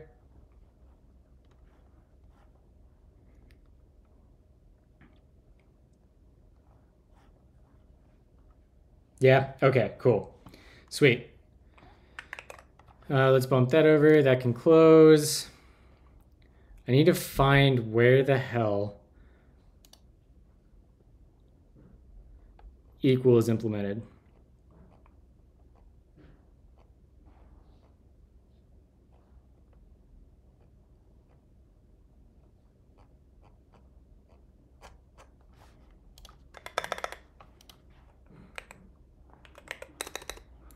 Let equal. Val equal.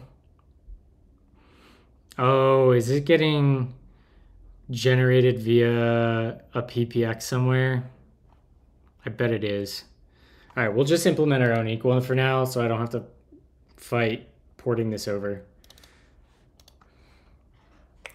So let's uh, go in here and say, um, do we want to implement this? Yeah, we want to implement this in TypeScript. So here's the TypeScript, Joy. There you go. All your lovely goodness.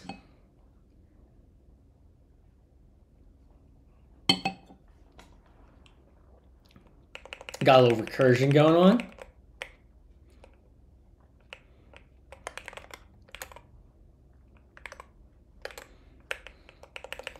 So let's say in after these. Did you have a chance to watch my conference talk yet, Joy?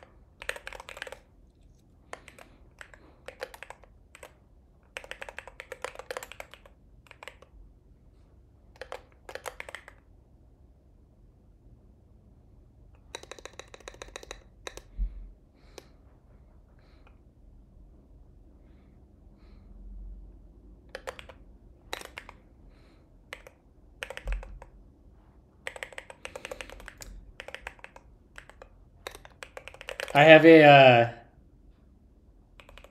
Uh... I'm tempted to go through this. I already did it on stream earlier today, but I'm tempted to go through the TypeScript point in my presentation with you while you're here. Let me write this and I'll show you. Uh, I'll show you what I'm talking about.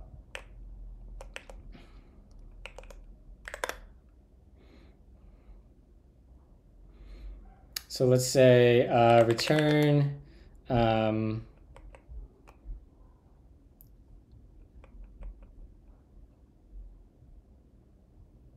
we'll say serialize A equals serialize B. Those should turn into strings. Yeah. And this will be a function.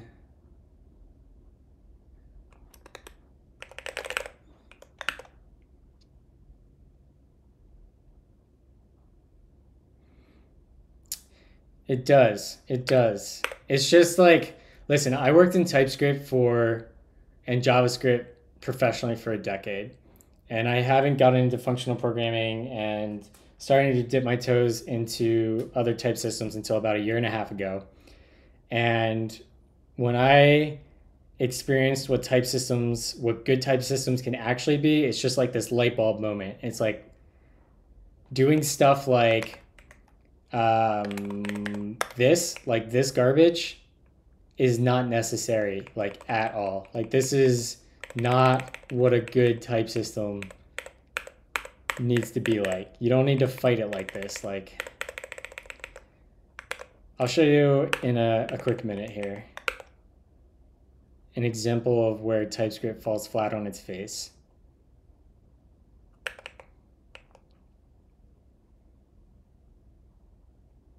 Do we want to curry this function?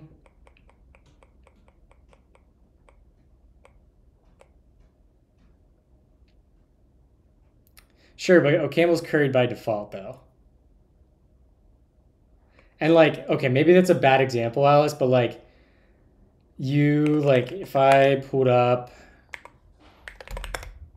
uh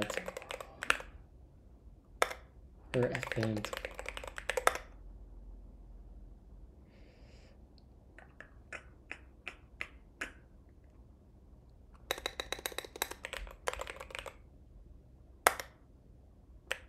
Like, look at some of these types that I've had to write. Uh, if we look at this guy right here, temporal response, like all of this insane mapping, and it just gets worse and worse the deeper you go. Uh, where's an even better example? Um, that's not even the worst of it.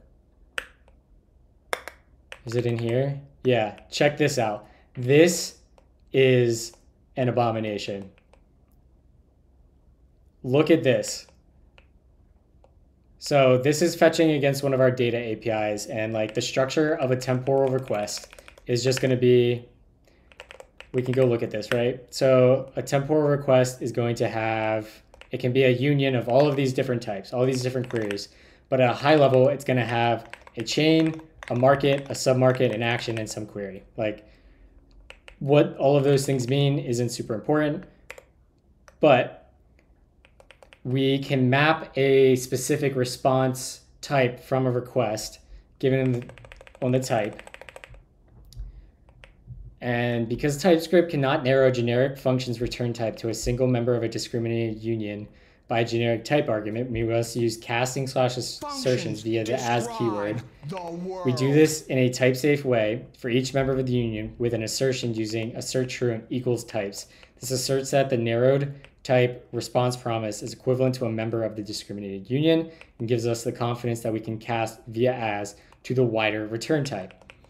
An example of this, which you'll see the whole way throughout this function, is we have we basically do inline tests via like this assert true and equals types. So we can switch on our request time and then narrow it down. And like this function takes a specific thing, or it returns a range response. And then we do this assertion. like, hey, does this meet our uh, expectations? Excuse me, you do what? Yeah, so uh, this is some lovely TypeScript that uh, I got to write for work. S- super complicated, way more complicated than it needs to be. Like it's just.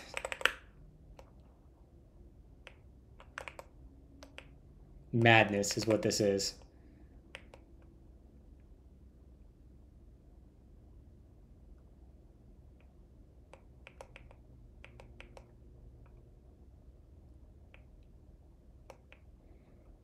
It just gets it's it's it's painful. It's painful.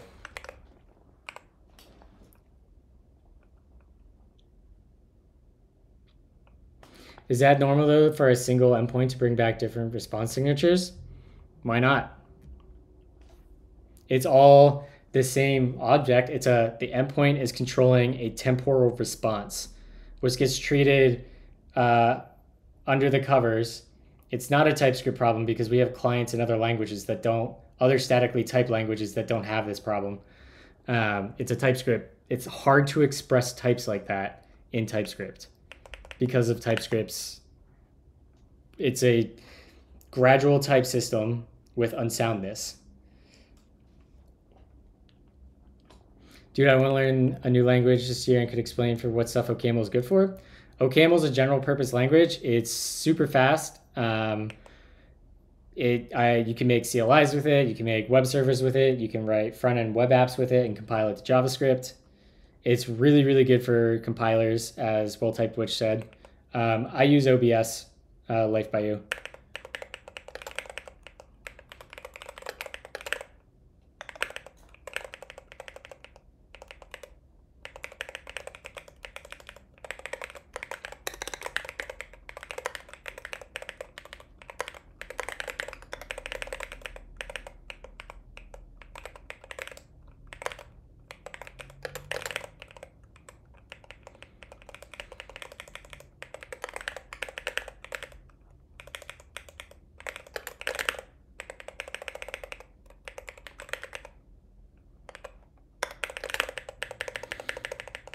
So now we need to write a type definition for this.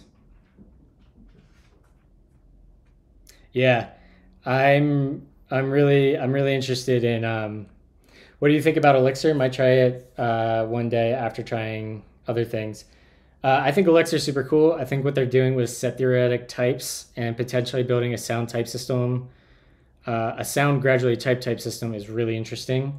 Um, that being said, one of the people uh, in the OCaml community is building a framework called OTP, or Jesus, is building a framework called Riot, which is based on Erlang's and Elixir's OTP framework. So we should get all the benefits of uh, Erlang and Elixir in OCaml.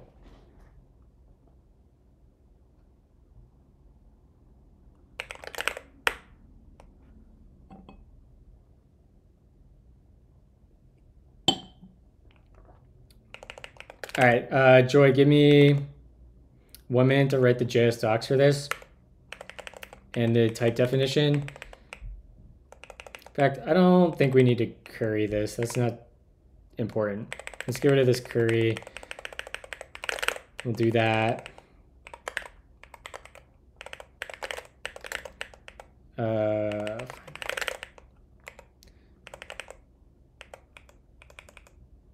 and then we can go ahead and say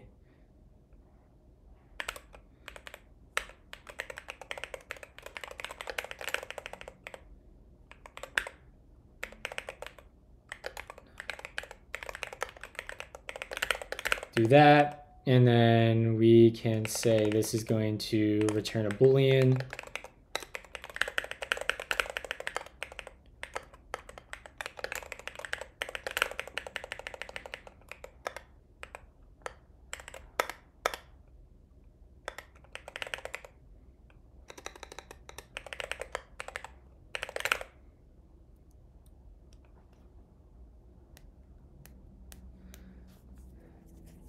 Yeah, I think um, I obviously I am not a type theorist or an expert. I am just starting to learn about all of these things, but I think um, I think well typed witch's point about uh, having mixed feelings about strong arrows and how it's going to stack up in um, like polymorphic contexts is a good call out. Um, they're even they're the at the end of that video that I played on stream while I was eating dinner, they're specifically hiring a postdoc for research on strong arrows with polymorphism and stuff. So it seems like that's an area that they're not 100% on yet either. Um, uh, yeah, thank you, Angel. And also, uh, I don't know if this is working again yet. Let me see. Yeah, my bot is just borked right now. So nobody redeem that. We'll reset that. Uh, I have glorious panda switches. Mm -hmm.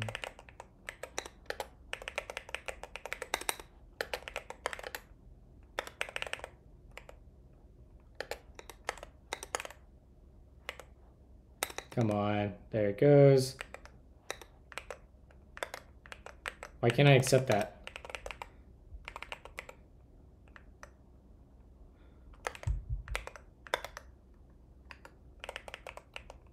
Oh god, I forgot my Copilot mapping.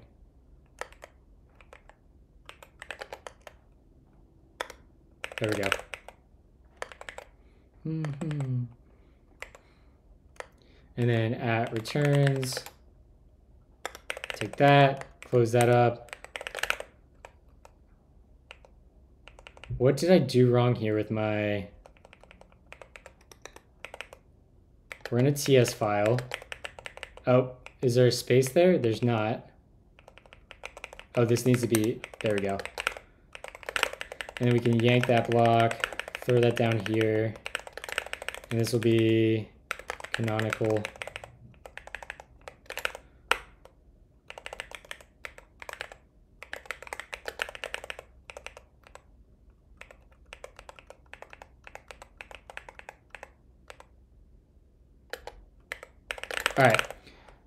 Right, Joy. Let me uh, let me go uh, show you this bit. I'm gonna give you a test here. Second time we're pulling this up on stream today, but YOLO.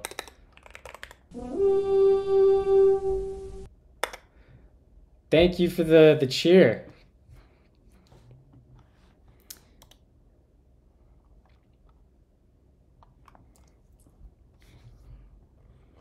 So, um, what would be important to show or where to start? Let's just start at the, the TypeScript section, right? So let's talk about TypeScript. TypeScript is a statically typed uh, programming language. It has excellent tooling, uh, even though some of it is painful once it's configured. The developer experience is actually pretty good, um, and the quality of the tooling is actually pretty good compared to uh, languages. TypeScript can be gradually adopted. Uh, a huge reason for its uh, success, right? Like back in 2016, 2017, when we were all writing uh, JavaScript applications without types, um, the DefinitelyTyped repo popped up, which was which is or remains um, to be a community repo where everyone contributes types. And the fact that we could slowly add types to our code bases, I think, really helped bolster the adoption. Um, TypeScript enables a better developer experience. Think about like our, even though TS server can be kind of finicky, we have really good uh, autocompletes, refactoring capabilities, go to de definition, things of that nature. And overall, TypeScript is a vast improvement over JavaScript. That being said, and here comes your but, TypeScript can be cumbersome and complex, using things like type mappers and getting too far in the weeds with uh, generics and um, you know all that stuff. It, it trying to represent types can be complicated because TypeScript is a strict superset of JavaScript and has to be able to represent the dynamism and all the runtime works of JavaScript. Which is exactly what I just said. TypeScript has too many escape, too many escape hatches, and it can create a false sense of safety. And ultimately, TypeScript is unsound.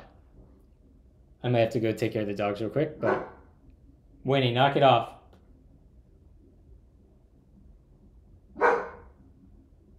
She gets one more chance.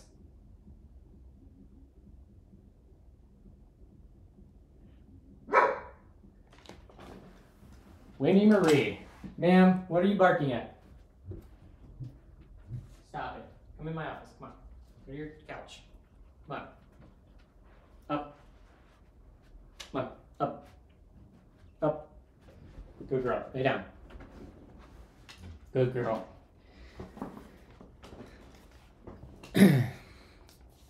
okay. So ultimately, TypeScript is unsound. And don't just take my word for that at the International Conference of Functional Programming this year, Anders, Anders who is a Microsoft Fellow and the lead architect of TypeScript, said in his keynote, I mean, clearly, this type system is not sound and it was never designed to be sound, and gradual type systems aren't. They may be sound in islands, but they're not overall sound. He used this slide to describe um, TypeScript's type system. It's erasable, gradual, structural, generic, inferable, expressive, object oriented, functional, and unsound. Okay, but what does unsound actually mean and why should you care? A type system is considered sound if it guarantees that a program will not cause certain types of runtime errors, assuming that the program type checks and compiles successfully. So, what makes TypeScript unsound?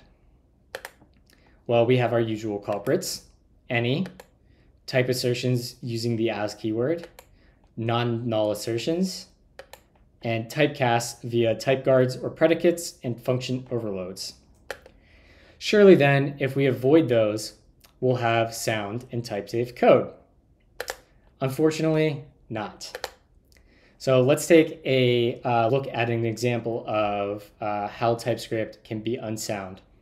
So let's say we have just this simple little app that lets us create accounts for users. Our users can be admins, right? So we have type account as a username and a flag to determine whether they're an admin or not. We have a function called validate username, which takes some input that has a username on it. We check the length of the username, make sure it's five. This is just arbitrary. We throw an error if it's too short, and then we return the input back out to the caller. Then you can imagine we might have this little utility method called print record, which essentially is just going to uh, pretty print our, uh, uh, you know, some record. So this bottom part down here, you can imagine, is our app, right? We create a new account. Username is DMMulroy. Is admin is true. We pass it to our validate username. This is longer than five characters, and we're not going to get an error. And then we go to print it. This code successfully type checks and compiles, but there's still a runtime type error. And this uh, compiles and type checks on the strictest settings of the TypeScript uh, compiler settings. So, Joy, riddle me this. Can you pick out where the runtime type error is in this code um, despite completely type checking and compiling successfully?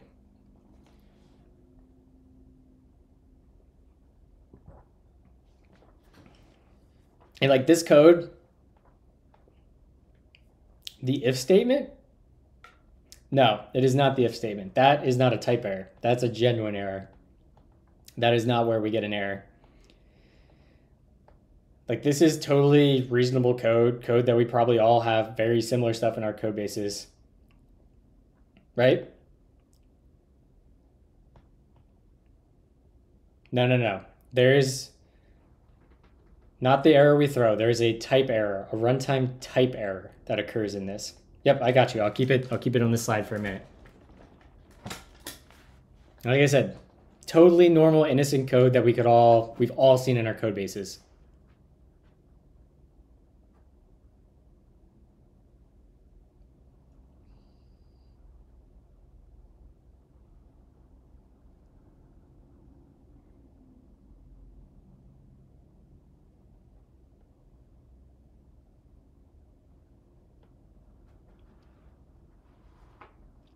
It is the dot trim, exactly. So TypeScript is going to let us call dot trim on a boolean.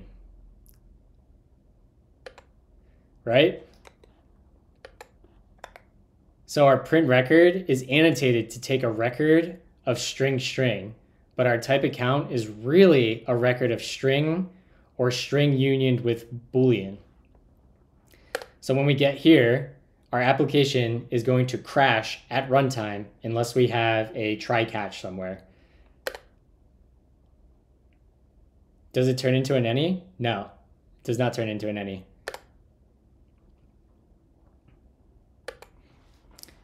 And then, you know, disclaimer, I do love TypeScript, despite my critiques and criticisms of it.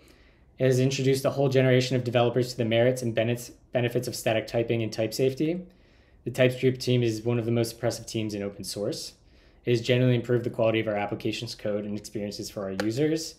Um, I've been involved in a lot of open source TypeScript projects, and I also build tsc.nvim, which is the NeoVim plugin to run the TypeScript compiler asynchronously and catch errors. And I've also ported over Matt Pocock's VS Code extension, TS Error Translator, or Pretty TS Errors. Let me uh, give you a show of um, what makes other type systems so good. So the thing that makes other type systems uh, nice is uh, generally algorithms around or based on Hindley-Milner. And I'm sure well typed witch can correct me in any misspoken things here. But let's build up a intuition for how uh, a better type system could work and how it works in ReasonML and OCaml. So let's say we have this function foo and this function bar, right? Uh, Joy, can you tell me what the type of S is in this example?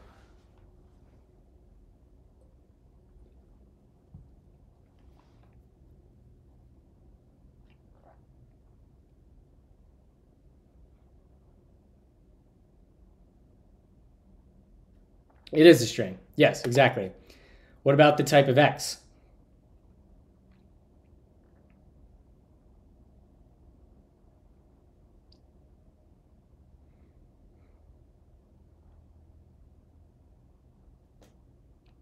Correct.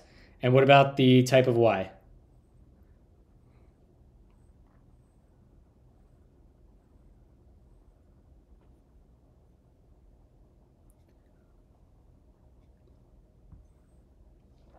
Yeah, it's an int.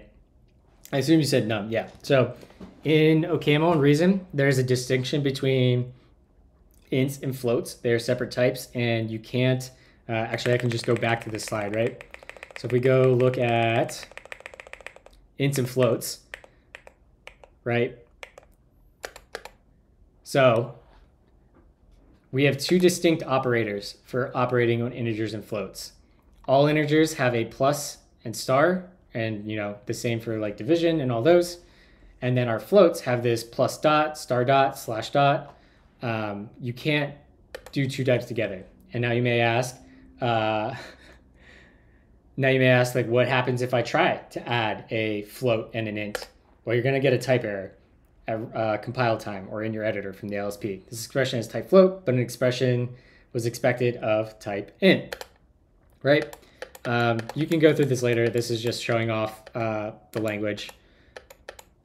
Pattern matching, blah, blah, blah, blah, blah, blah, blah, blah, blah. Okay, so back to this example. You got it right. So like how you subconsciously figured out the types uh, of these functions on the right is similar to how Hindley-Milner works at inferring types in OCaml and ReasonML. So what's going to happen is if we consider S first, right? S gets passed to string.length. And we know from the type definition of string.length that length will only ever accept a string. It can't be passed anything else. So we can infer based on that that S must be a string. Next, to determine the return type, we can look at the return type of the string.length method. We know that this can only ever return an integer. Therefore, the return type of foo must be int. And the total type definition of foo is a function that takes a string and returns an int.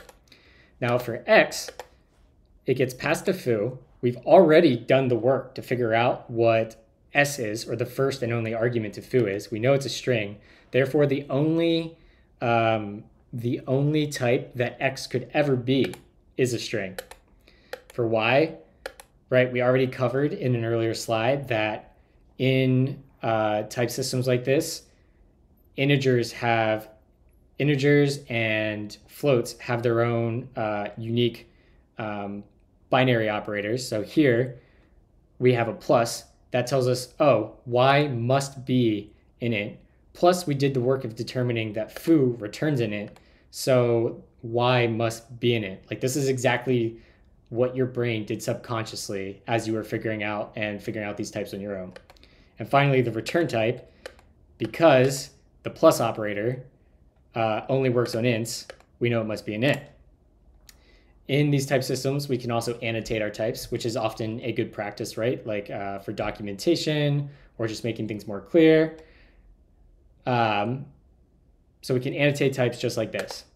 So let's look at the same exact example, but in TypeScript.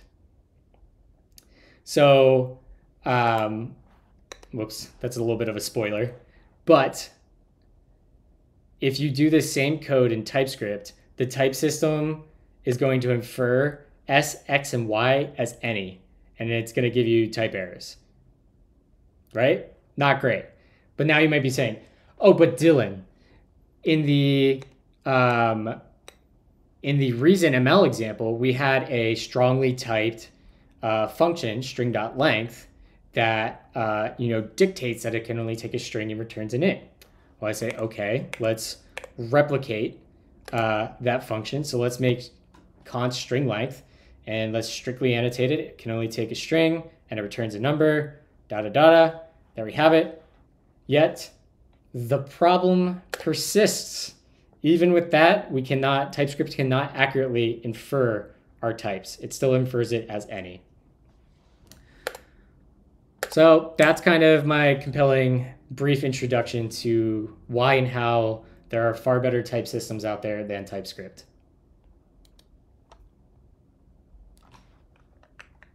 Hopefully that was somewhat entertaining and uh, educational.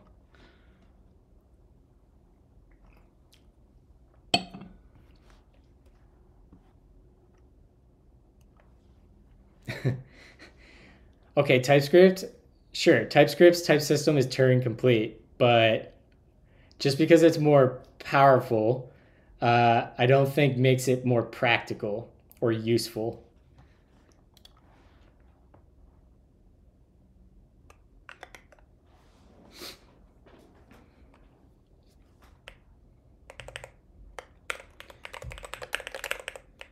All right, so we have this.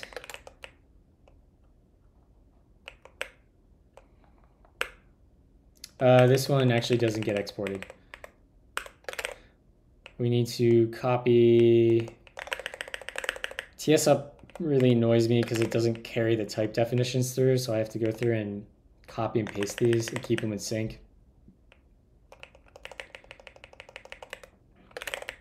And finally, deserialize canonical.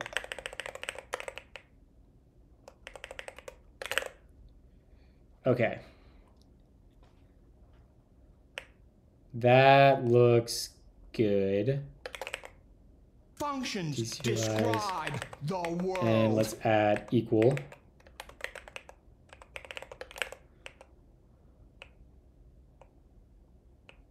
All right, these don't need exported.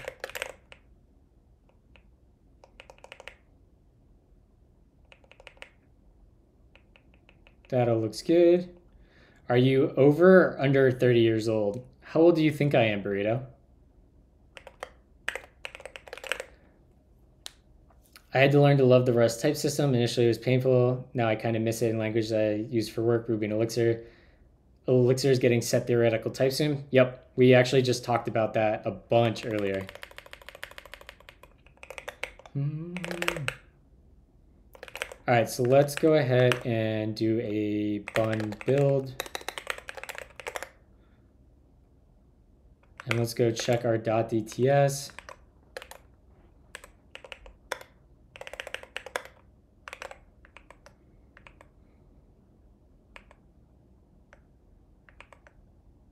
Okay, that looks great. I'd say 33.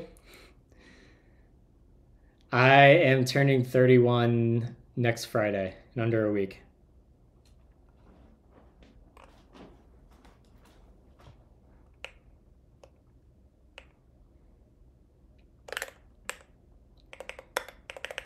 All right, let's get back to writing these tests.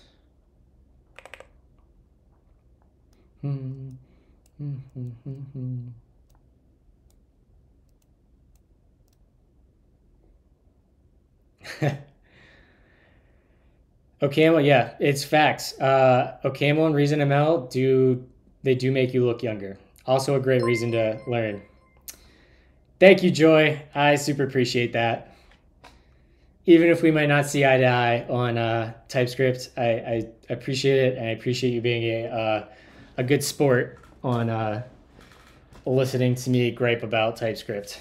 My love hate relationship with TypeScript. All right, so should we make an arbitrary here? Unlike Spiro, I'm open-minded. Good.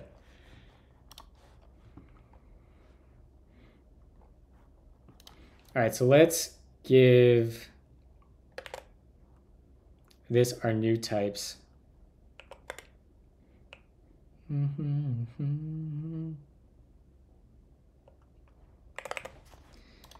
Here is our new types and functions.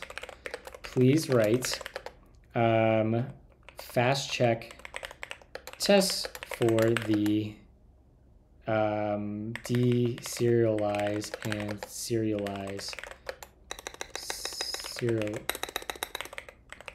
functions. AI is pretty good. I wrote like a hundred some tests yesterday in our FFI library.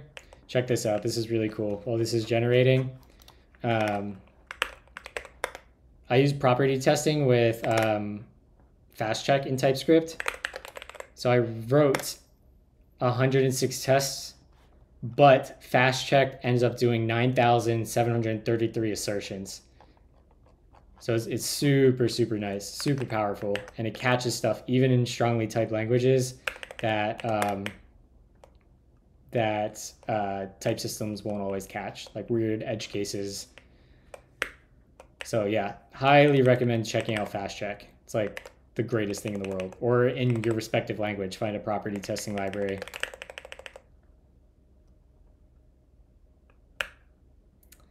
Yeah, right. TD TDD is like, you know, maybe if you're interviewing at like a big Fortune 500 or a bank or old giant institution that has like enterprise culture, maybe TDD is a thing. But all the companies I've worked at in the past basically decade, with the exception of State Farm, like, no. What up, Marsk? Um, my offer should hopefully be uh, getting finalized on Monday. It was supposed to get finalized on Friday, but uh, all of the job offers for this company have to get approved by the CEO. And I sounds like he must have got caught up with meetings and stuff and didn't get a chance to sign off on it. So hopefully Monday the, the job offers in and I can breathe a sigh of relief. I have an offer from another company and I'm expecting a third offer from another company, but that first choice company I I really really want.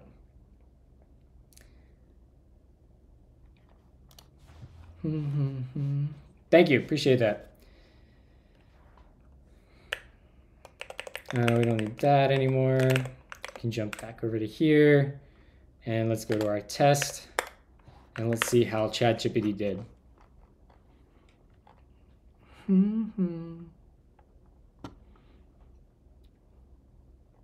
All right, I can buy putting those two functions together. Let's uh, go ahead, throw that in, and now let's code review our good friend. Um,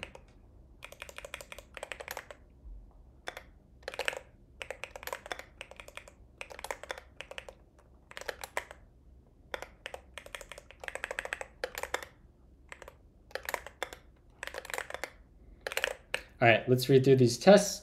So describe serialize and deserialize. It should correctly serialize and deserialize atoms.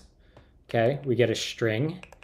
We create an atom from the string. We serialize that to an S expression. Um, mm, that's actually incorrect. Or no, that is a string, right? Yeah. We deserialize it to a result S expression. We assume it to be true. We unwrap it. Good, good, good. That looks like a good test. Mm-hmm. Okay, that actually looks like a pretty solid test. FY regarding Moonlander, I just did a test changing my switches and using different keycaps, and that made a considerable difference. So now I'm on the hunt for new keycaps. So nice. Hell yeah, Pepper. All right, let's give this test a run. Uh, first, we need to do a Dune build. That should copy over. Um, let's go to our package JSON quick. And let's add test. And that's going to be bun test. Um, where does that get pointed to?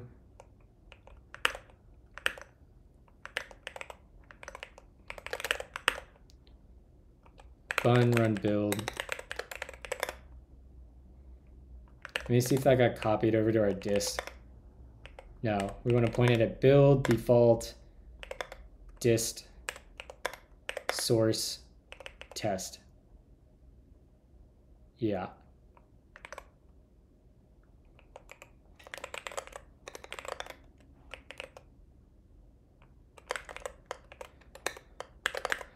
Bun test, and then that's going to go to uh, build slash um, let's see, dot slash build slash, it's an underscore,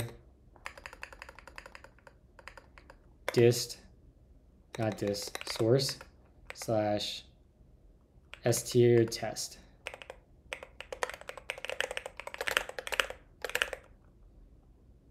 I'm not on a moonlander now. I'm thinking about buying a moonlander for myself for my birthday though. Okay, we got four failing tests. So let's uh, start. Mm -hmm.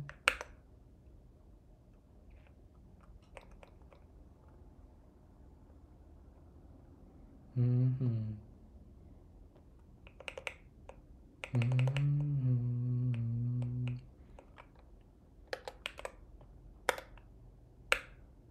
Let's uh, just worry about this first test.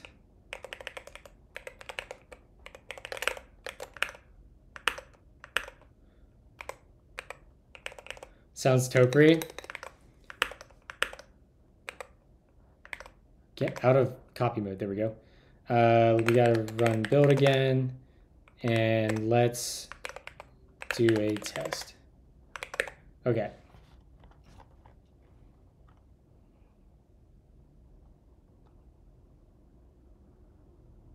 So an array with an empty string failed.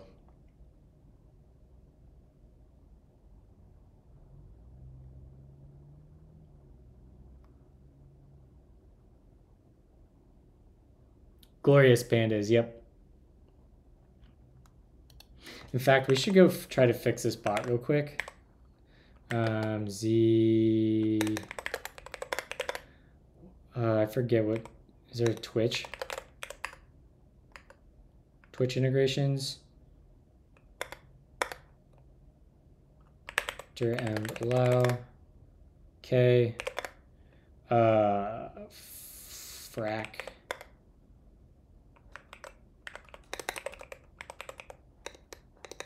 I never remember the command to deploy fly control uh,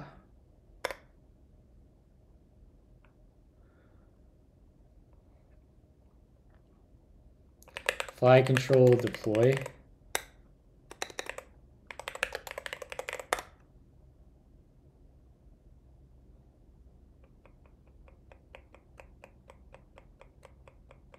That's a bug in bun. I reported it. search there.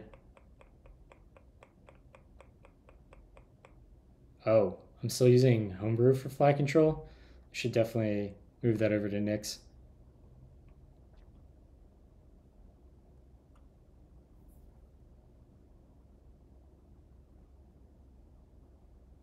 What up, Pick? Oh yeah, we're on the Nix train here. We're all in on Nix.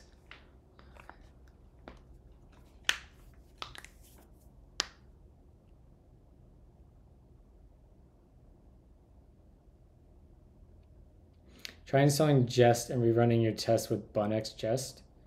Okay, I'll give that a second in a, or I'll give that a try in a second.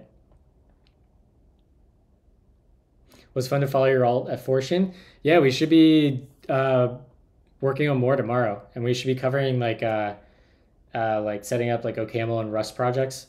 I would guess uh, with flakes and uh, dev shells.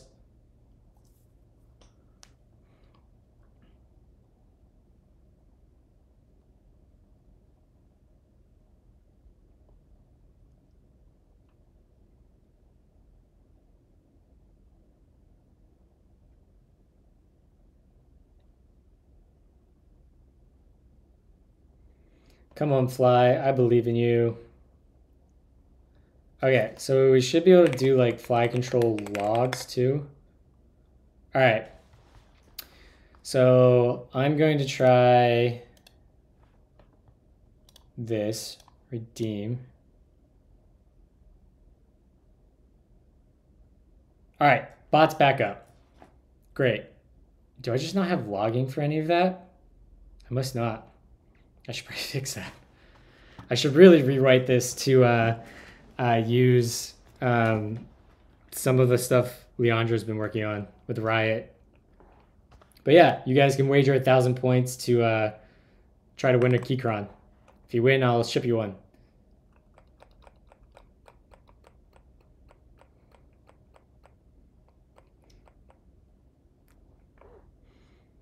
All right, we can get out of this now.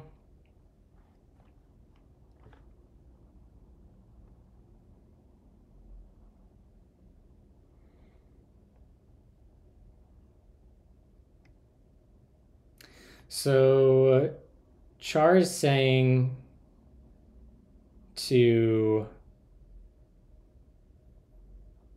try Jest for string concatenation monoid. So what exactly is breaking then, Char?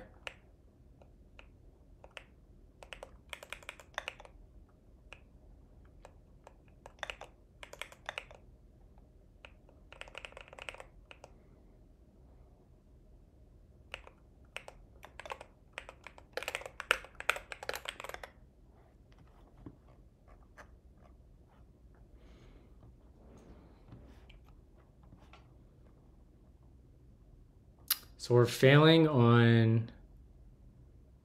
Oh, I bet like an empty string just isn't a valid S expression. Um, filter. Well, let's see if we can give it something. Constraints.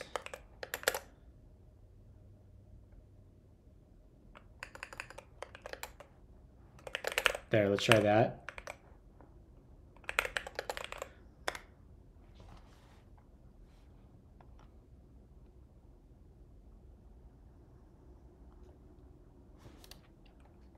Right, I have to build every time I do this. This is annoying. Bun, run, build.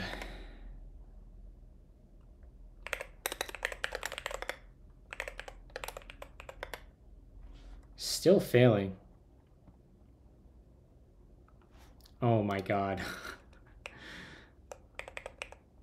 this is so annoying. I've got to have some sort of constraint on here that is not just an empty string. Uh, hold on, I know how to filter, stir, um, stir dot trim uh, does not equal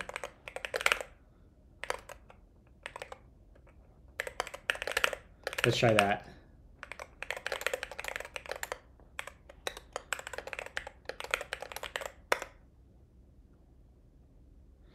So we still failed.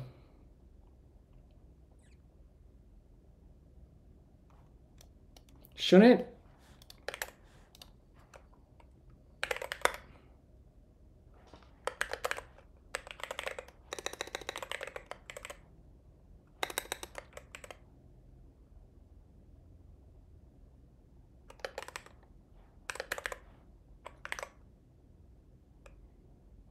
That just not save properly?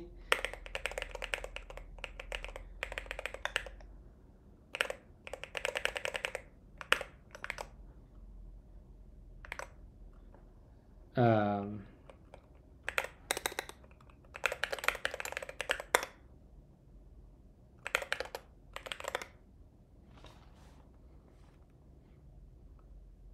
oh my god. Just give me words. Well, I, I guess this is actually a good test, right? Because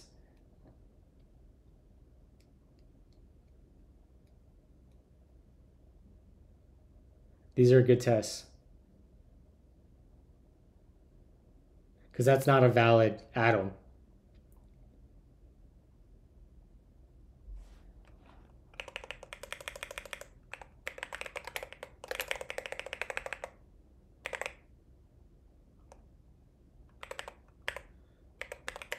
Can we do lorem?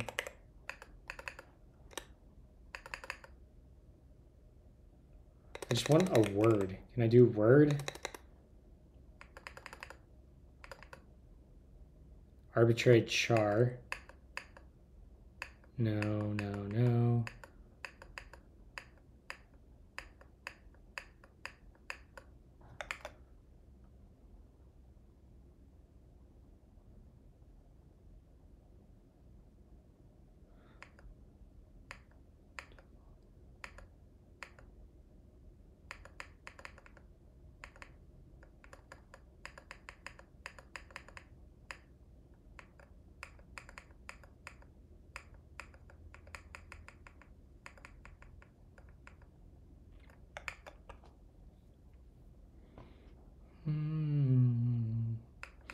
Yeah, we could do that. I'm just surprised there's just not like a word in here.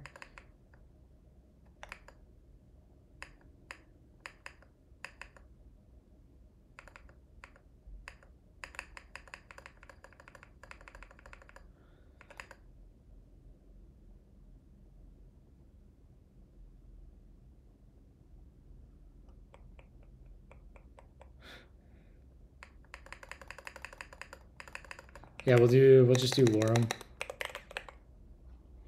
And what's that take? Constraints.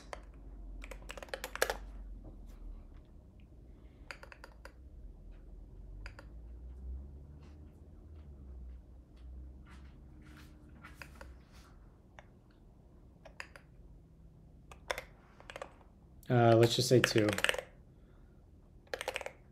Uh, does that have a min? No.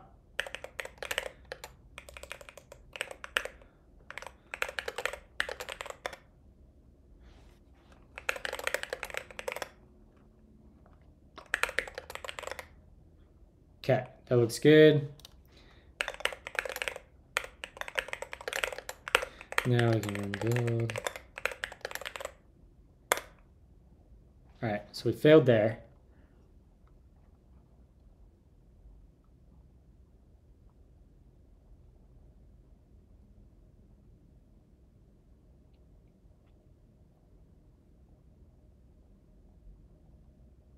All right, because that would deserialize to a list.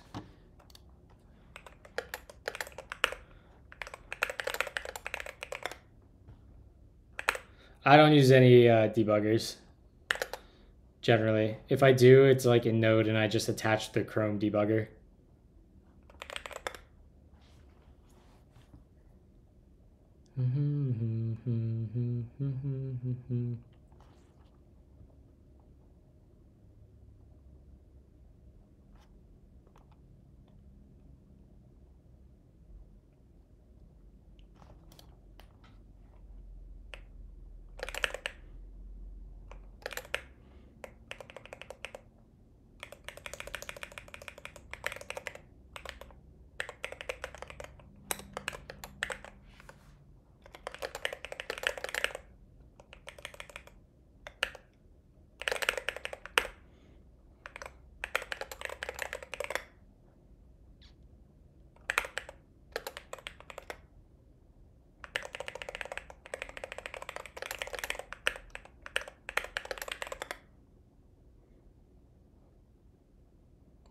Skipped? Where are we skipping tests? Cannot find S tier MJS. Why?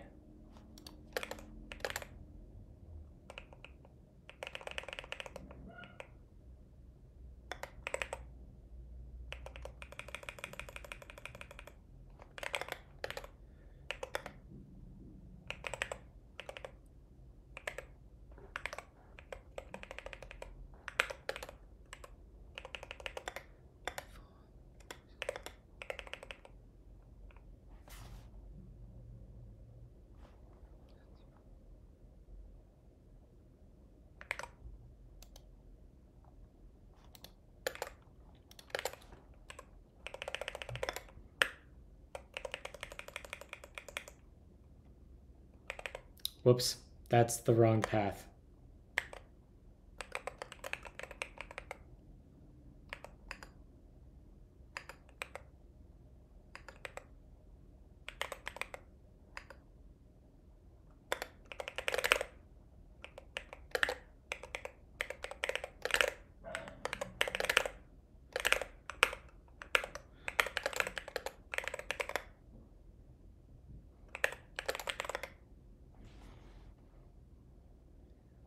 Get failures? Oh, we need to ignore. We need to ignore the two tests. yeah, that makes sense. Okay, how do we configure this? Uh, let's see here. Um, bun docs.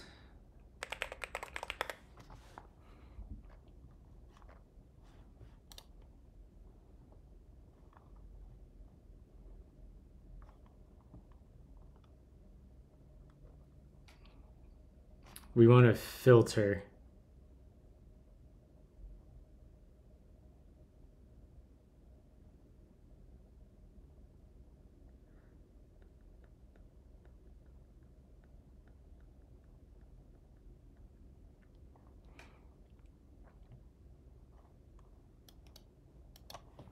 So what is it, bun run test? That's what's going to get us the right one? Cool. All right, so now we want to um, Functions thank you for the subscription, the Marskill. Super appreciate you. Uh, valid um, S expressions.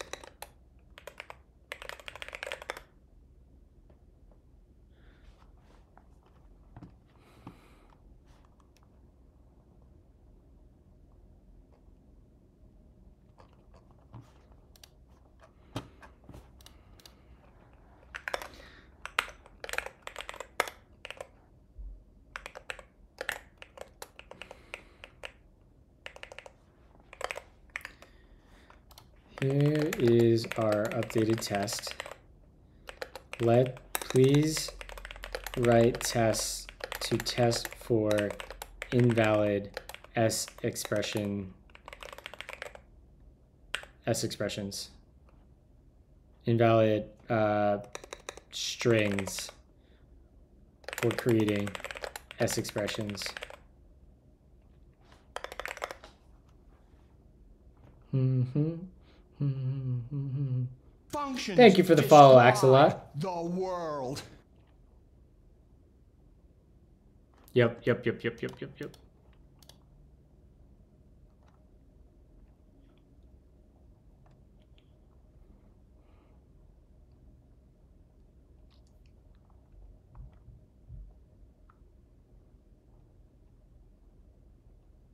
Yeah, here we go.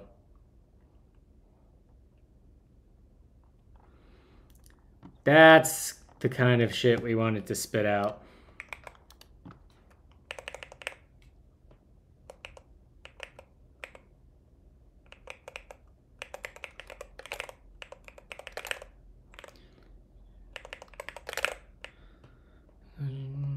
All right, so let's check the test it just gave us. It should return an error for strings with unbalanced parentheses.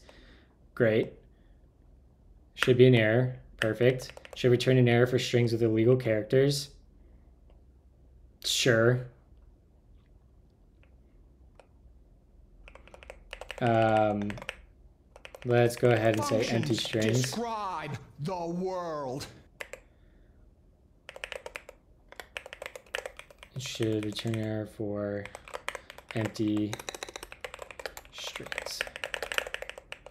And we don't need uh, a property test for this. We'll just write a normal test. Um,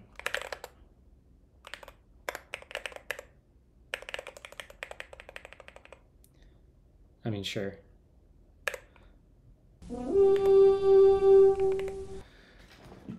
What up, Purple Elf? Thank you for the raid so much. Super appreciate you.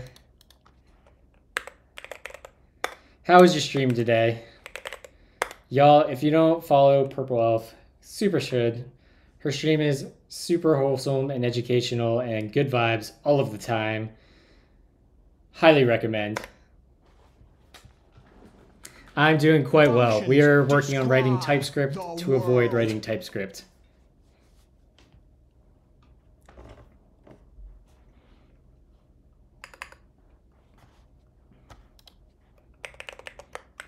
Expect. Yep, so that should be good. And then let's make the same exact test, but for um, strings with only spaces. All right, let's go ahead and run our new tests. And what's crazy for that last test, just those two test cases, our property testing library ran 400 assertions on those tests. Like for writing two tests, we got actually 400 tests. That's what makes property testing so amazing.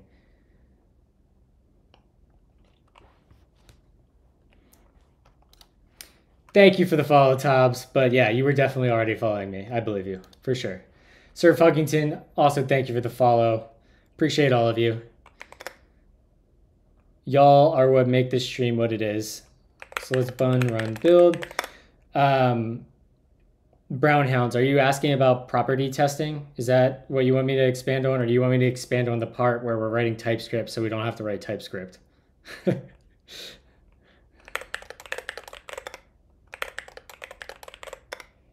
right, so we have three failing tests, and we're failing on should return an error for incorrectly formatted expressions. The TypeScript part, sure. So we are writing this underlying library called Melange FFI. Melange is a compiler for OCaml and ReasonML that compile um, them to JavaScript. So it lets us write OCaml or ReasonML. ReasonML is just an alternative syntax for OCaml that looks closer to JavaScript, um, and it compiles it out to um, JavaScript. Why would we want to do that? Um, OCaml's and ReasonML's type system is much uh, more ergonomic and type safe and actually sound when compared to TypeScript. So it gives us a greater sense of type safety. It has amazing type inference. You can pretty much write an entire program without annotating any types, and the type system will infer the correct types for you. Um, generally, you still want to annotate types uh, in some places, especially like at uh, your like library or API uh, boundaries, just for good documentation and like you know, you know, it just helps understand what you're working with without having to look at hover docs. Um, so that's kind of why we would want to use OCaml and ReasonML. Um, so what Melange FFI is is rather than writing um, when you want to bind to like an npm package from Melange, you write these things called uh, externals and bindings, which end up looking like this. And there's a bunch of these like annotations that you have to use that are basically like macros in OCaml and ReasonML. And sometimes it can get pretty uh, unergonomic and boilerplatey to write some of these um, bindings. Like, let me scroll down here, find a good example. Like, just stuff like this. Like, you, especially when you get to like, um, let's see, like curried functions and uh, functions that might throw, things like that. It can get really difficult to write some of these externals sometimes. So what Melange FFI is aiming to be is we ported Melange's runtime or the entire standard library to JavaScript. And we are making this nice little thin um, wrapper layer that exposes OCaml and ReasonML's runtime types um, as a JavaScript library. So you can see kind of what our types look like in here. Um, this isn't the best example because we're looking at the worst of it. Um, let's see here. We have things like results and options and lists, which are linked lists rather than arrays. We have a bunch of helper functions to help work with that stuff. Um, and um, so the idea is rather than binding directly to like a third party npm package, you would write a tiny little FFI or FFI file with Melange FFI, and you would shape that library's types and functions to OCaml types with this library in JavaScript before writing your external bindings. Um, and when you do go to write your externals, it's going to be way easier, way more ergonomic. You're not going to have to use a, a dozen different annotations. Um, yeah, so that's kind of the high level idea.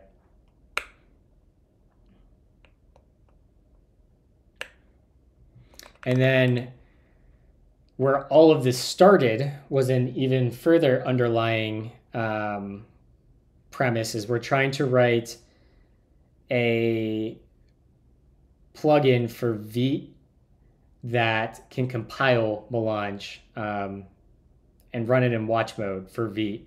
And to do that, we're going to talk to Dune, which is OCaml and ReasonML's um, build tool.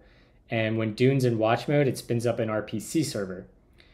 And that RPC server communicates via S expressions. So S tier is a port of an OCaml library for parsing and deserializing or serializing and deserializing S expressions um, so this is all in service of building a, a Vite plugin at the end of the day. I actually gave a conference talk recently on uh, Melange, OCaml, and ReasonML. I'll throw that link in the chat if you're interested. I'm actually giving it again in DC at Frontrunners uh, JS conference in like a month. So if anyone's in the DC, DMV area, you know, tickets aren't super expensive. Come on out.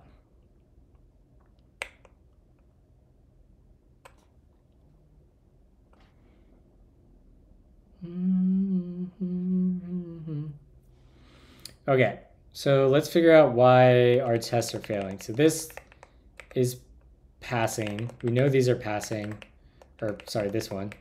So we'll skip that. And we know that's passing, so let's skip that. Mm -hmm. If you're ever in the New York, New Jersey area, I'll hit it up. Mm -hmm. I do know some of the people in the Remix Run team, and um, uh, two or three of them speak at a, a dev conference in Philly every year that I might try to submit something to next year.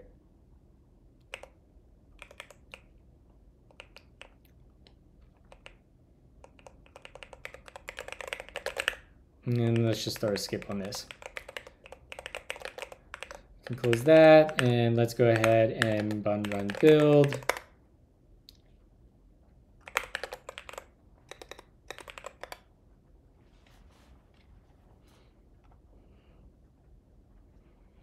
So we fail on this.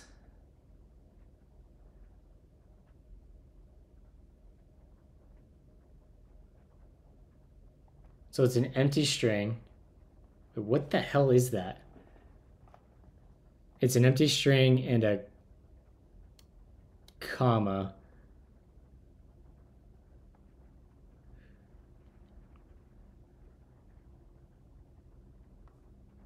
Oh, sweet Diva, that's awesome. The world. Thank you for, for the follow, Mau Mau. Appreciate you. Should return an error for strings with unbalanced.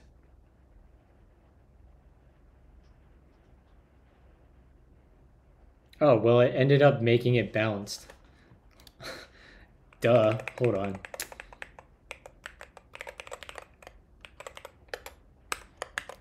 Well, can I give this, actually, let's see if we can give it a constraint where it's like a, no. All right, so we do need to filter.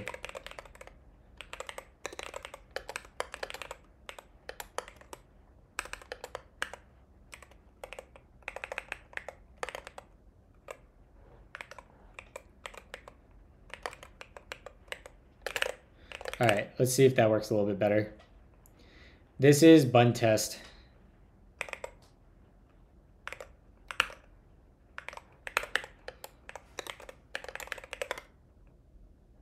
In fact, in fact, a lot of this library is written in OCaml.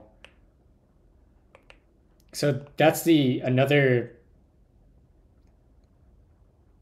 I think you need to figure out the ones that contain not just a single. Oh, good luck.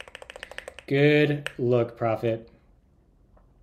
Um, but a side effect of writing Melange FFI is that you can also uh, compile any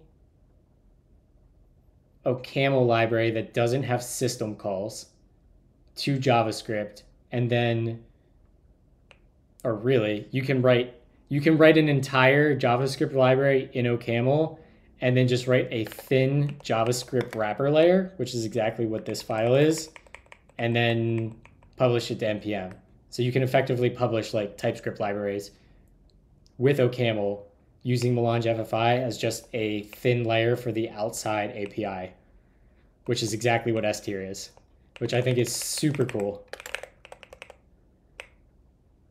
I didn't, that was not like my goal when I started writing this, but then I realized that we could basically go in the other direction too, which now like I'm basically any anything I build for the TypeScript ecosystem, I'm just gonna use Melange for in OCaml, compile it down, build a nice JavaScript ergonomic API in front of it with Melange FFI and ship it. Uh, Stafford, my theme is um, Catppuccin Macchiato.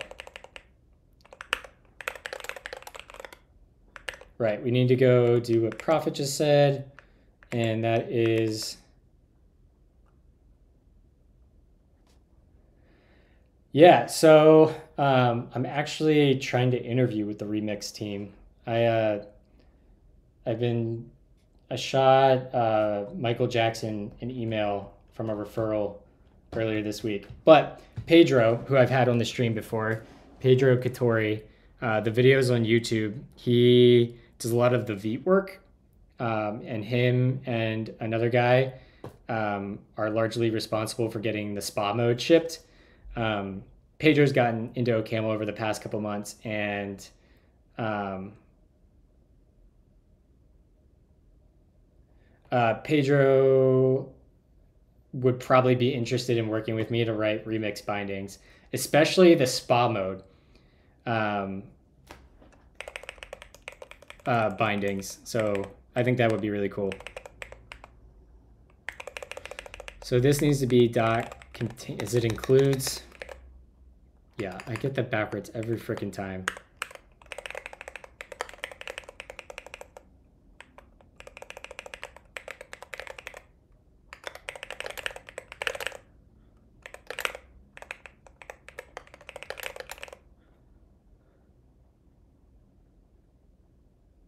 Oh, for real? Okay. Thank you.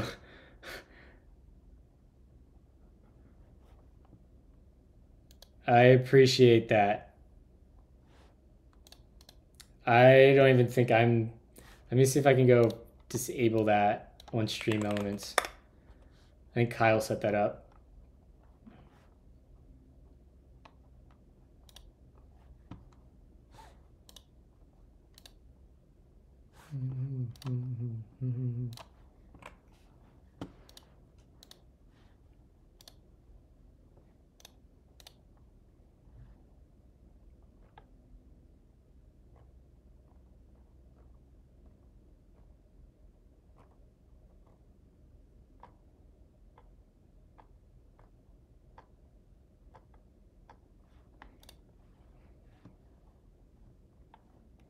Okay, theme should be off.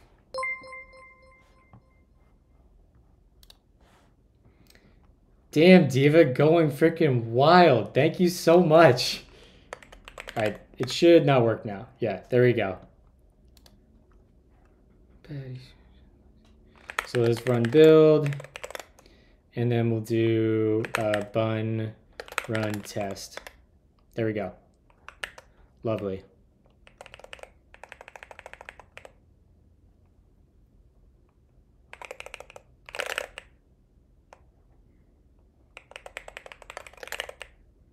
Uh, I guess we should flip this to only now.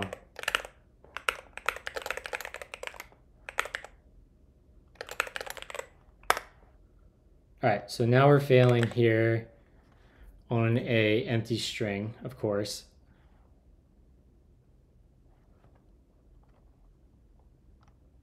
Wait, why is that still running unbalanced parentheses? I thought we skipped that.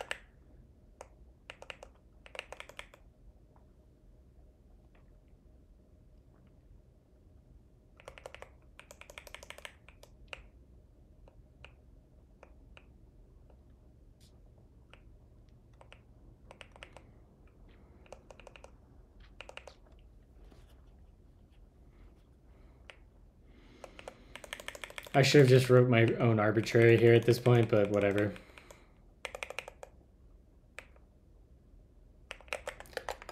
And string dot trim does not equal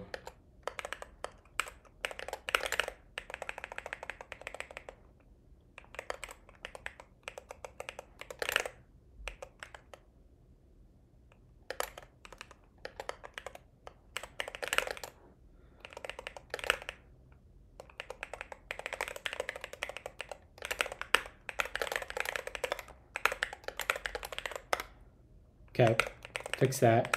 Damn, some Hollywood Undead. This must be like, this must, so I transferred all my uh, Spotify songs to Apple Music, and like, this must be picking up my likes from like high school on Spotify.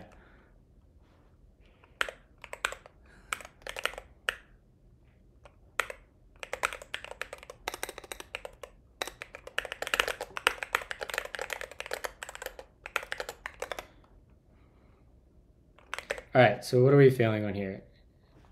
Right, empty strings. Although that should be what we're putting under test, isn't it?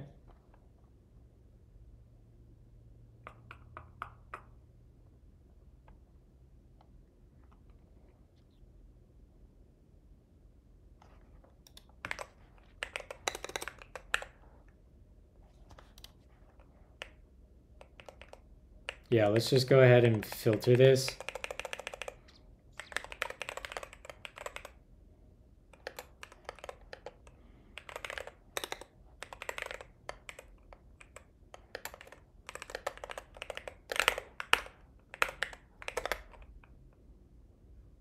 Okay, what are failing this time? A star.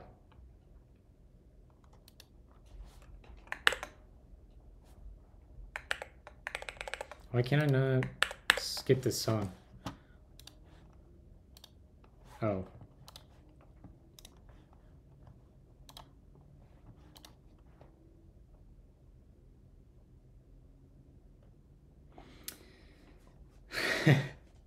I was in high school, CDs became a thing.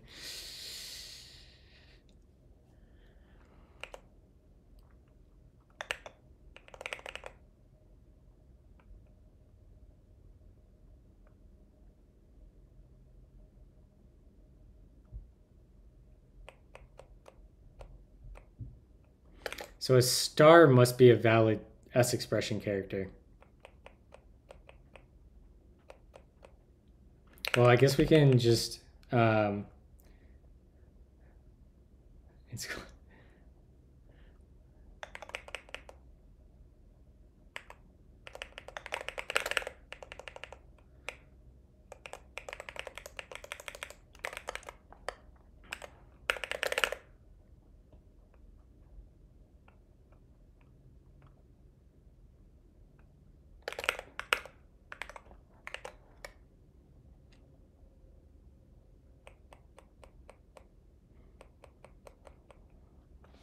I think the last test case probably covers this for us.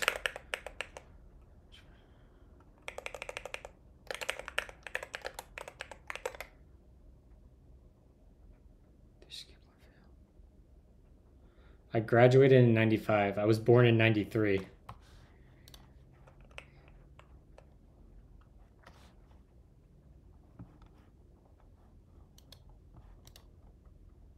Dang, we are still...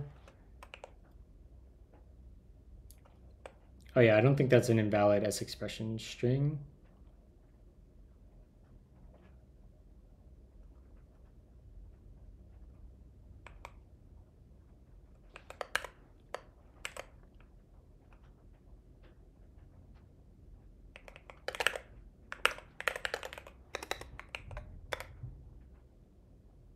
There we go. Okay, great.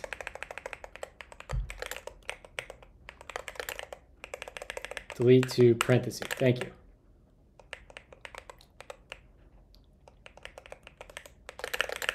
All right, let's run the whole test suite.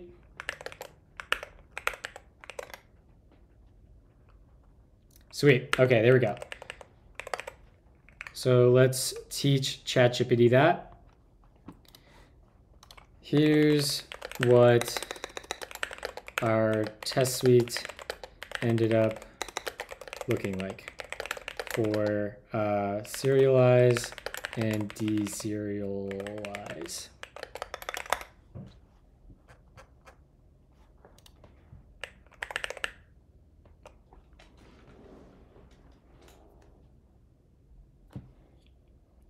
I'm gonna grab another drink. I will be right back.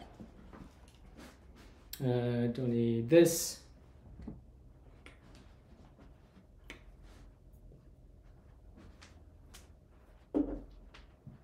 Doing, Winnie.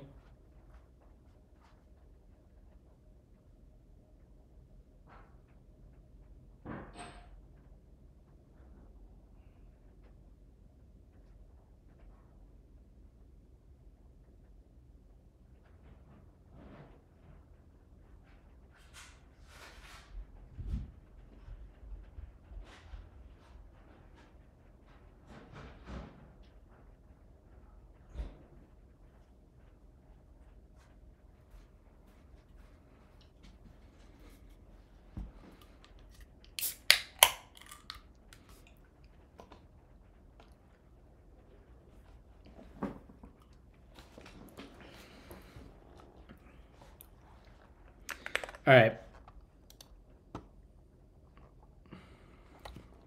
Yeah, whatever. I don't care. Dude, ChatGPT drops connections all the time on me. More of a frappe than macchiato. Is frappe the white theme? Or the light theme?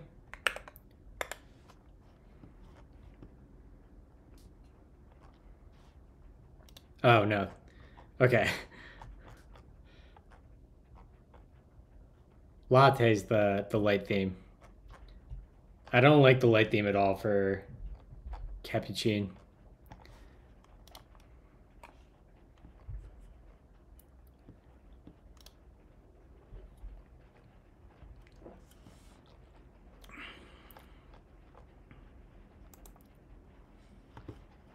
Okay. ChatGPT is literally just dead.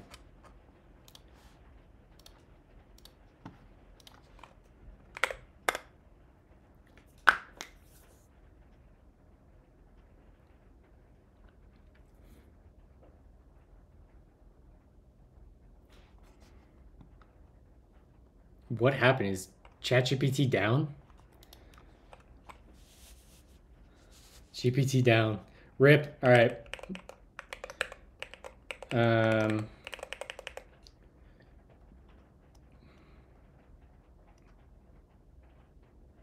the font is MonoLisa. Yep. Dude, it used like two months ago, it was like impeccable. Now it's just like horrible.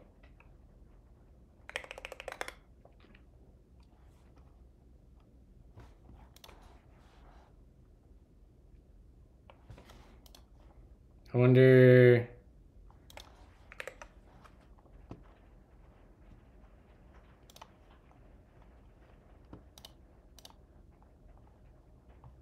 Oh, fuck. I'm still on the wrong page.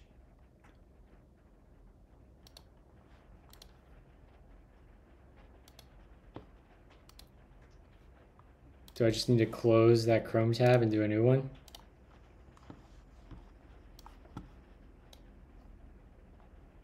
My guy. I use MonoLisa and Catppuccin Mocha. Let's go.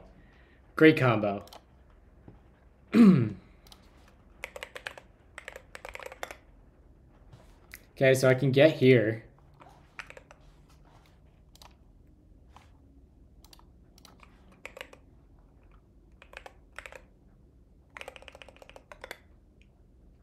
This is so stupid.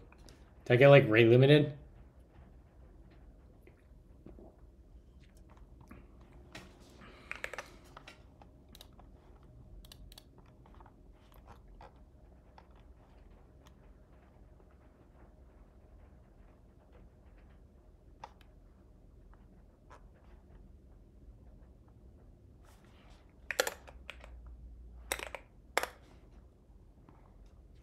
Uh, chat.openai.com. Login.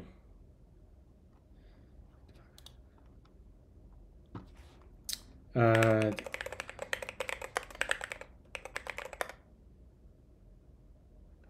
what the frack is my password?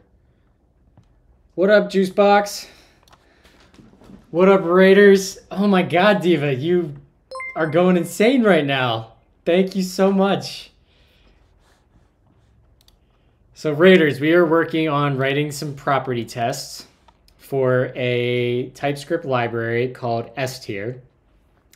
S-Tier is a library that's partially written in OCaml and compiled to JavaScript, and it is really the only JavaScript library that does serialization and deserialization of S expressions and canonical S expressions.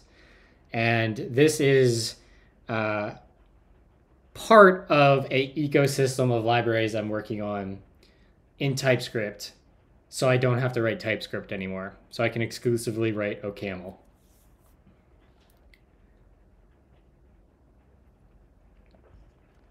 Nice, Juicebox. Well, welcome, y'all. Yeah, so we're working on writing this S expression library called S tier, which we compiled to very popular OCaml libraries down to JavaScript and then wrapped it with our little FFI library. And um, tier is going to be used to build an RPC server in TypeScript to power a Vite plugin for compiling uh, OCaml code to JavaScript. It's going to communicate with Dune, which Dune is OCaml's build tool. And when Dune's in watch mode, it spins up this little RPC server. And that RPC server communicates via S expressions. And there was just like no good libraries in NPM for S expressions. So we did it ourselves. Thanks, Juicebox.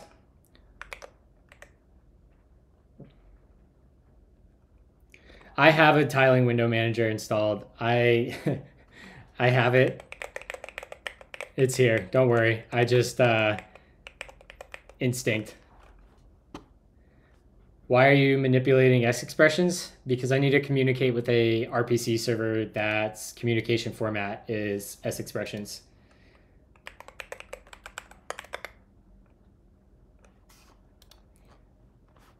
Is this gonna get its act together yet?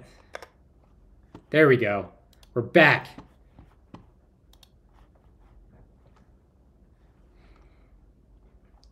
Yeah, Time Panini. If you like options, you're gonna love Melange and OCaml and Reason ML. I have a whole library of OCaml types in um, TypeScript.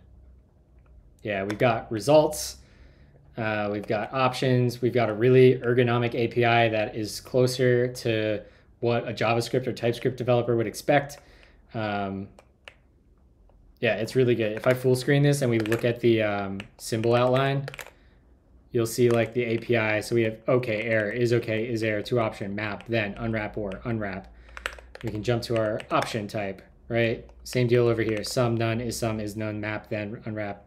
we have a linked list. Uh, we don't have an actual implementation of either. Um, we could. Um, maybe we'll add that at some point. So Melange, Panini is a compiler for Java or OCaml and ReasonML to JavaScript. I did not. See, I'm not the creator of Melange. I'm a user of Melange. The library we're making is Melange FFI. And this library is inspired by another language called Gleam, which we'll get to. So Melange is just a tool for compiling OCaml and ReasonML to JavaScript.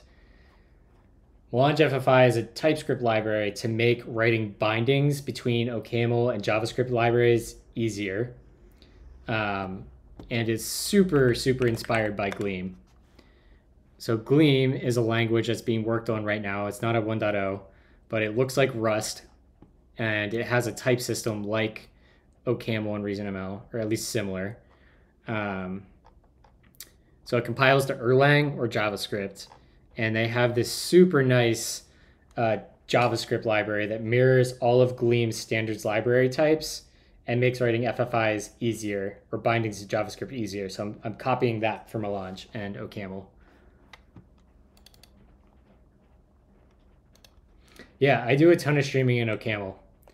Um, I made this, um, if you're looking to get started with Melange and ReasonML and OCaml, I built Create Melange app, which is a the easiest way, in my opinion, to get started um, with it. It's inspired by Create T3 app.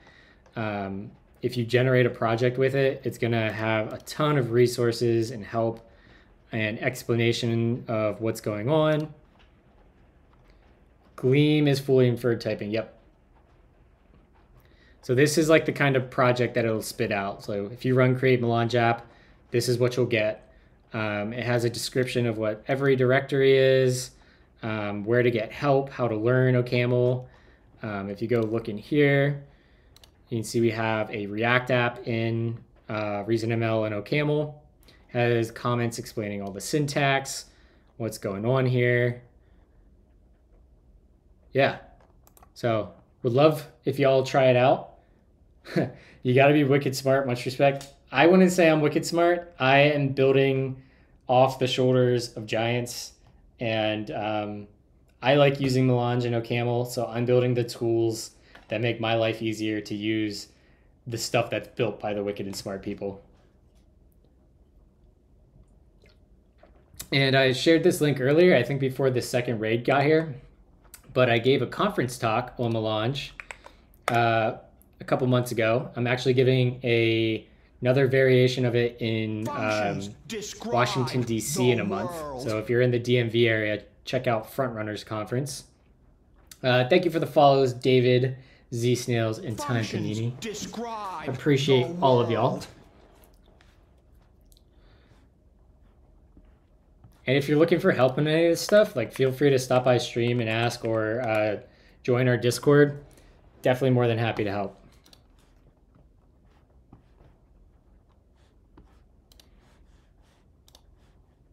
So right now we're having ChatGPT, ChatGPT help generate some tests for us.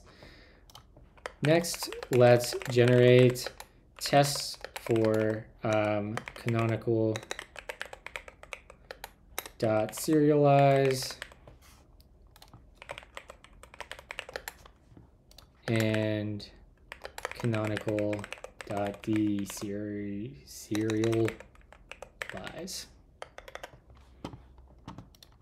turn off that and let's jump back to S tier. Um, we want to go to here and grab this guy.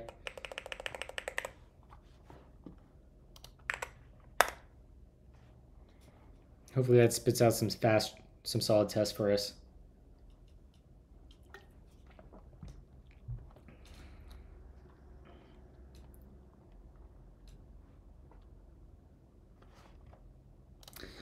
Let's listen to some Bryce Vine.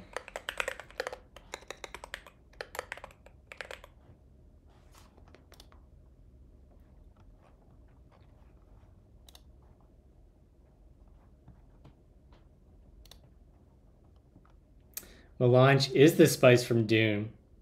You're right. And OCaml's build tool is named Dune.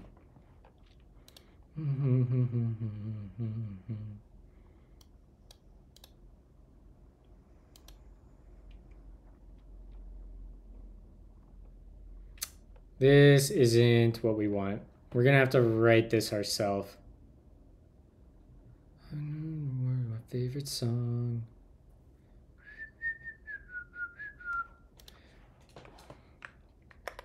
What up, bad cop?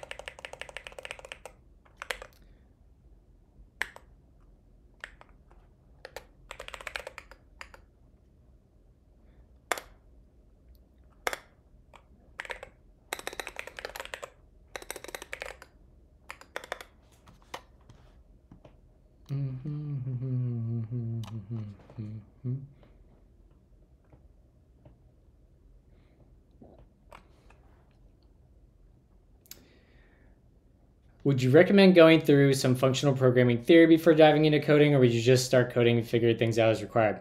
100%. I think the best way to learn OCaml is just start building something you think is cool. It might be against what a lot of other people in chat might think, but like doing like a lot of people this year did Advent of Code with OCaml, and I think I don't think that gives a fair shake at how good OCaml can be.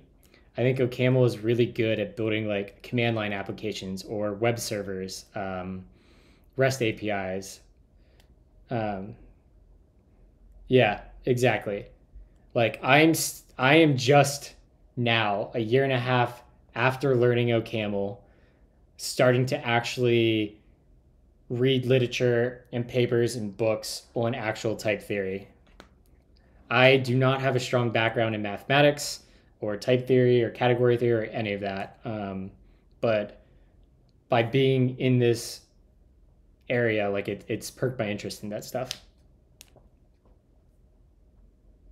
Mm-hmm.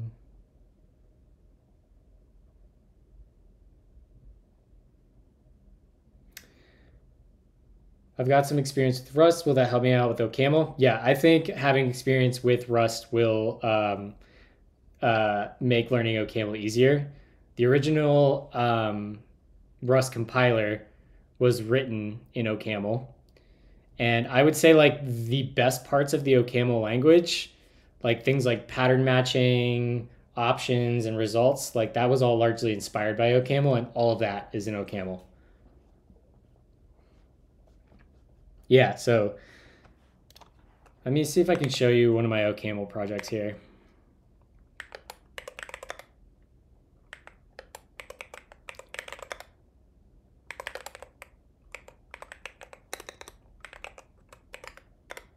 So this project is a, a tool to transfer playlists between Apple Music and Spotify. Uh, let me see if I can find like some good code to show you. The redirect server is a pretty cool one. Yeah, it's fine.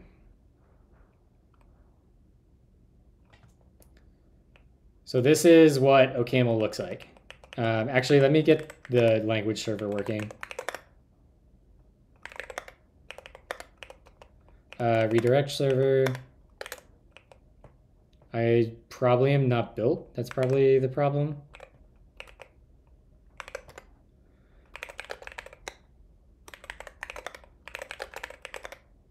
Oh, shit.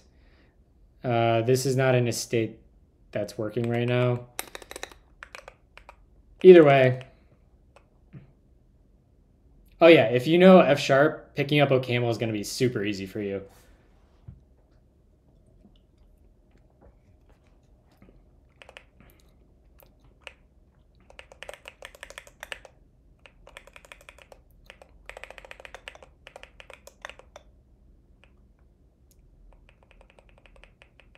Yeah. So, yeah, if you know and like F sharp, you're gonna love OCaml.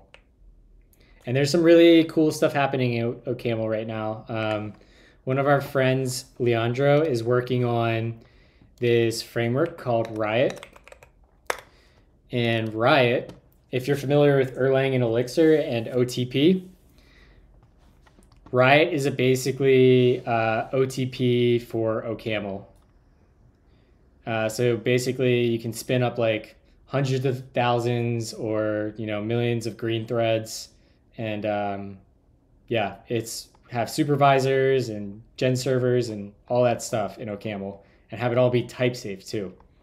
So we're going to be rewriting create melange to uh, another library by uh, Leandro called Minttea. Minttea is built on top of Riot and uses the Elm architecture. Fun fact, F Sharp was originally meant to be a .NET port of Haskell, but getting .NET to play nicely with laziness didn't really work out, so they chose OCaml as a base language instead. Yeah, watching Leandro is an incredibly talented engineer. He does stream. He streams really often, actually. If you want to catch uh, notifications for him, there's a bunch of OCaml streamers in our Discord, kind of all working on related projects to make the ecosystem better. His uh, Twitch channel is uh, probably just uh, Leostera on Twitch, right? Twitch.tv slash Leostera. Yeah. Give him a quick shout out.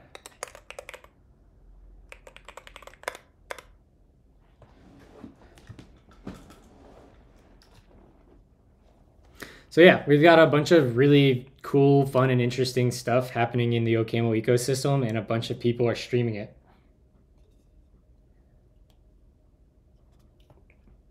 yeah, I don't know how it's worked out. Somehow, a bunch of people who love OCaml have kind of just found each other and want to make the ecosystem better, and it's been really, really fun building together.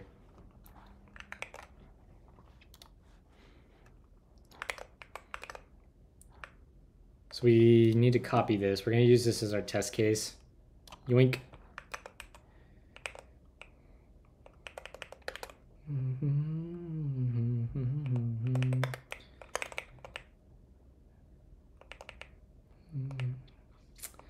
Let's wrap this in another describe. And we'll say this is going to be uh, S expression. That's not what I wanted.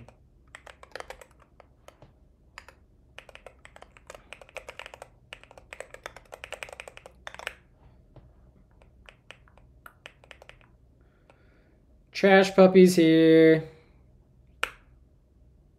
Someday we'll convert Trash Puppy to OCaml, just like Bad Cop.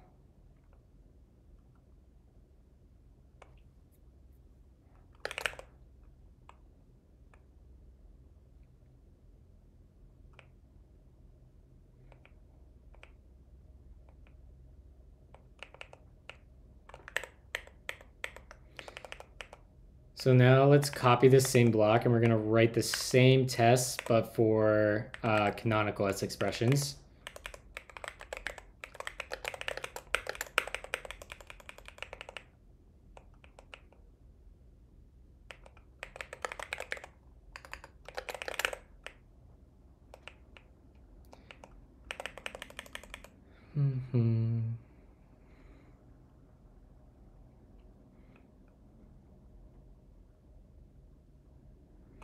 Oh, Panini.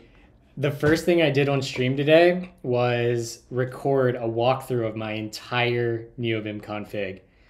Um, I will hopefully have that video edited and posted like early this coming week. Um, I will, let me write a little note to myself. I'll DM you on Discord since you just joined when it's done.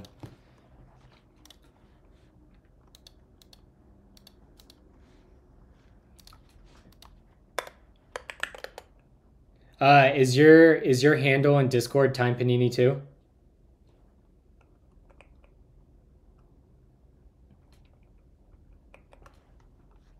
It is cool. DM Time Panini uh, NeoVim video. But my dot files are uh, to be at I have a dot files repo that I need to probably deprecate. I started using Nix in the past month, um, but I still manage NeoVim pretty normally. Um, so if you just look at this directory and down, it's going to look like a totally normal NeoVim configuration. And a lot of it's commented, so hopefully that's helpful.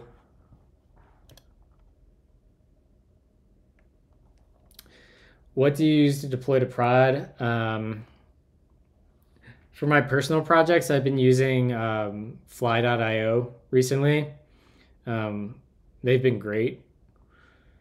Um, and then depending, I did I did consulting for quite a couple years, and there was a combination of everything. I've worked with uh, Azure, GCP, AWS.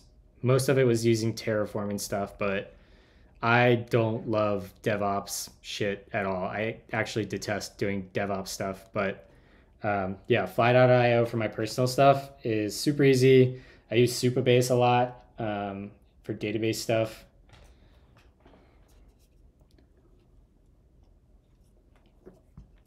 It just makes it easy. I would potentially give SST a try if I needed something a little bit more complex. Um, I'm a big fan of Dax's, and uh, I think this looks like a pretty useful framework for deploying uh, to AWS.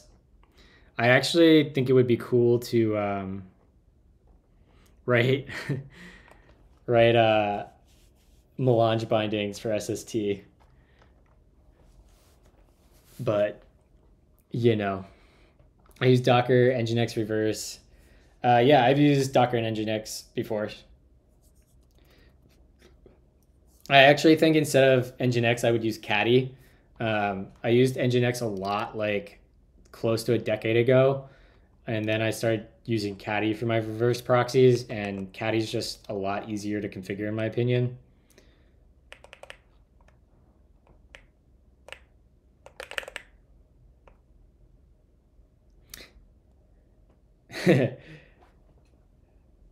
Dhall is super sweet. I haven't had a chance to use Dhall for anything real, but the idea of Dhall is very attractive to me.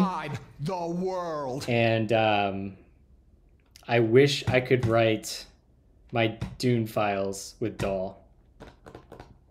In fact, if I get time in like, I don't know, once we get past a bunch of this work, once we rewrite Create Melange app to native OCaml and Mint and we ship our, Vi- our Vite plugin for Melange, I might try to get Dhall to compile to um, Dune files or S expressions. I mean, I think we could probably hack it pretty easy now, well typed witch, because uh, can this compile to JSON? It can. So hear me out. A super MVP version of configuring Dune with Dhall could be compiling to JSON, reading the JSON in, using S-tier to convert it to an S expression, and then writing the Dune file. Like we could do that probably pretty easily and pretty quickly.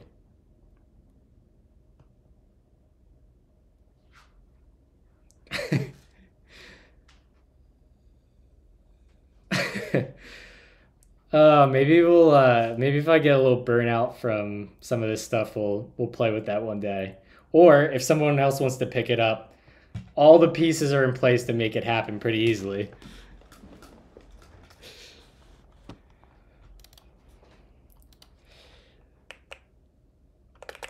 it's so ridiculous that that would work. Uh, I'm not even mad about it.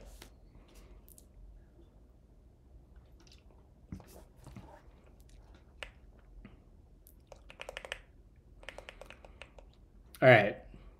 So should correctly deserialize and deserialize. So when we serialize that, we're going to say this is going to be canonical. That's serialize.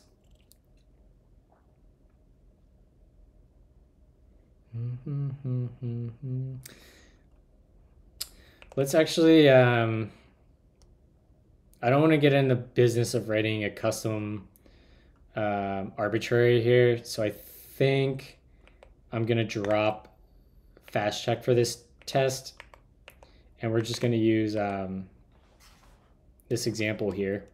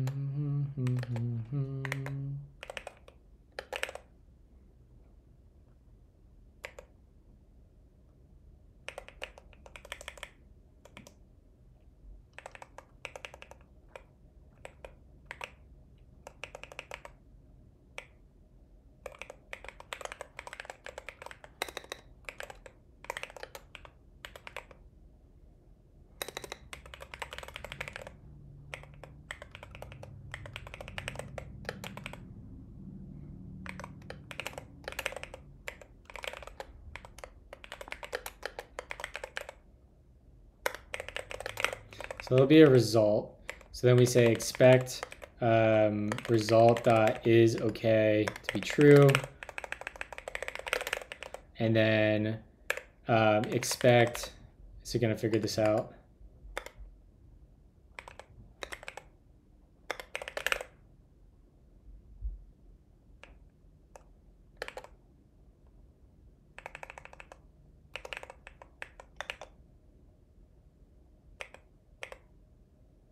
All right, we need to re-serialize it. That's not this test.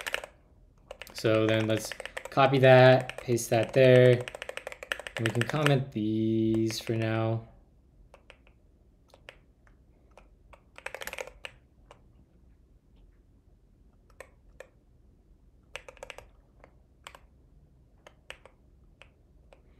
Hmm, hmm, hmm,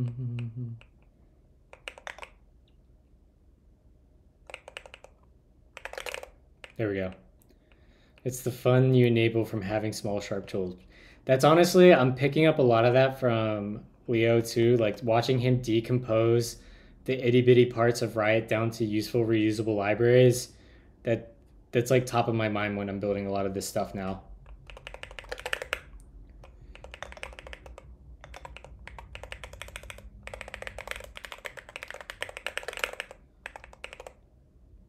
Mm-hmm.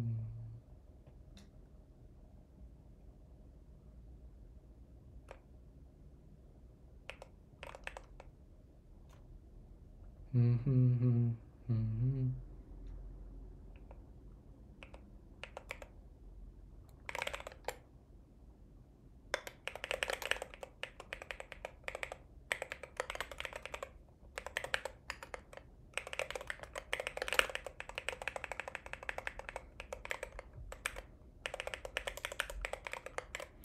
This will be serialized to equal canonical S expression to equal.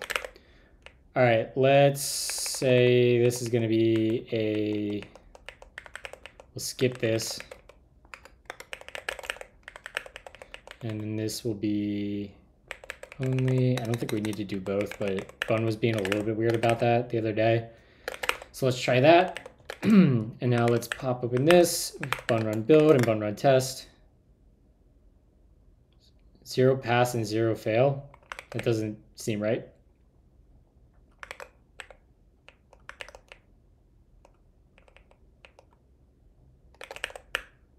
Looks good to me. Ship it.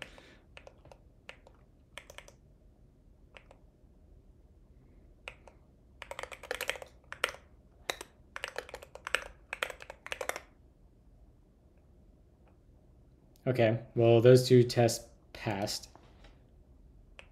Hmm, hmm, hmm.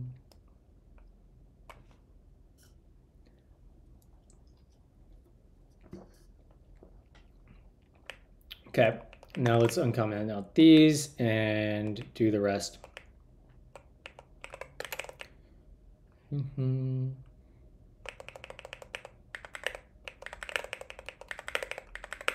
should properly serialize and deserialize lists. Um, that's not super important in this case. I mean, we can, we effectively have that tested already. Should return an error for strings with unbalanced parentheses. Well, let's look at this last test again.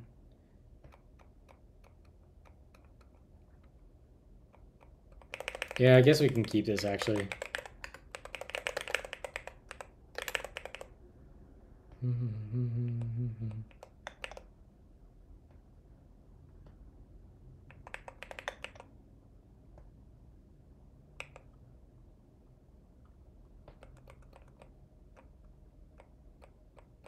So this is a thought I have too. Is if it's worth having different types once they've been deserialized as I don't know if that's worth it. Because a deserialized canonical S expression is just an S expression. It's not like there's no difference from a an S expression and a canonical S expression when it's at runtime. It's when they serialize to a string. That's what's different. So I think I might drop this type.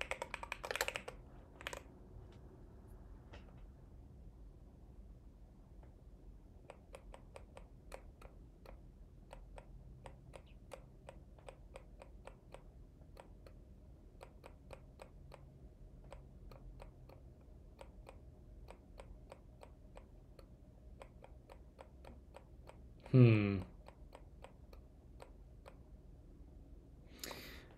Yeah, so a canonical S expression, uh, Alice, is, um, let me jump back to the test here. So a normal S expression just serializes to something like, actually it's gonna be easiest to look over here. So a normal S expression would serialize to this, and a canonical serializes to this, where it has basically the length of the atom and then the atom value and then just it that it just condenses it and um, basically just a condensed format wire format.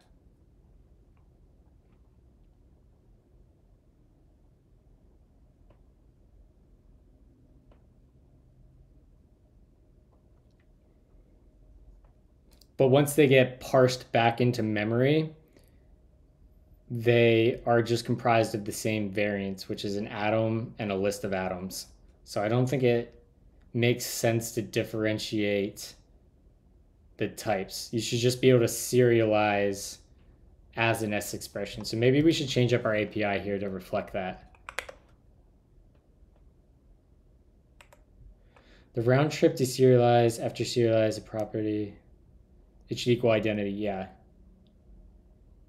Yep, yep, exactly. That's how I think I'm going to change the um, the API here.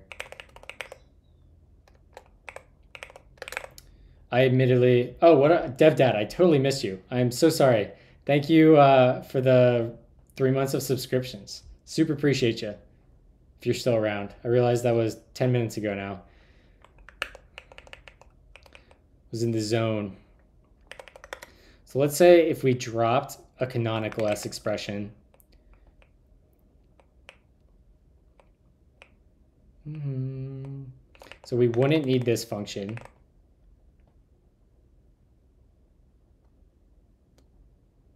Oh no, we would need this S expression, sorry. Right, because we need a differentiation between parsing a canonical and also serializing to a canonical.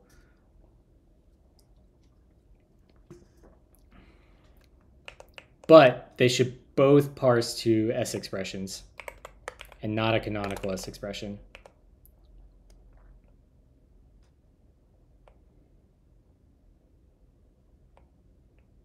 Yeah, yeah, yeah.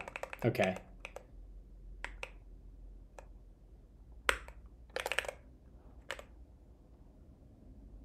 We don't need this second equality function.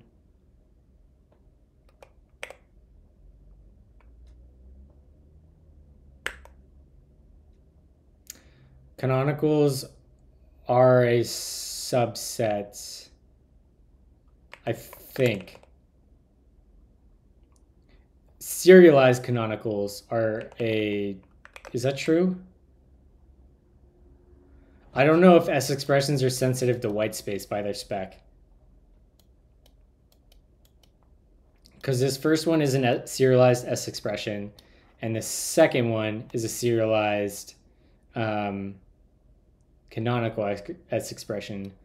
But if you deserialize these from strings, they're both going to look like this structure here. Like they will, if you did like JSON that stringify on both of the structures, um, of them at runtime, they'd be equivalent.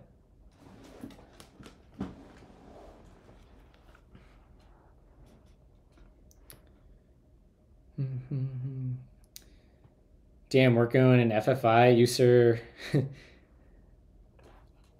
I promise what I'm doing is not that complicated or difficult. I am building on top of the complicated things. I'm putting helpful, tiny, simple tools on top of the complicated stuff that people much smarter than me built.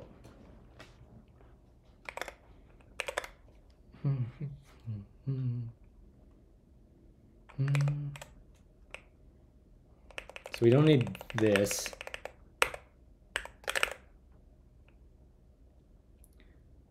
Yeah, I think that's in general, S expressions are not white space sensitive. Okay.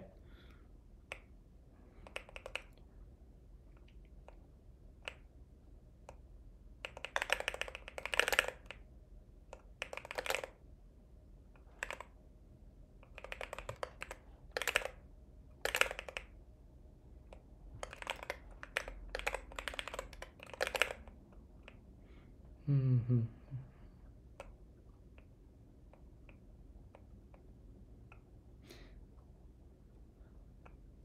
See you, Joy. Thank you uh, for hanging out. Super appreciate you.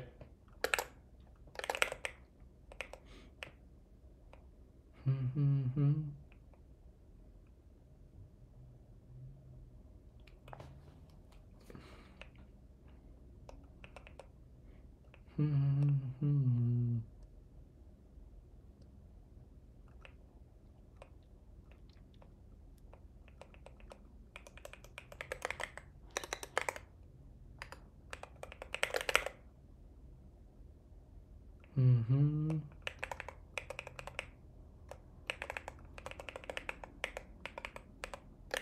All right, let's try running those tests. Uh, yeah. Boom. Beautiful. Seven tests, but 404 assertions. Let's go. And it's okay.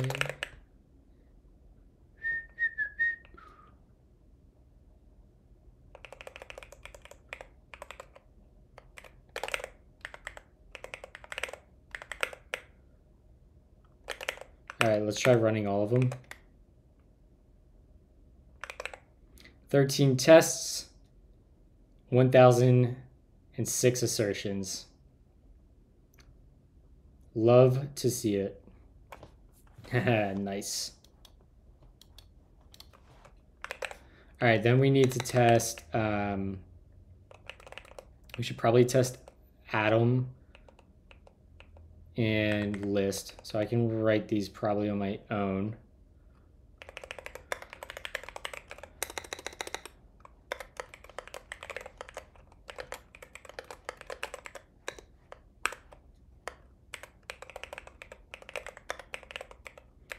It should, um,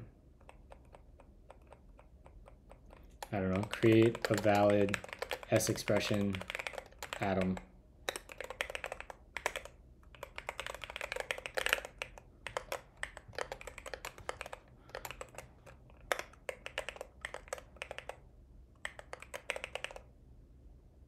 What did I do wrong here? Oh, missed the comma. Uh, let's say const atom equals um, atom foo and then right Um,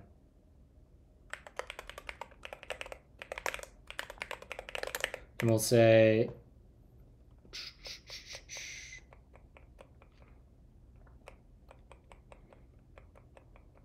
I mean, we already kind of have test coverage over this, um, but let's just make some simple explicit tests. So we'll say serialized, and then we'll say expect uh, to equal, yeah. Oops, we double, how did, come on TypeScript. Freaking TS server.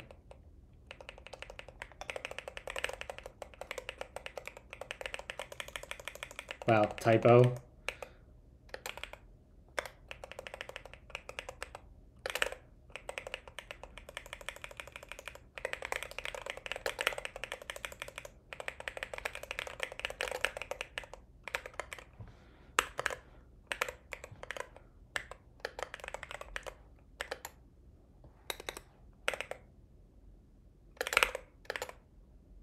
Oh, right. It has to be a list.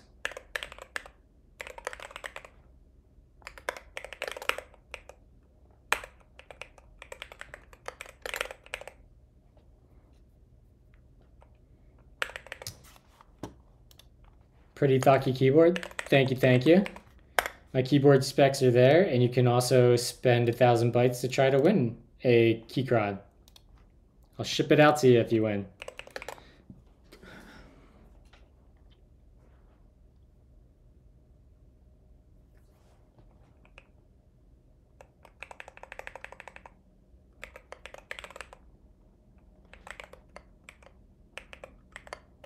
Uh, this should be Atom.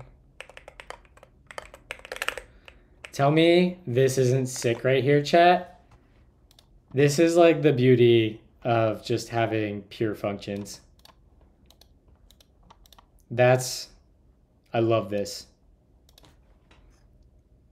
Fuck, I'm out of a drink. All right, I'm gonna go grab another drink quick.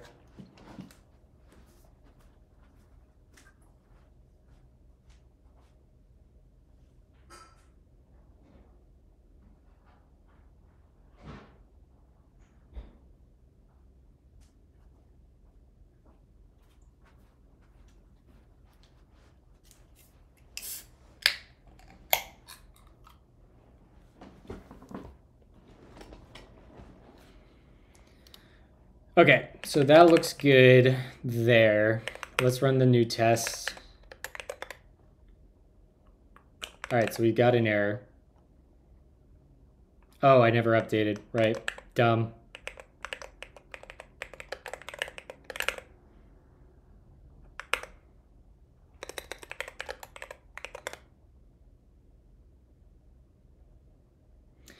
So we are going to work on that chart. We are going to try to take some ideas from um, uh, Tech Savvy Travie. He wrote a, a new package called Sloth Pipe recently. A lazy evaluated, chainable, and reusable pipe for data transformation and processing. Um,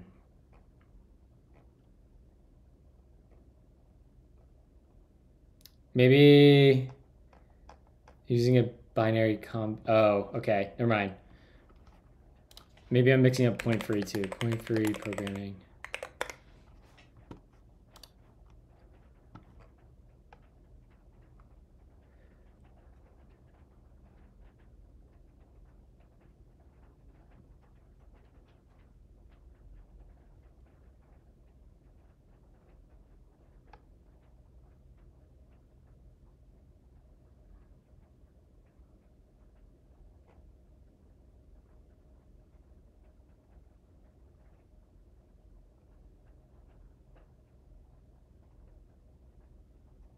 Hmm. I see.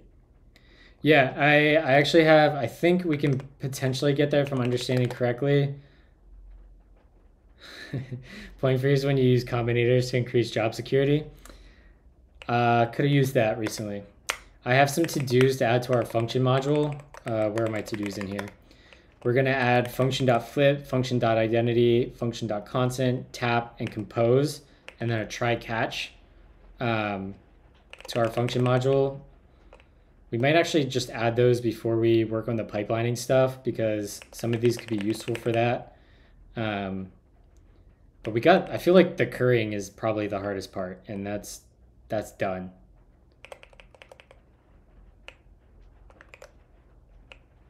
And the TypeScript is very annoying.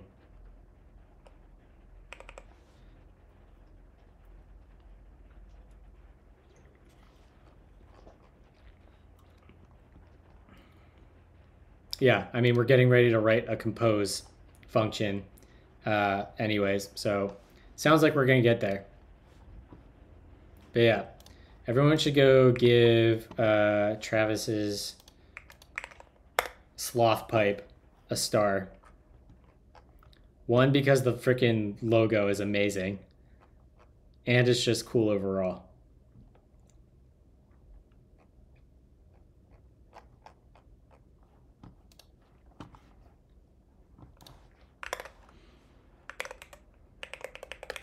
All right, so we failed a test.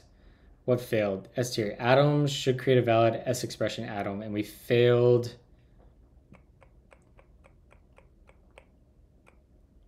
We receive foo.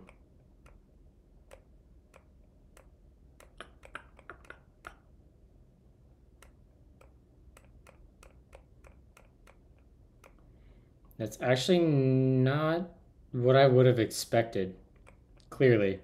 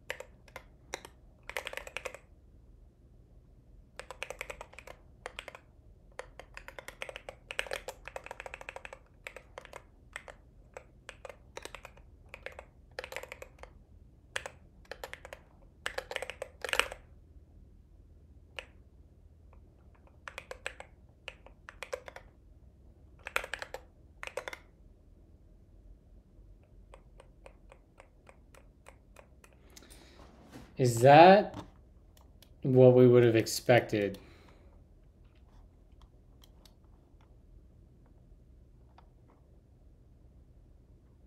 I mean, it must be because that's what the underlying OCaml library is doing. I didn't do anything to edit that. So maybe if we give it two values,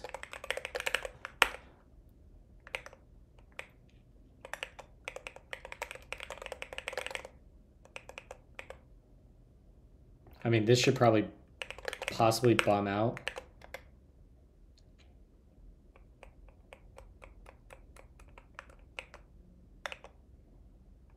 Um...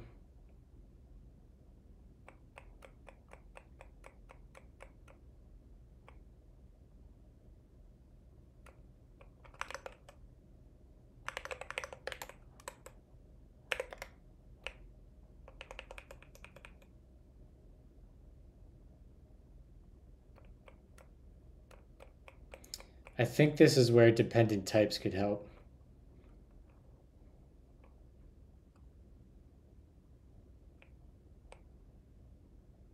The answer is dependent types.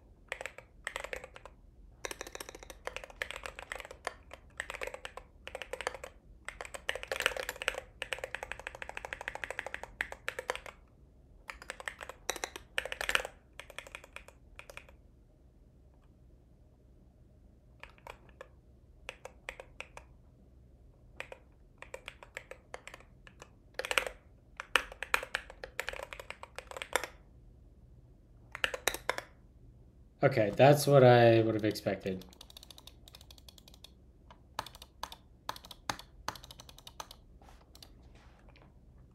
So maybe we can make this a little bit more type safe by using a branded type.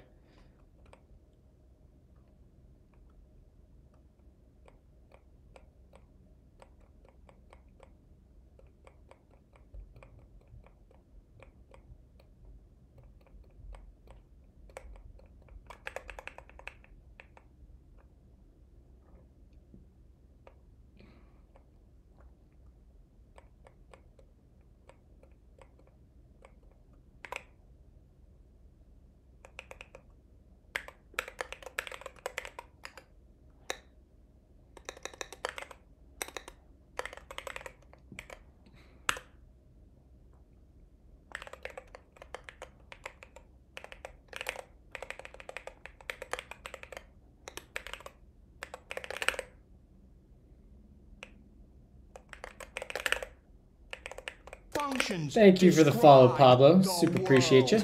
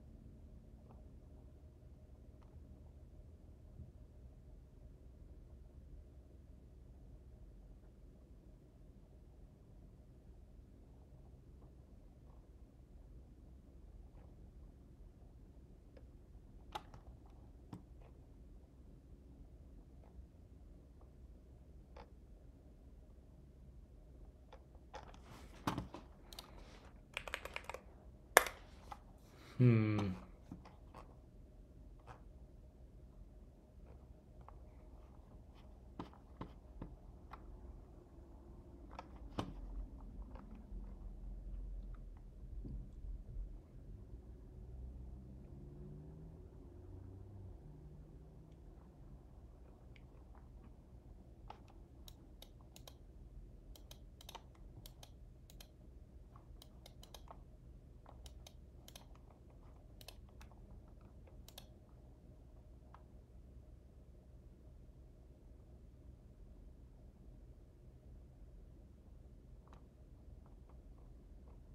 Okay, so that actually looks right based on the grammar described here. Okay.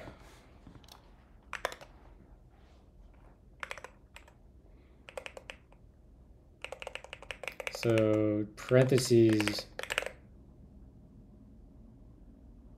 kind of yeah, that's kind of what I'm thinking too like they're so similar, but like every single tool or language or runtime or library even like takes a slightly different take on it. And it's kind of annoying that it's so simple yet there's these tiny nuances.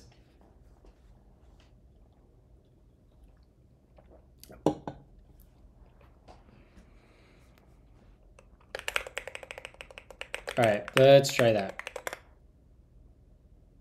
Okay, that passed. Good. Good, good. Uh, describe Atom. I guess we should Atom and list. And then we want describe of.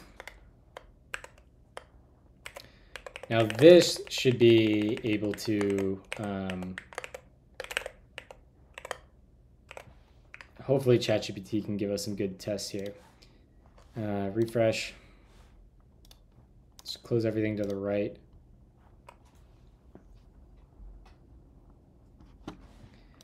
Here is our current test suite. Now, please write fast check tests for of and equal. These are very comprehensive.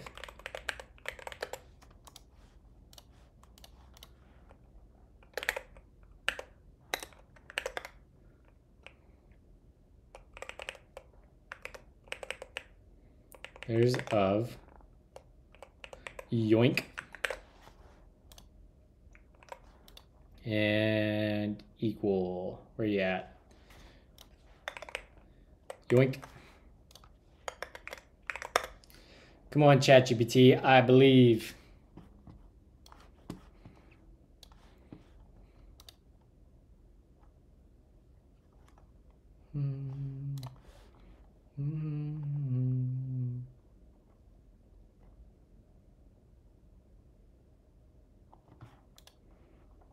Come on, don't choke out on me.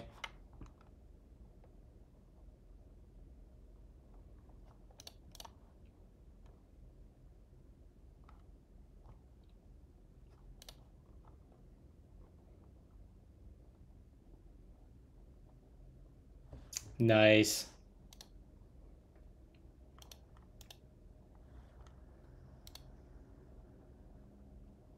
Nice, nice, nice. Gleam's really fun to write.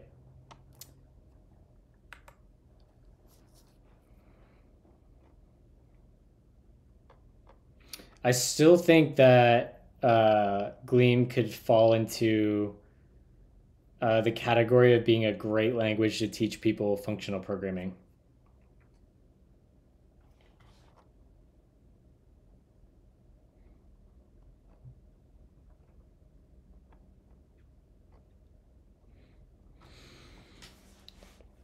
Alice, if you're still here, how would you compare Gleam and uh, uh, Jesus? What's the other one? I think it also starts with a G. Grain. Because I think grain looks pretty interesting too.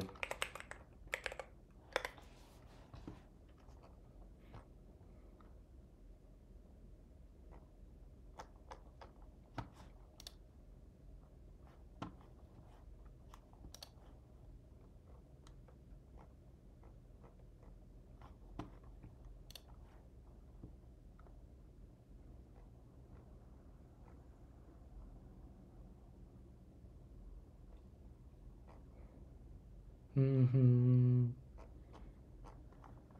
Mm-hmm.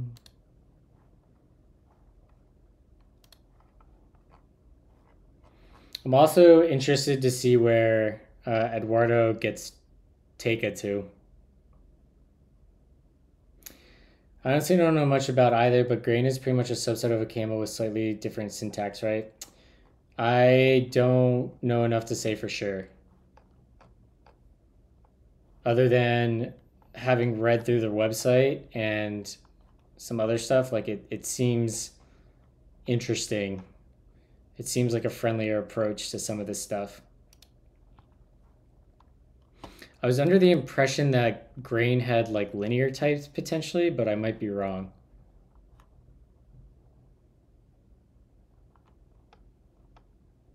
I think I might be wrong.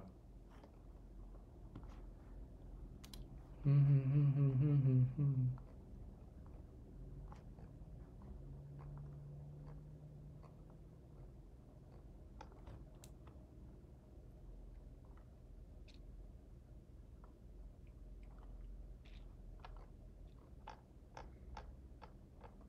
I wish, part of me wishes that Gleam. Oh, yeah, yeah, yeah. See, they all start with G. It's such a. it's such a mix up. I wish Gleam would have focused on a native story before um, compiling or targeting like um, compiling to Erlang.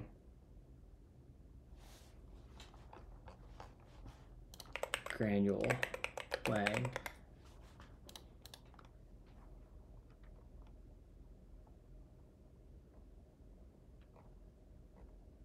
Yeah, some of this is wild and cool.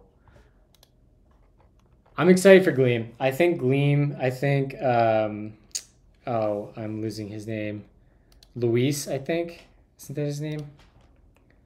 Louis. I think the design, like the ergonomics of the language make it really, really approachable, which I really admire. But it feels like native's going to be a thing that is going to be missing at first. But despite loving like OCaml and like ML syntax, I do really, really like, um, I do really like Gleam syntax.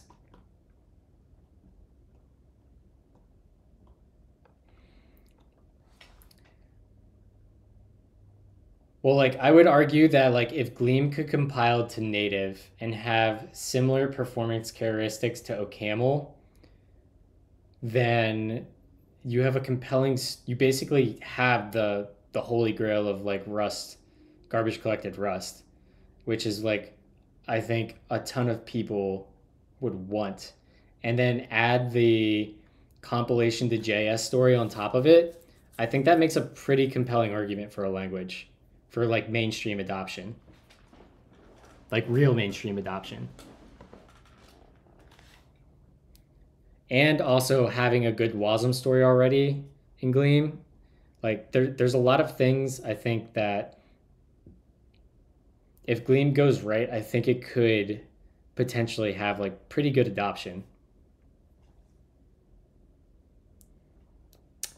I think it so, like at a theoretical and fundamental level, probably not. But for an adoption and accessibility level, I think so. I think the syntax of OCaml is a huge blocker. I think if ReasonML would have came out in 2023, I think it could have like especially that week that DHH made a big hoopla over TypeScript. I think ReasonML could have got a ton of adoption too. But I think given people's love for Rust and their desire to not always be fighting the borrow checker and also have good type inference like OCaml and ReasonML, I, I don't know. I think there's a compelling story there for Gleam. I really do.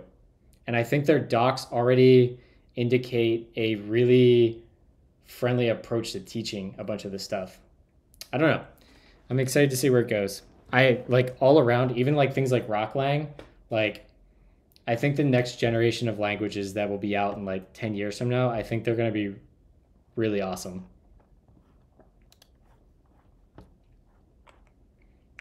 And we'll all be writing Polaris for our scripting instead of Bash.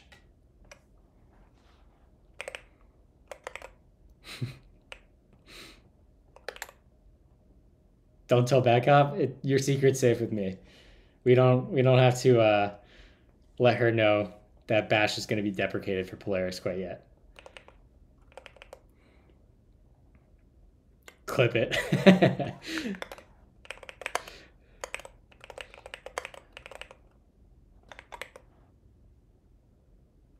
Ah, we don't want that full block. We want this one down to here.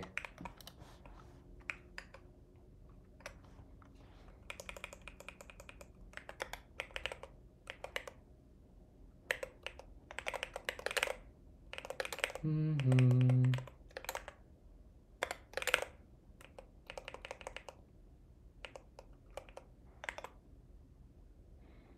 Okay, where's these syntax errors?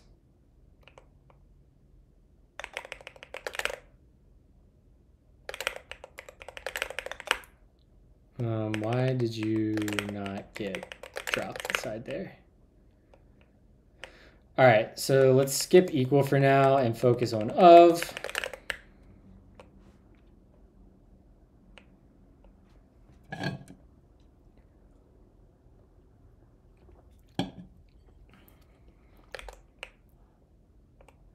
Should create an atom from a single string value. String of string value serialized equals string value. Yep, we can get rid of that comment. That looks like a good test should create a list from an array of strings. We need to be careful there. We need to copy our filtering mechanisms. Um, we should really use this. or really it just should like not be parentheses or a empty string.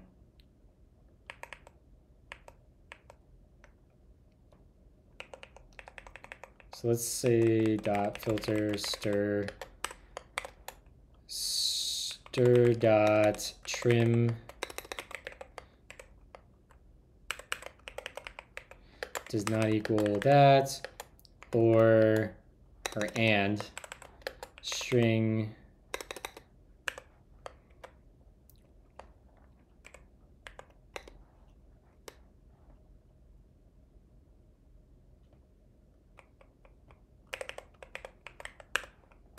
and stir dot includes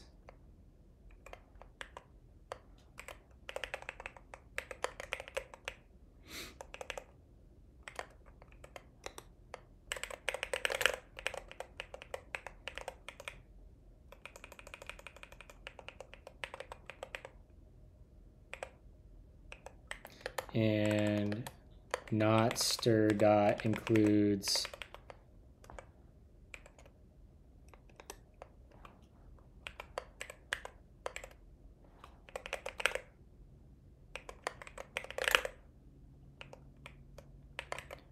freaking JavaScript.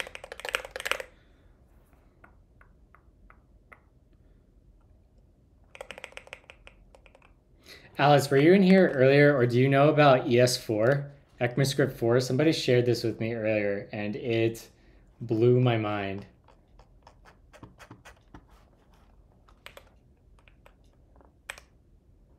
Can I get to my history? This is actually super, super interesting. ECMAScript 4 was skipped. So we went from ECMAScript 3 to ECMAScript 5. And ECMAScript 4 had types in it. And it got shot down by Mozilla and um, who was the other company that they were saying? Mozilla and somebody else because Adobe had written the majority of the spec and the two other companies didn't want Adobe having that much say over the web, so they shot down ES4 that had like types and stuff in TypeScript or not TypeScript, JavaScript. Let me see if I can find this. ECMAScript 4, the missing version. Yeah, here it is. Yeah, it like I had no idea about this history here. There's got a got a bunch of extra stuff down here too. It had basically JSX in it too. It was called E4X. ECMAScript 4 for XML. Like, can you imagine if this would have came along in like the early 2000s? How different the web would be? February 1999 was the first draft. Yeah, I had no idea about this.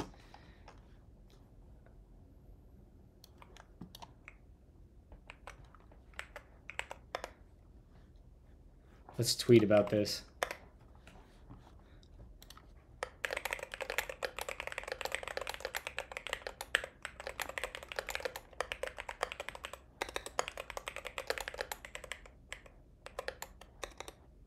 found it today. We almost had types in JavaScript and JSX in the form of E4X.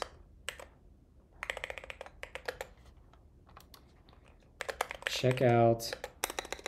Have you ever wondered why we went from ES3 3 to ES5 check out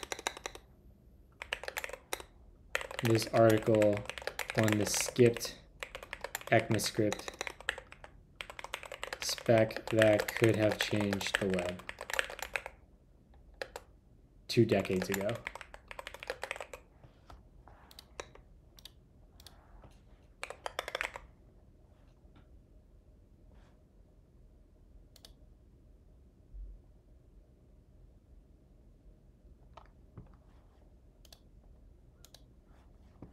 You know, if y'all, yeah, Prime getting his hair dyed, lol.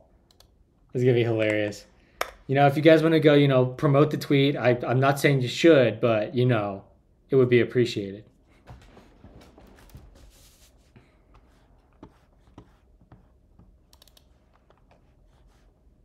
Yeah, this is like a wild story. Like, we almost had classes that were like OCaml modules. Like, oh man, so much of this stuff would have been so cool to have. Like, it would have just changed everything. We would have had a sound type system. It's all because three companies and capitalism. Fuck. He better have dyed his mustache. I'm gonna be real upset if he didn't dye his mustache.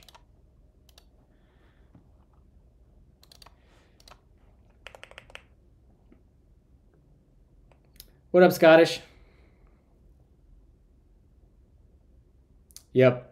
Yep, exactly, Blind. I really hope that uh, that battery that Toyota's coming out with in like a couple years just changes everything.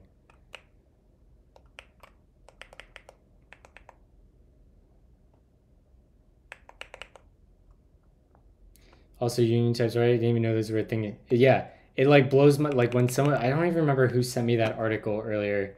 Might have been Charstring. But like just knowing we were that close, it it would have I don't know if it would have prevented a char, but like it definitely would have made things better.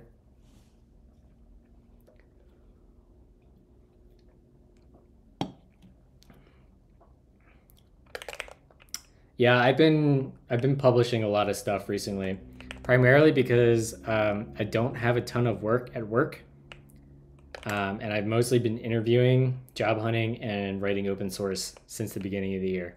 So I've almost had a full month of like working on open source. But hopefully that changes on Monday.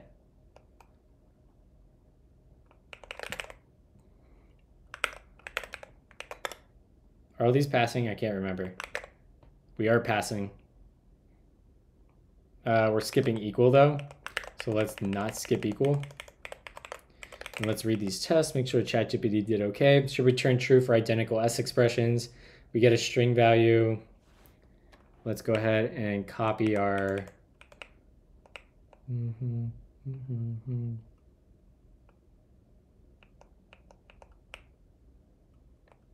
1300 assertions yeah we have 223 lines and how many tests 20 tests but we get 1300 assertions.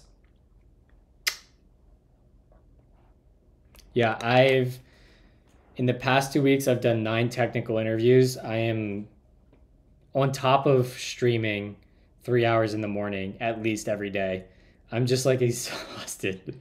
I love live streaming coding but like interviewing they're similar and I feel like live coding every morning on Twitch has definitely helped my interview skills. But man, when the pressure of actually like landing a job is there, it's so much more stressful.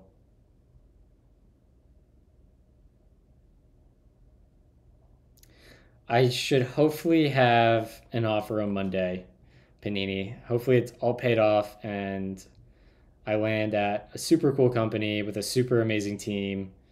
Um, yeah, I basically have a verbal offer. I'm just waiting for the email.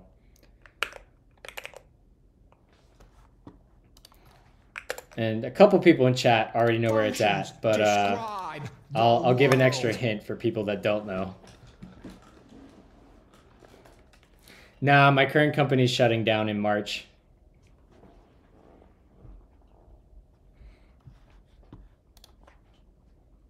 Triangle Company, it is. Very excited. The team I'll be on, uh, I got to meet the majority of the team I'm on, and they are incredible. I would be so excited to work with them. Netflix, by the way?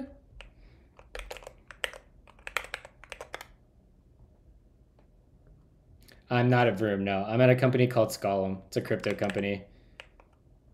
So we just added two more tests and we got 200 new assertions.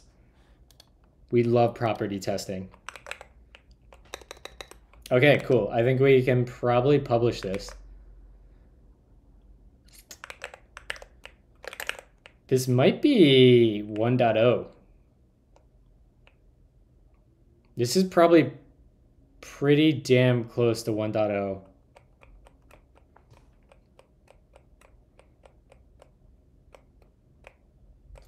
Are we missing anything for a 1.0 in this library? Functions describe the world. Thank you for the sub, Panini. Super appreciate you.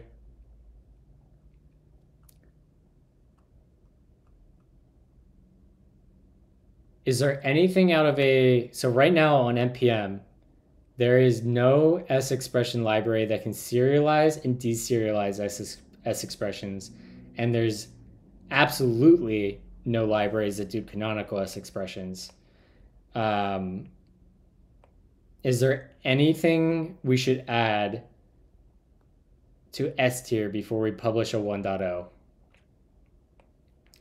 did you use OCaml at your last gig? Yep, that's exactly why I, I learned OCaml. So I've been a full stack dev for the past 10 years.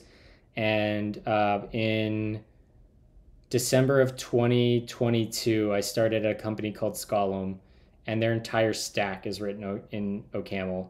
All their backend services are OCaml. They have an Excel plugin written in OCaml. They have some web apps in OCaml. Their main web app is in TypeScript, but um, yeah, so I got hired as a front end engineer to lead the front end team, and um, if I wanted to contribute in a full stack way, necessitated learning OCaml. Fell in love with OCaml and uh, the type system it offers, and the rest is kind of history.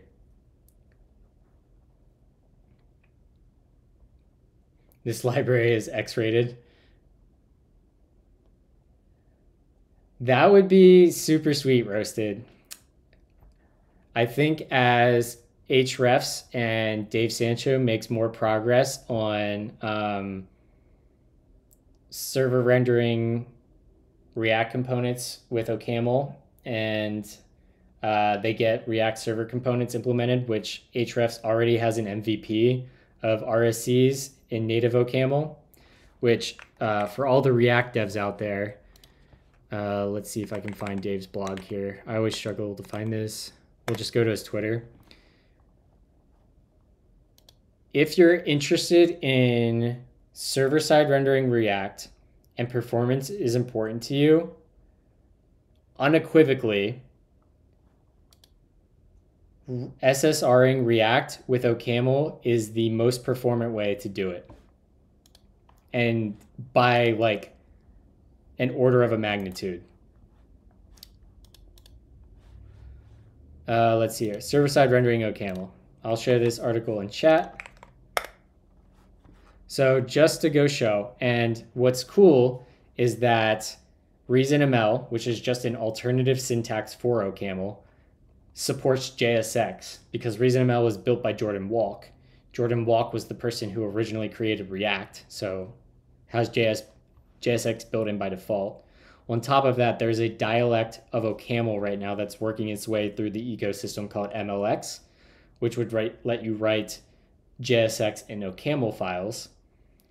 Um, and Ahrefs and Dave have implemented React server rendering, basically re-implemented all of React in native OCaml. So you have native compiled binaries that can run, you know, on the metal, not in JavaScript, and compile server rendered React.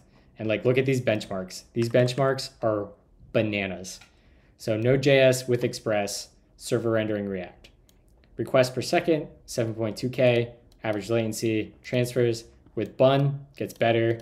And then with native OCaml, 64.8 thousand requests per second with a latency of 6.21 milliseconds, like 155 megabits per second. It's pretty bananas. no amount of OCaml written will cleanse his soul from the sin. Listen, I think I think React was a net positive. I'm still uncertain on the future. I think uh, actually um, Ryan from the Solid.js team yesterday did a live stream where he talked about the existential problems facing web dev and it was really really good. I I hope it the VOD's recorded. Um, I don't think the state of RSCs or the state of SvelteKit or Solid Start or any of those things are where we're going to be at in two years. Um, I think it's going to look different, but I think we're playing with ideas um, that are going to make their way into all of the frameworks. Um, I think step one of making RSCs more successful is standardizing the wire format to a version spec. That way, um, other languages can implement React server components. I think that's a huge blocker, and I've been harping on this for like a year now. Is that even if languages don't have JSX in them, it would be worthwhile to let other languages support the RC wire format because there are so many companies out there that don't have node infrastructure at all. And it's a non starter to introduce node infrastructure, which completely rules out uh, React Server components completely. Like at the moment, if you want to use RSCs, you basically either have to write OCaml or uh, introduce node infrastructure. And um, I just don't think that's a winning strategy. I think RSCs as a technology is amazingly cool. Like honestly, one of the coolest things to come out in the past decade, but I don't think I don't think where it's at right now is going to be um, enough to be like a catalyst for mainstream adoption. Yeah. As uh, Nihil said, like Ryan streamed yesterday, if you're a web dev, even if you're not a web dev, um, and you're just a backend engineer, I shouldn't say just, if you're a backend engineer, don't have a ton of front end experience, I think uh, if you listen to his VOD yesterday, Ryan Carniato, it will give you a lot of empathy for what the front end world is going through right now it'll give you a lot of context and um, it might paint a picture that front end is actually kind of way more complicated than it first comes off. Yeah, super interesting stuff happening. I don't think we're there, but uh, it's going to be interesting to see where we evolve. But long story short, the best way to server side render React right now is with OCaml unequivocally. I do not know what Hyperfiddle Electric is.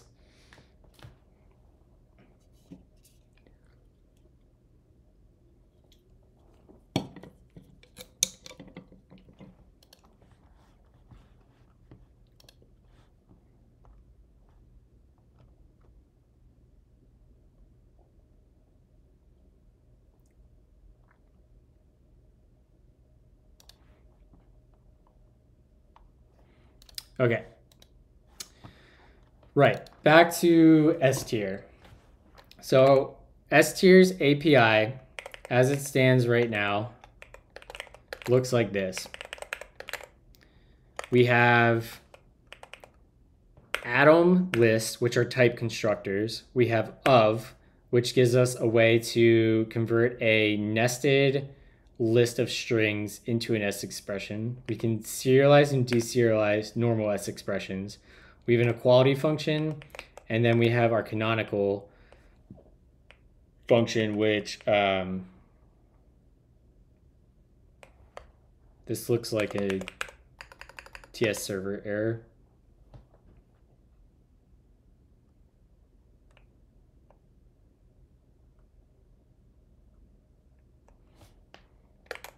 Right, we got rid of that. And then this is going to be delete 2s, that. Okay, so we fixed that. Great. Is there anything else we need to do for a 1.0 here?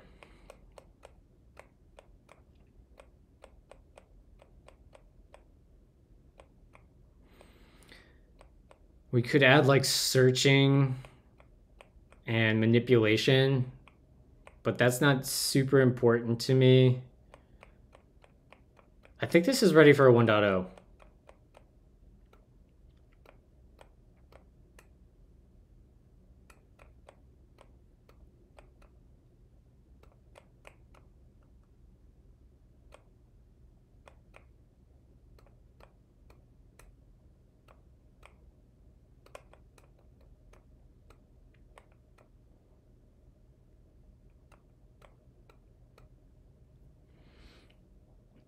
Front end dev is complicated, but why use front end languages and frameworks for back end stuff? Um, I don't necessarily think that's what I'm advocating for. Well, maybe it is. Maybe it is not just not Node.js, right? I don't think. I don't. I would not in today's uh, world advocate straight up for running services in Node unless you absolutely had to be using RSCs. Um, I think you're going to get way better performance characteristics from running servers in um, really any other language Go, OCaml, Rust, Java. Um, I would love to see WASM mature and get like really cheap um, serialization between the DOM and WASM itself. I think that could be a compelling story and really like create the catalyst for the next step in web dev. Um, yeah, I just wish JavaScript isn't where we landed for what's in the browser.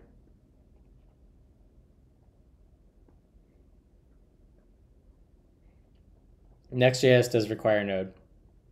Although we could write, we could write um, OCaml bindings to Next.js on the server side, and uh, you know, I don't know, I don't know, just saying.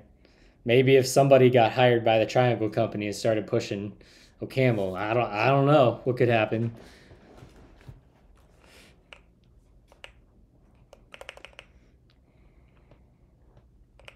I think uh, the stuff that Leandro is working on and um, some of the rest of the community, I think people have good ideas to make OCaml compelling. LOL, I just figured out Triangle Company.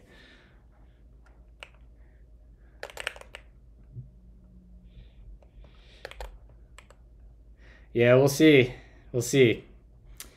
Like I said, I, I essentially have a verbal offer, um, but my anxiety is not going to uh, come down until there's an offer signed and it's official. It's all but official, but you know, I I've been in positions before, namely with GitHub, um, where I had verbal offers before and then it fell flat at the very last second. So, yep, exactly, time panini. So, we'll see what happens. I'm feeling pretty positive, but I'm also very anxious about it.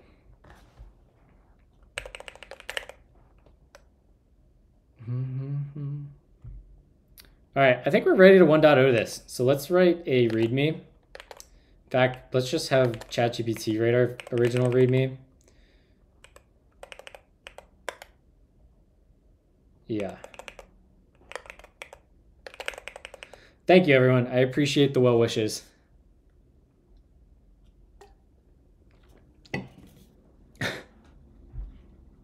Thank you, Nihil.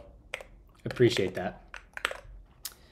So we're going to come over here and you're going to write a README for an open source project. Here, I will uh, shut up and just let you guys have uh, a little bit of keyboard ASMR.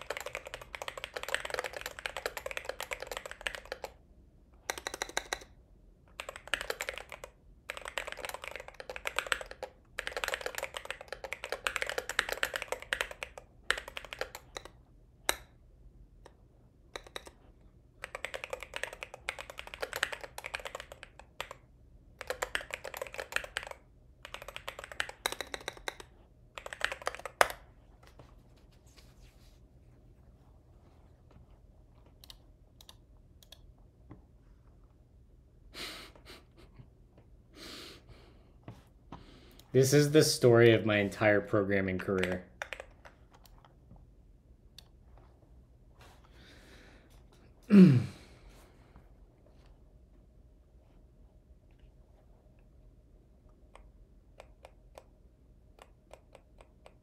Literally, this is me in a nutshell. The fact that I've been hired at all and been able to do this professional is just unbelievable. All right. So the first example I want to give is create melange app. So let's go grab the README, go grab the raw, and here is the first. And then we're gonna go grab riots.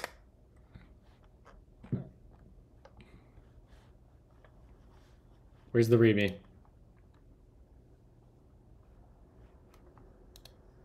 Yo, Bryce Vine is so good, y'all.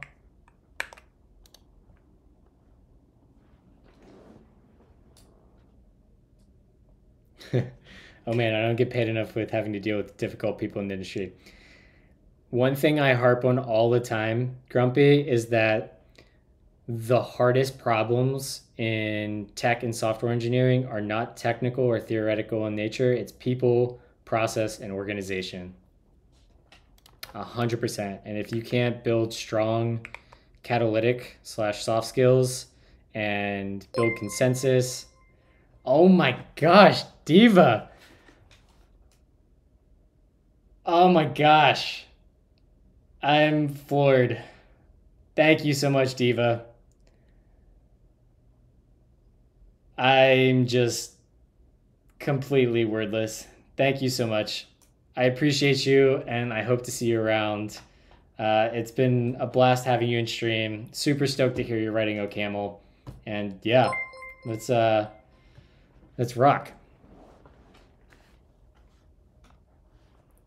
Oh my gosh, Panini. Y'all are ridiculous. Thank you so much.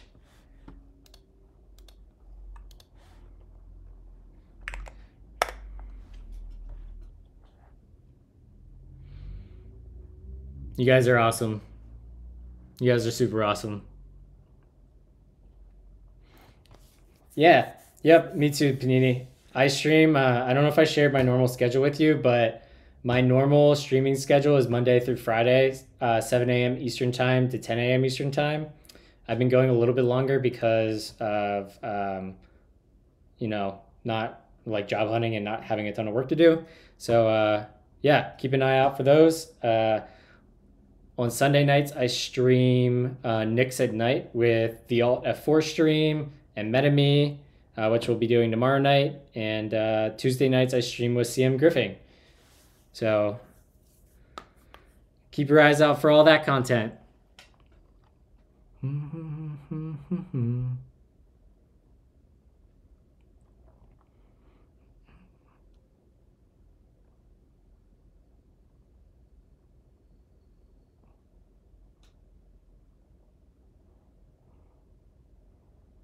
Mm-hmm. Look at this. This is going to be a decent readme.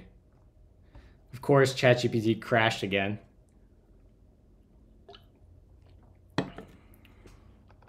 Sweet. So let's yoink this.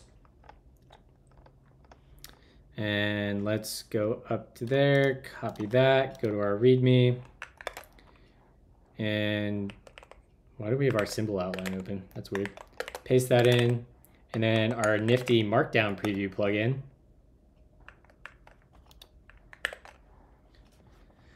The Premiere. Nah, nah, nah. It's going to be the S tier library. The S tier NPM library for S expression, serialization, and deserialization. Oh, what just happened? How did we get here? I'm lost.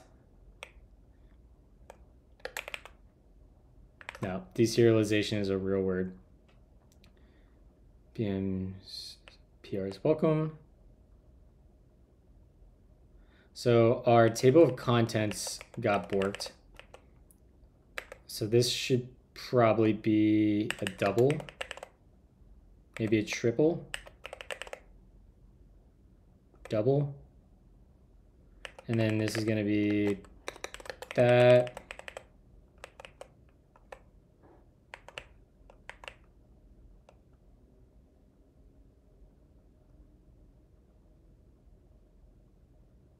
Give you the TLDR?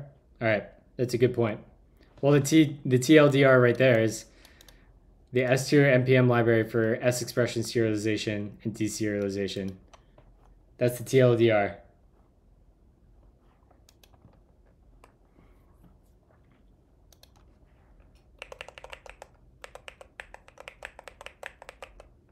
I don't need acknowledgements. Don't really care about those. Usage examples, sure. S tier is a cutting edge library. We don't need cutting edge, that's fluff. Ecosystem for efficient and extensive serialization and deserialization S expressions. It's unique in offering both standard and canonical S expression deserialization, making it an indispensable tool for developers working with these formats. Great.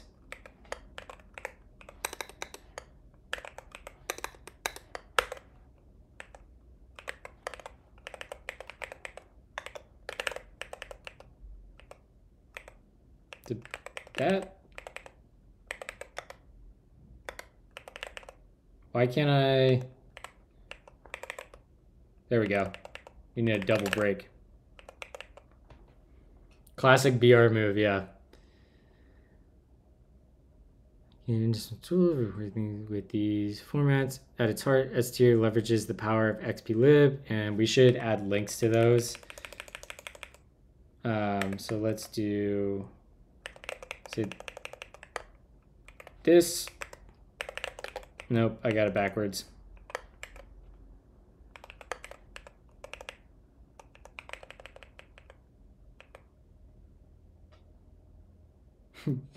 Petition to rename BR to bruh. Yes.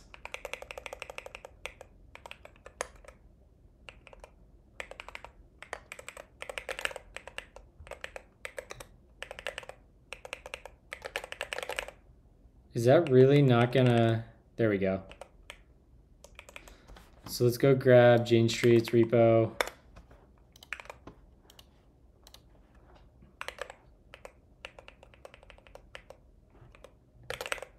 And then this is gonna yanks around in square brackets. Nix that, nix that. And let's go grab CS.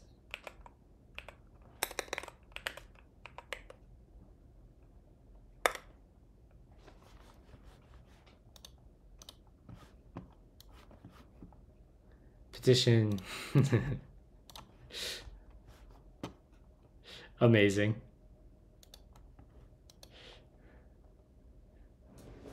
Bro, why are you using this in 2024?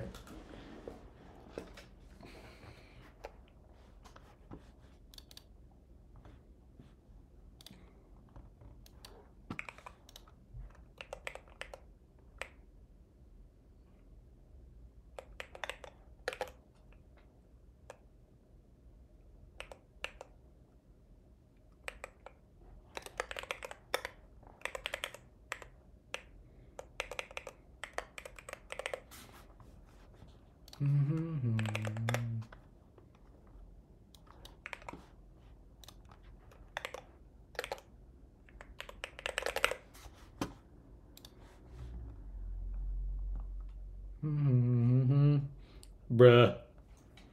Bruh. So, yep, okay.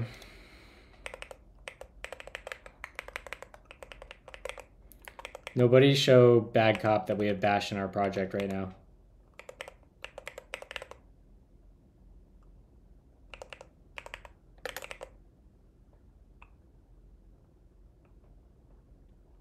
That that's not even important. That's a worthless section. People will know how to install npm dependencies.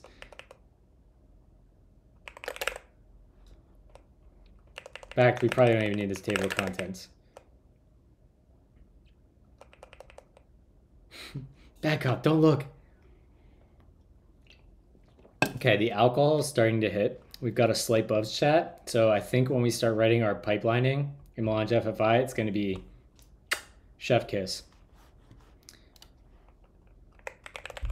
Going to be brought to you by Ballmer's Peak. Oh, yeah. Folks don't know about Ballmer's Peak. The classic.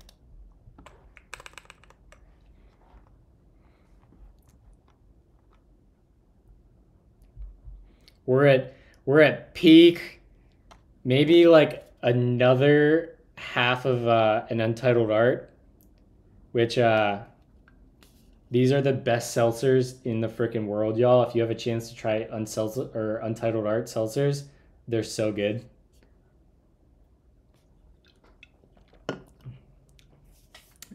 Never trash puppy. I would never be tipsy on stream. That's just so incredibly inappropriate for a family friendly stream. That's why we don't say um, VS bleep here. Very family friendly.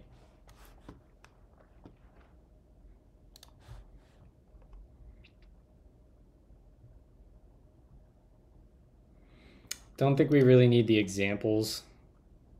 Uh, maybe we could give good examples. Extensive serialization and deserialization handle complex procedures, canonicals offering this feature. Let's make this a bulleted list.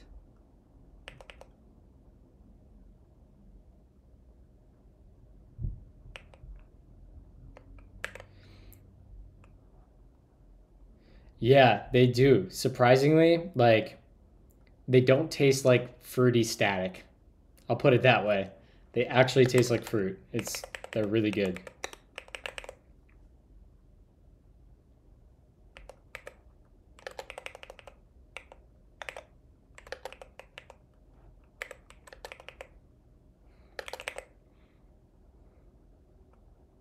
Okay, so here Let's get in this.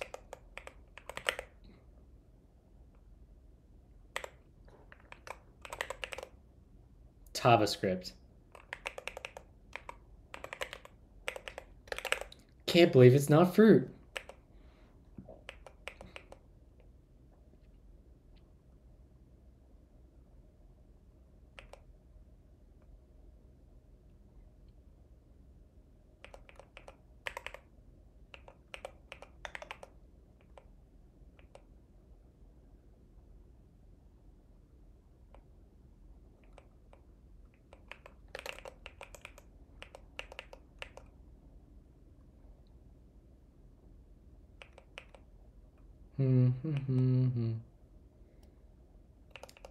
That's not the right API.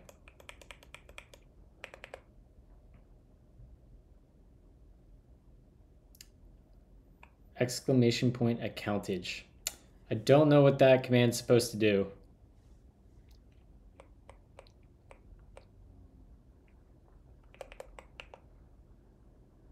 So let's actually use our real world example. So let's start with deserialization. And we'll say, um,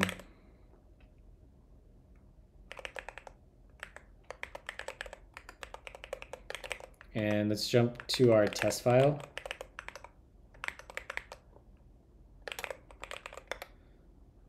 Which is going to be, um,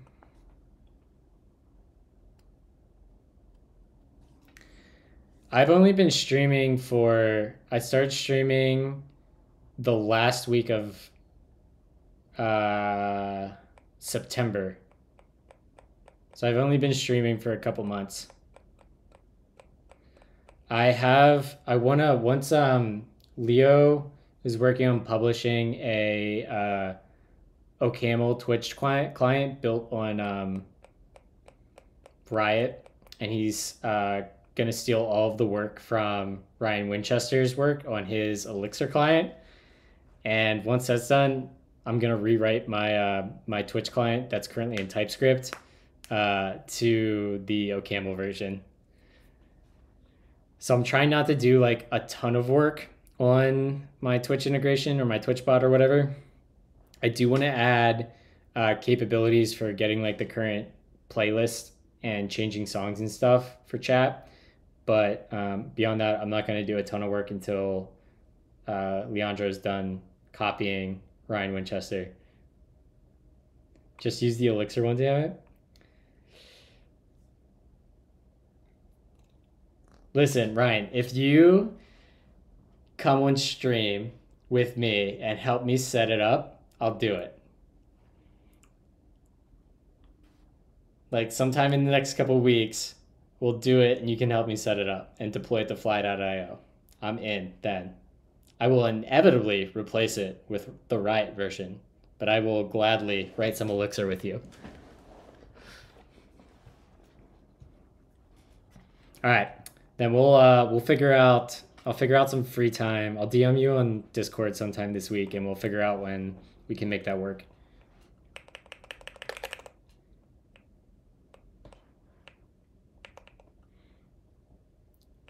Uh, where is my canonical here? We want to grab um, this guy right here.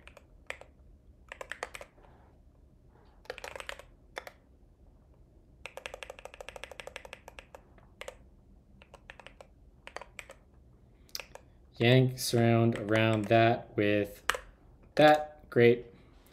How's that look in... Did we lose our markdown? We did. Markdown preview. Good. Great.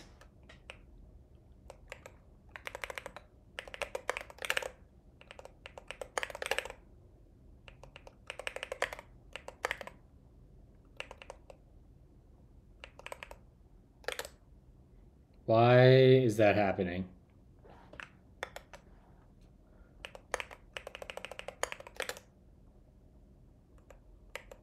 One, two. No, stop.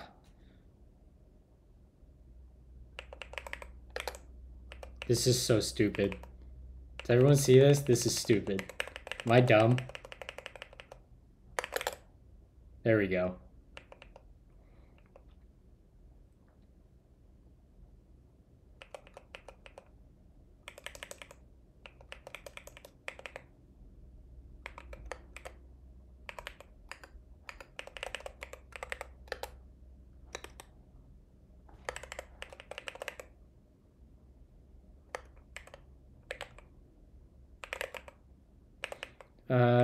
It's gonna be method name. Functions describe the Thank you for the world. follow, Wezen. Super appreciate you.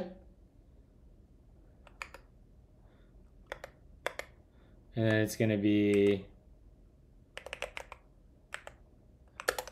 um, initialize Dune version will be 3.13 and then we have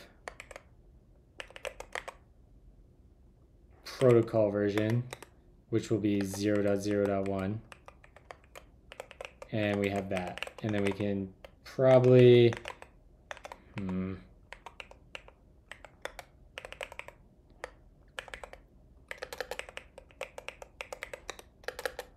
there we go. Star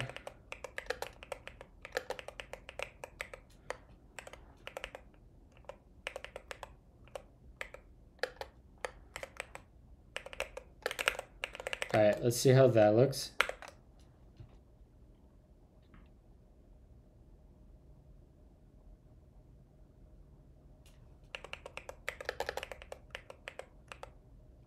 There we go.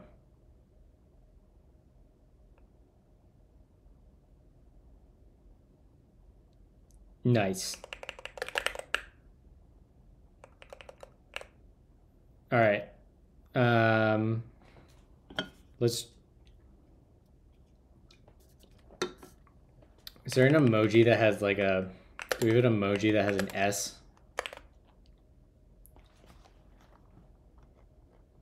Or a parenthesis?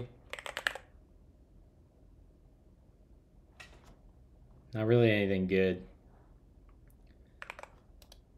All right, so let's um, go in here and we're gonna say generate a logo in the same spirit as the as the attached uh, logo uh, for a S expression parsing library in JavaScript, TypeScript,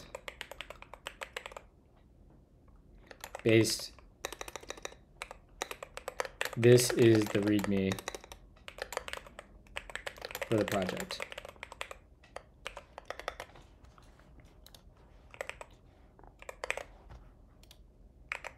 And then let's go attach Riot's logo, maybe? Or Minttea's.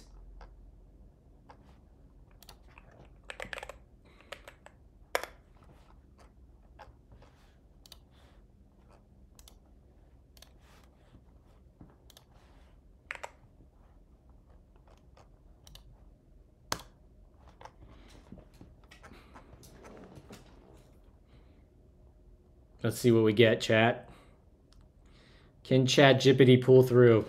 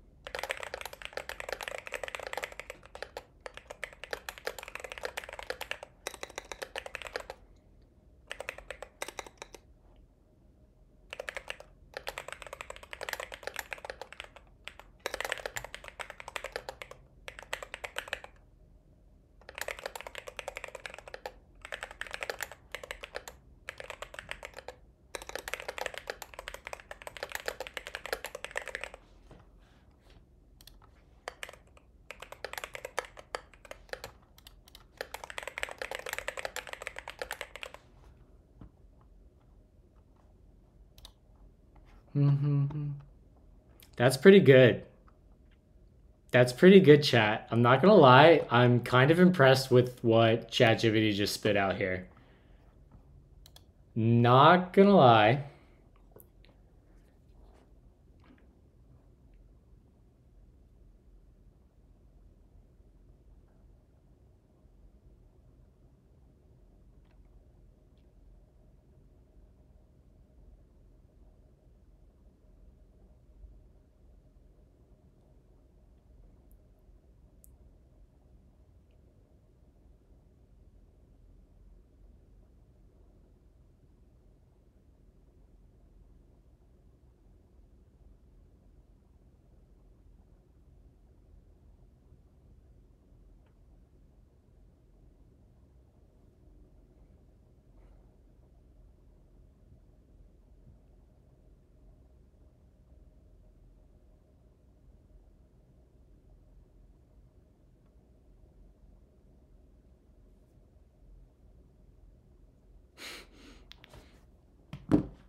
All right. Um, cool. Let's get some more parentheses. I don't even know how to spell parentheses. I got it. Since it's parsing S expressions.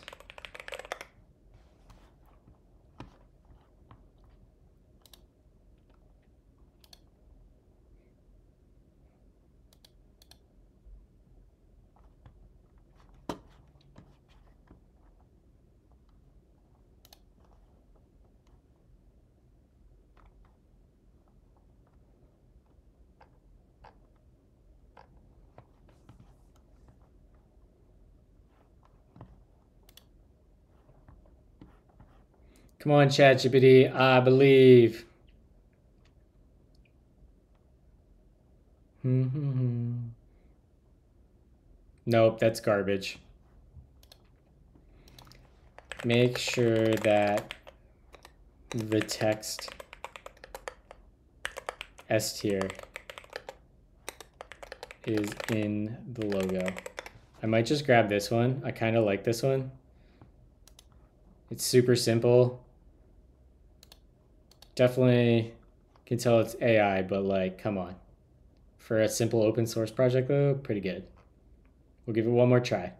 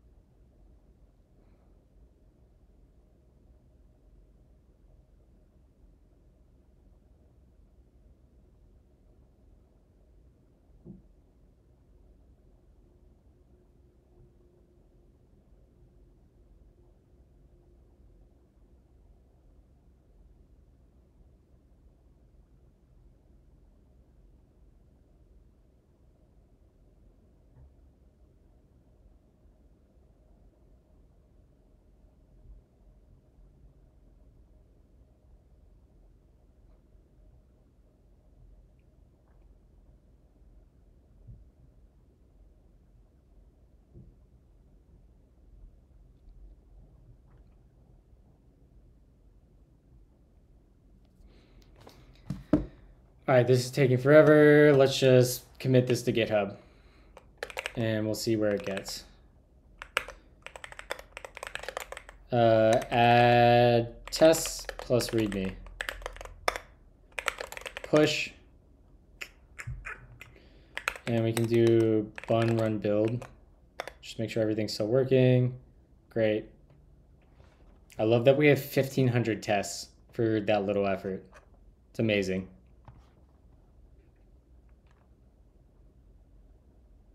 Oh my god, ChatGPT.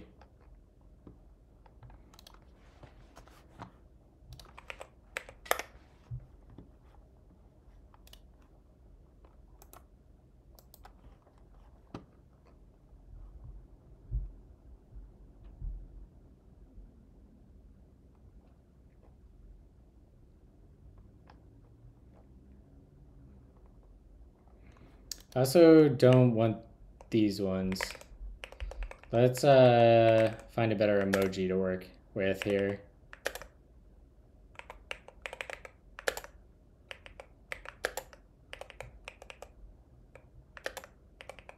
Okay, I can't open my emoji keyboard over there.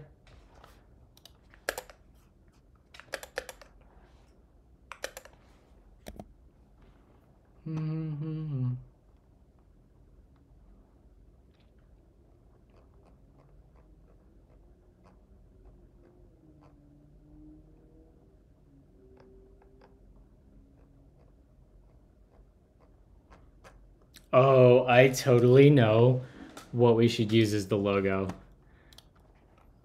Uh, S drawing from middle school in the 90s.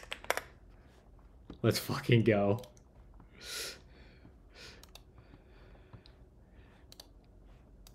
This has to be in it. It has to be in it.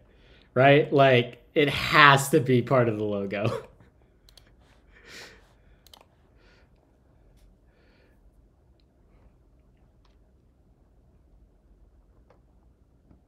God, of course, ChatGPT can't get its shit together.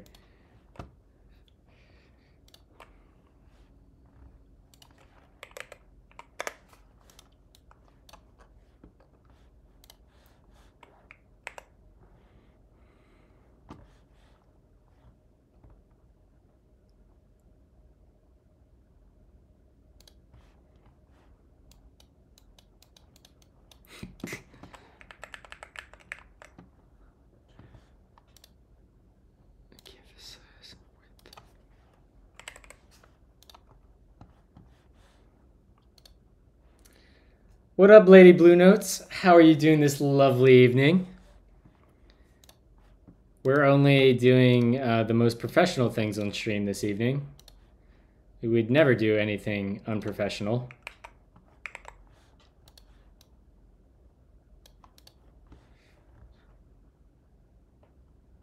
I uh, I have a Elgato face cam. It's like a hundred bucks. I'm not hammered, trash puppy. First of all, I might have drank a little bit, but I'm definitely not hammered. Sarah told me I had to come here to see your camera quality because it's so crisp. Here we are. Welcome to stream. We're working on publishing version 1.0 of S tier, which is a library that Functions uh, is a combination of. OCaml and JavaScript and TypeScript for uh, serialization and deserialization of S expressions and canonical S expressions, with the underlying premise to help us write a Vite plugin to compile OCaml to JavaScript and talk to Dune, which Dune is OCaml's build tool, which when it's in watch mode spins up an RPC server that communicates over sockets via S expressions. Turns out there's no good S expression libraries in the NPM ecosystem. So uh, we did it ourselves. Yeah, we're working on making the logo. And I just had this great idea of using the S that we all drew in like elementary and middle school in the 90s uh, or early 2000s. Or maybe like, I don't know if you guys are Zoomers. I don't know if you, if the Zoomers had the cool S, you know, but us millennials or elder millennials had a, had this still being used. Sick. I have the Elgato Facecam, but I didn't like it. I have the Elgato Facecam, and then I have two of the Elgato. Um, I forget what the name of the lights are, but I have one light here and one light to my right, and um, yeah, it seems to work pretty well. And Chat GPT is just dying on me right now.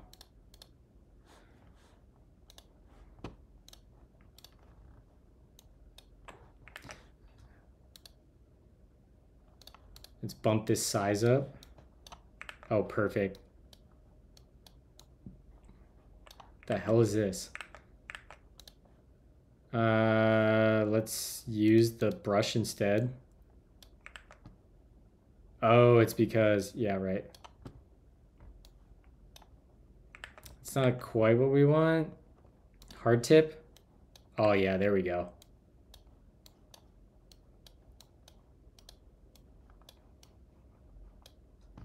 Beautiful.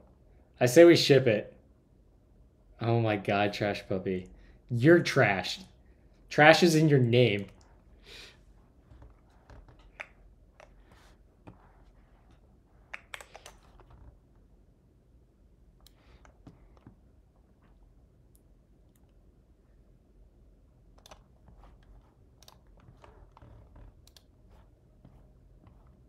Tell me this isn't beautiful.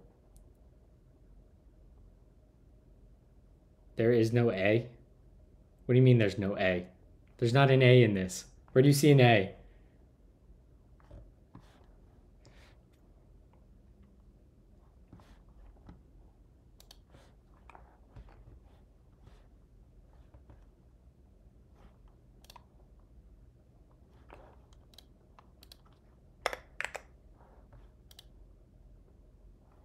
Oh, come on. Oh, because it's in a freaking image tag.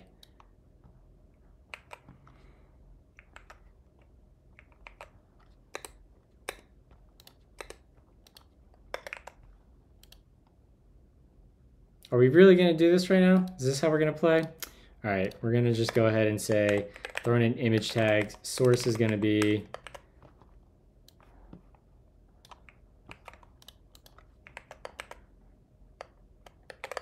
and we'll give it an alt tag. The best or the most S tier logo of all time. Oh, frick. Frack. We need a break. We need some break tags in here. Some bruh tags.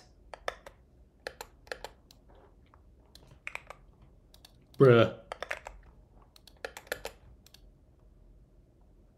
Wait, that is not the image I just screenshot.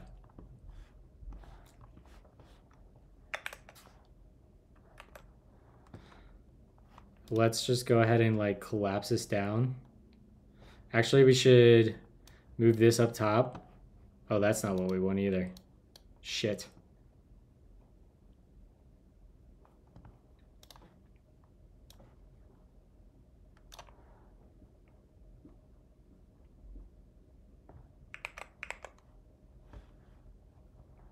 Nope, that's not what we want. I just want to move this over. Why can't I grab it? Do that, and then this layer, this layer. How do I unlock?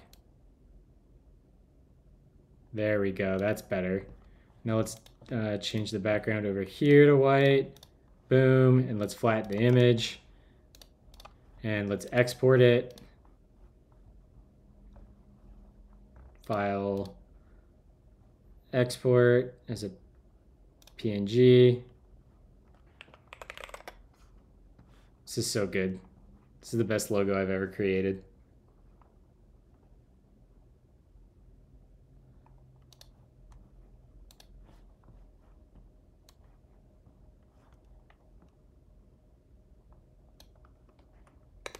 So let's go to Explorer, Downloads, S tier, and then we're gonna copy. Dude, it's, it's the best logo of all time.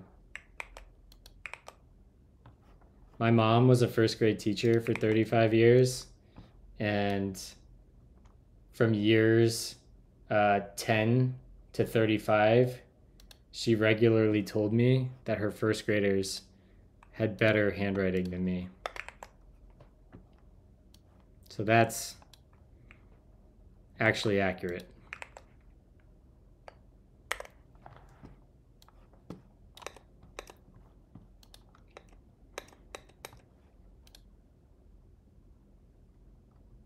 It's good.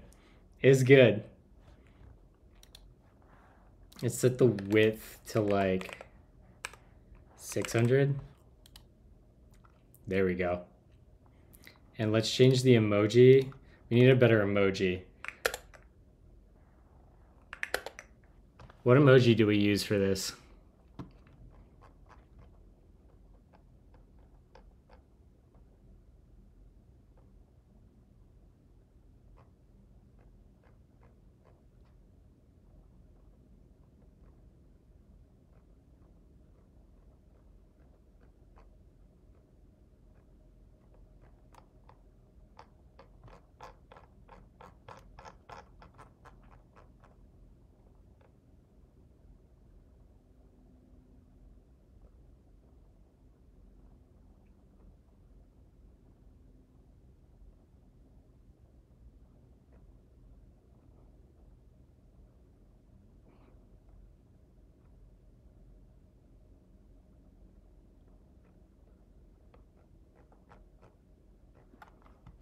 Maybe we don't need, let's just, uh, yeah, let's not even like have that. Let's just get rid of this and then we'll just uh, make this a div and we'll center it.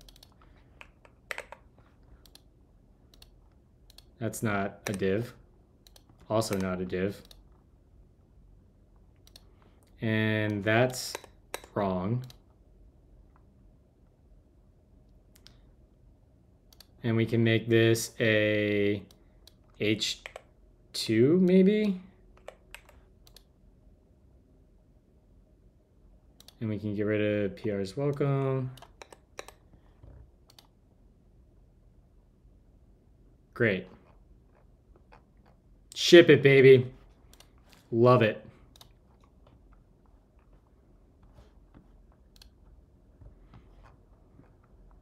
It's so good.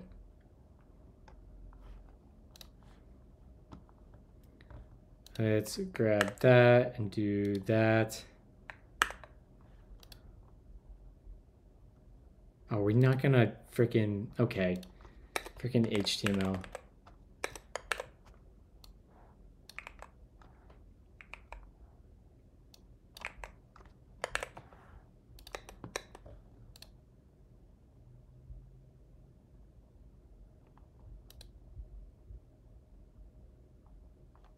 That's not what I would have expected. Whatever. We don't need that.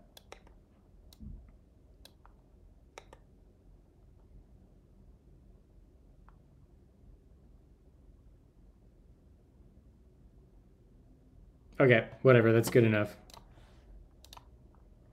Let's pull our changes. And then let's publish. Um, npm, let's build a new binary, npm for bun run build. And we'll say bun run publish. No, we're not publishing a patch. We're going 1.0 let's go to our package JSON. Let's just make sure I didn't fuck anything up here. Help. I don't know what I did. All right, nothing's different, great.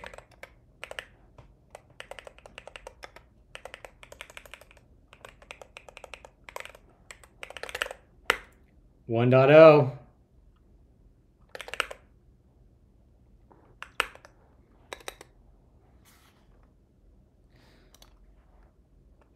do one more bundle. And let's just go ahead and run our test to make sure. No failures. 1500 assertions. What is our difference here? This is probably our package JSON. Yep. So let's commit that.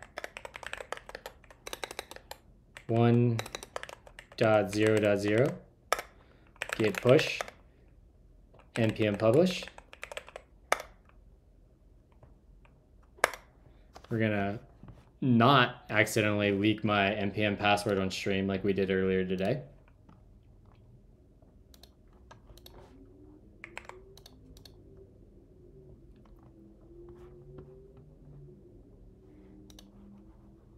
Boom. 1.0 of S tier is published.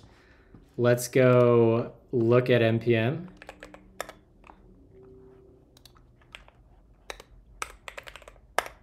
Damn it. 1.0. it's so good. The logo is so good. Uh this is my favorite thing I've ever written, ever. All right, let's go uh, tweet it out. Announcing S tier 1.0.0. The, let's just grab shit from the README.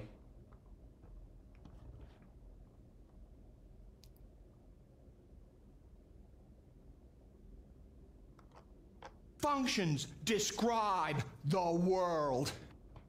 This is this is what you get when you come here, Nihil. This is this is the vibes of this stream. How long have I been here? Nightshade dude, you've been here since the beginning of time. You are a constant in the universe of Tech Twitch.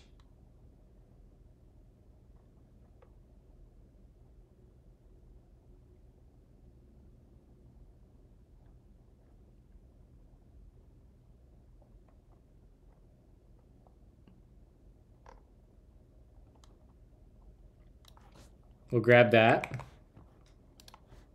And then we'll uh, go ahead and say boom. And then we'll grab the features. S tier offers extensive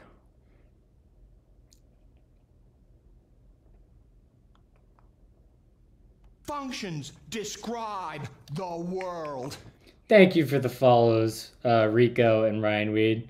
You need help? Oh boy. What's wrong? Ryan Weed? I also uh, need help, like lots of it, but uh, here we are. Okay, that's too long. Announcing the S tier uh, npm slash TypeScript.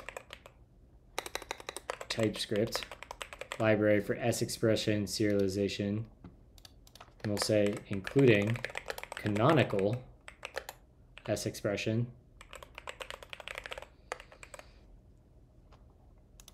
canonical S expressions for S expression serialization serialization. Check it out here. And then let's grab a link to the repo.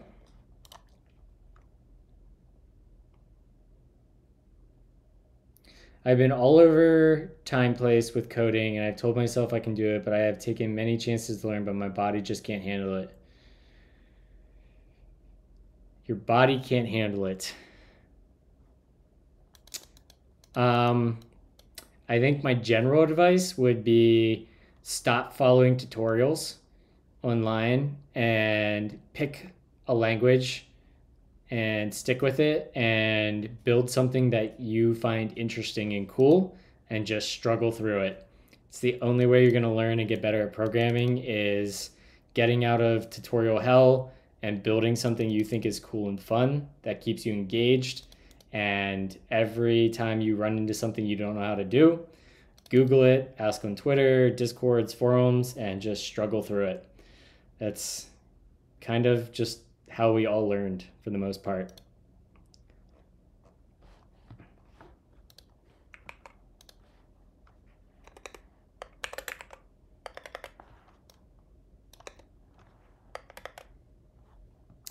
And let's grab our beautiful logo. No, it's nothing to with that. I'm just done. I mean, if you're done, there's not really uh, anything any of us can help with. If you're throwing in the towel, you're throwing in the towel, right?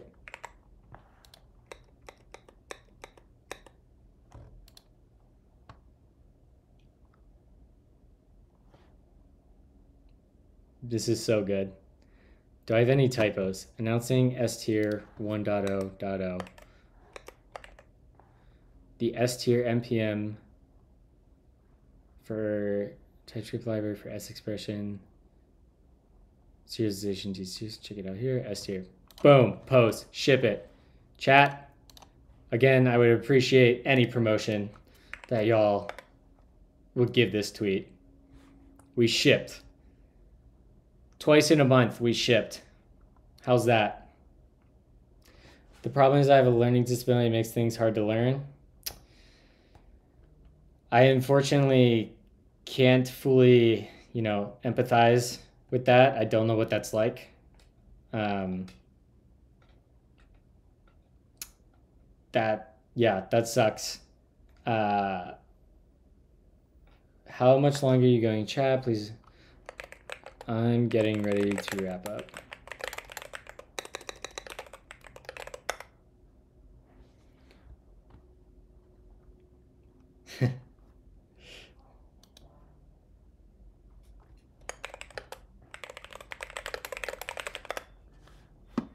um, yeah, Ryan, just, I, I obviously, I, I can't, I I can't understand what it's like to have a, uh, a learning disability, but you know, I think the advice kind of still stands is just if you're interested in programming, just keep your head down and keep trying. And even if you're at a larger disadvantage than most people, um, you've got this far in life and you've learned diff- difficult things. And, uh, you know, I think with time, you could probably become a pretty good programmer too. Uh, but with that chat, we got a frac ton done today. We got a bunch of work done on Melange FFI. We shipped S tier 1.0. We got tons of testing done for S tier.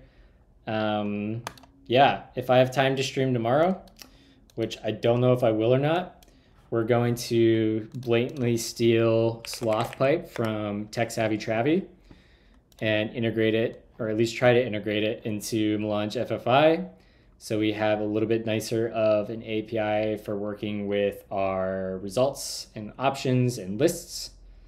Um, so look forward to that. If it doesn't happen tomorrow, um, I probably won't work on Melange FFI on Monday. Monday, we're going to start planning the Create Melange app rewrite to native OCaml and Minttea. But sometime later in the week, we will work on that. I appreciate all the uh, I appreciate all the new follows and everyone that hung out today. We've been streaming for like eight hours and 45 minutes. I'm pretty exhausted at this point. Um, but yeah, made a ton of progress. It's been a lot of fun. And uh, let's find somebody to raid. So Chris is the only person on, and I'm gathering that he's getting ready to raid somebody else. So let's find another person in the category to raid. Just Codes. All right, let's find Just Codes. Twitch TV slash Jess underscore codes. Oh, that's a typo. Hell yeah. Let's raid Jess codes. Let's go show Jess some OCaml love, y'all. And uh, yeah, let's go raid Jess. We'll be back either tomorrow or um, Monday morning, 7 a.m. Eastern Time. Thank you again, everyone. Super appreciate all of you. Y'all are the best.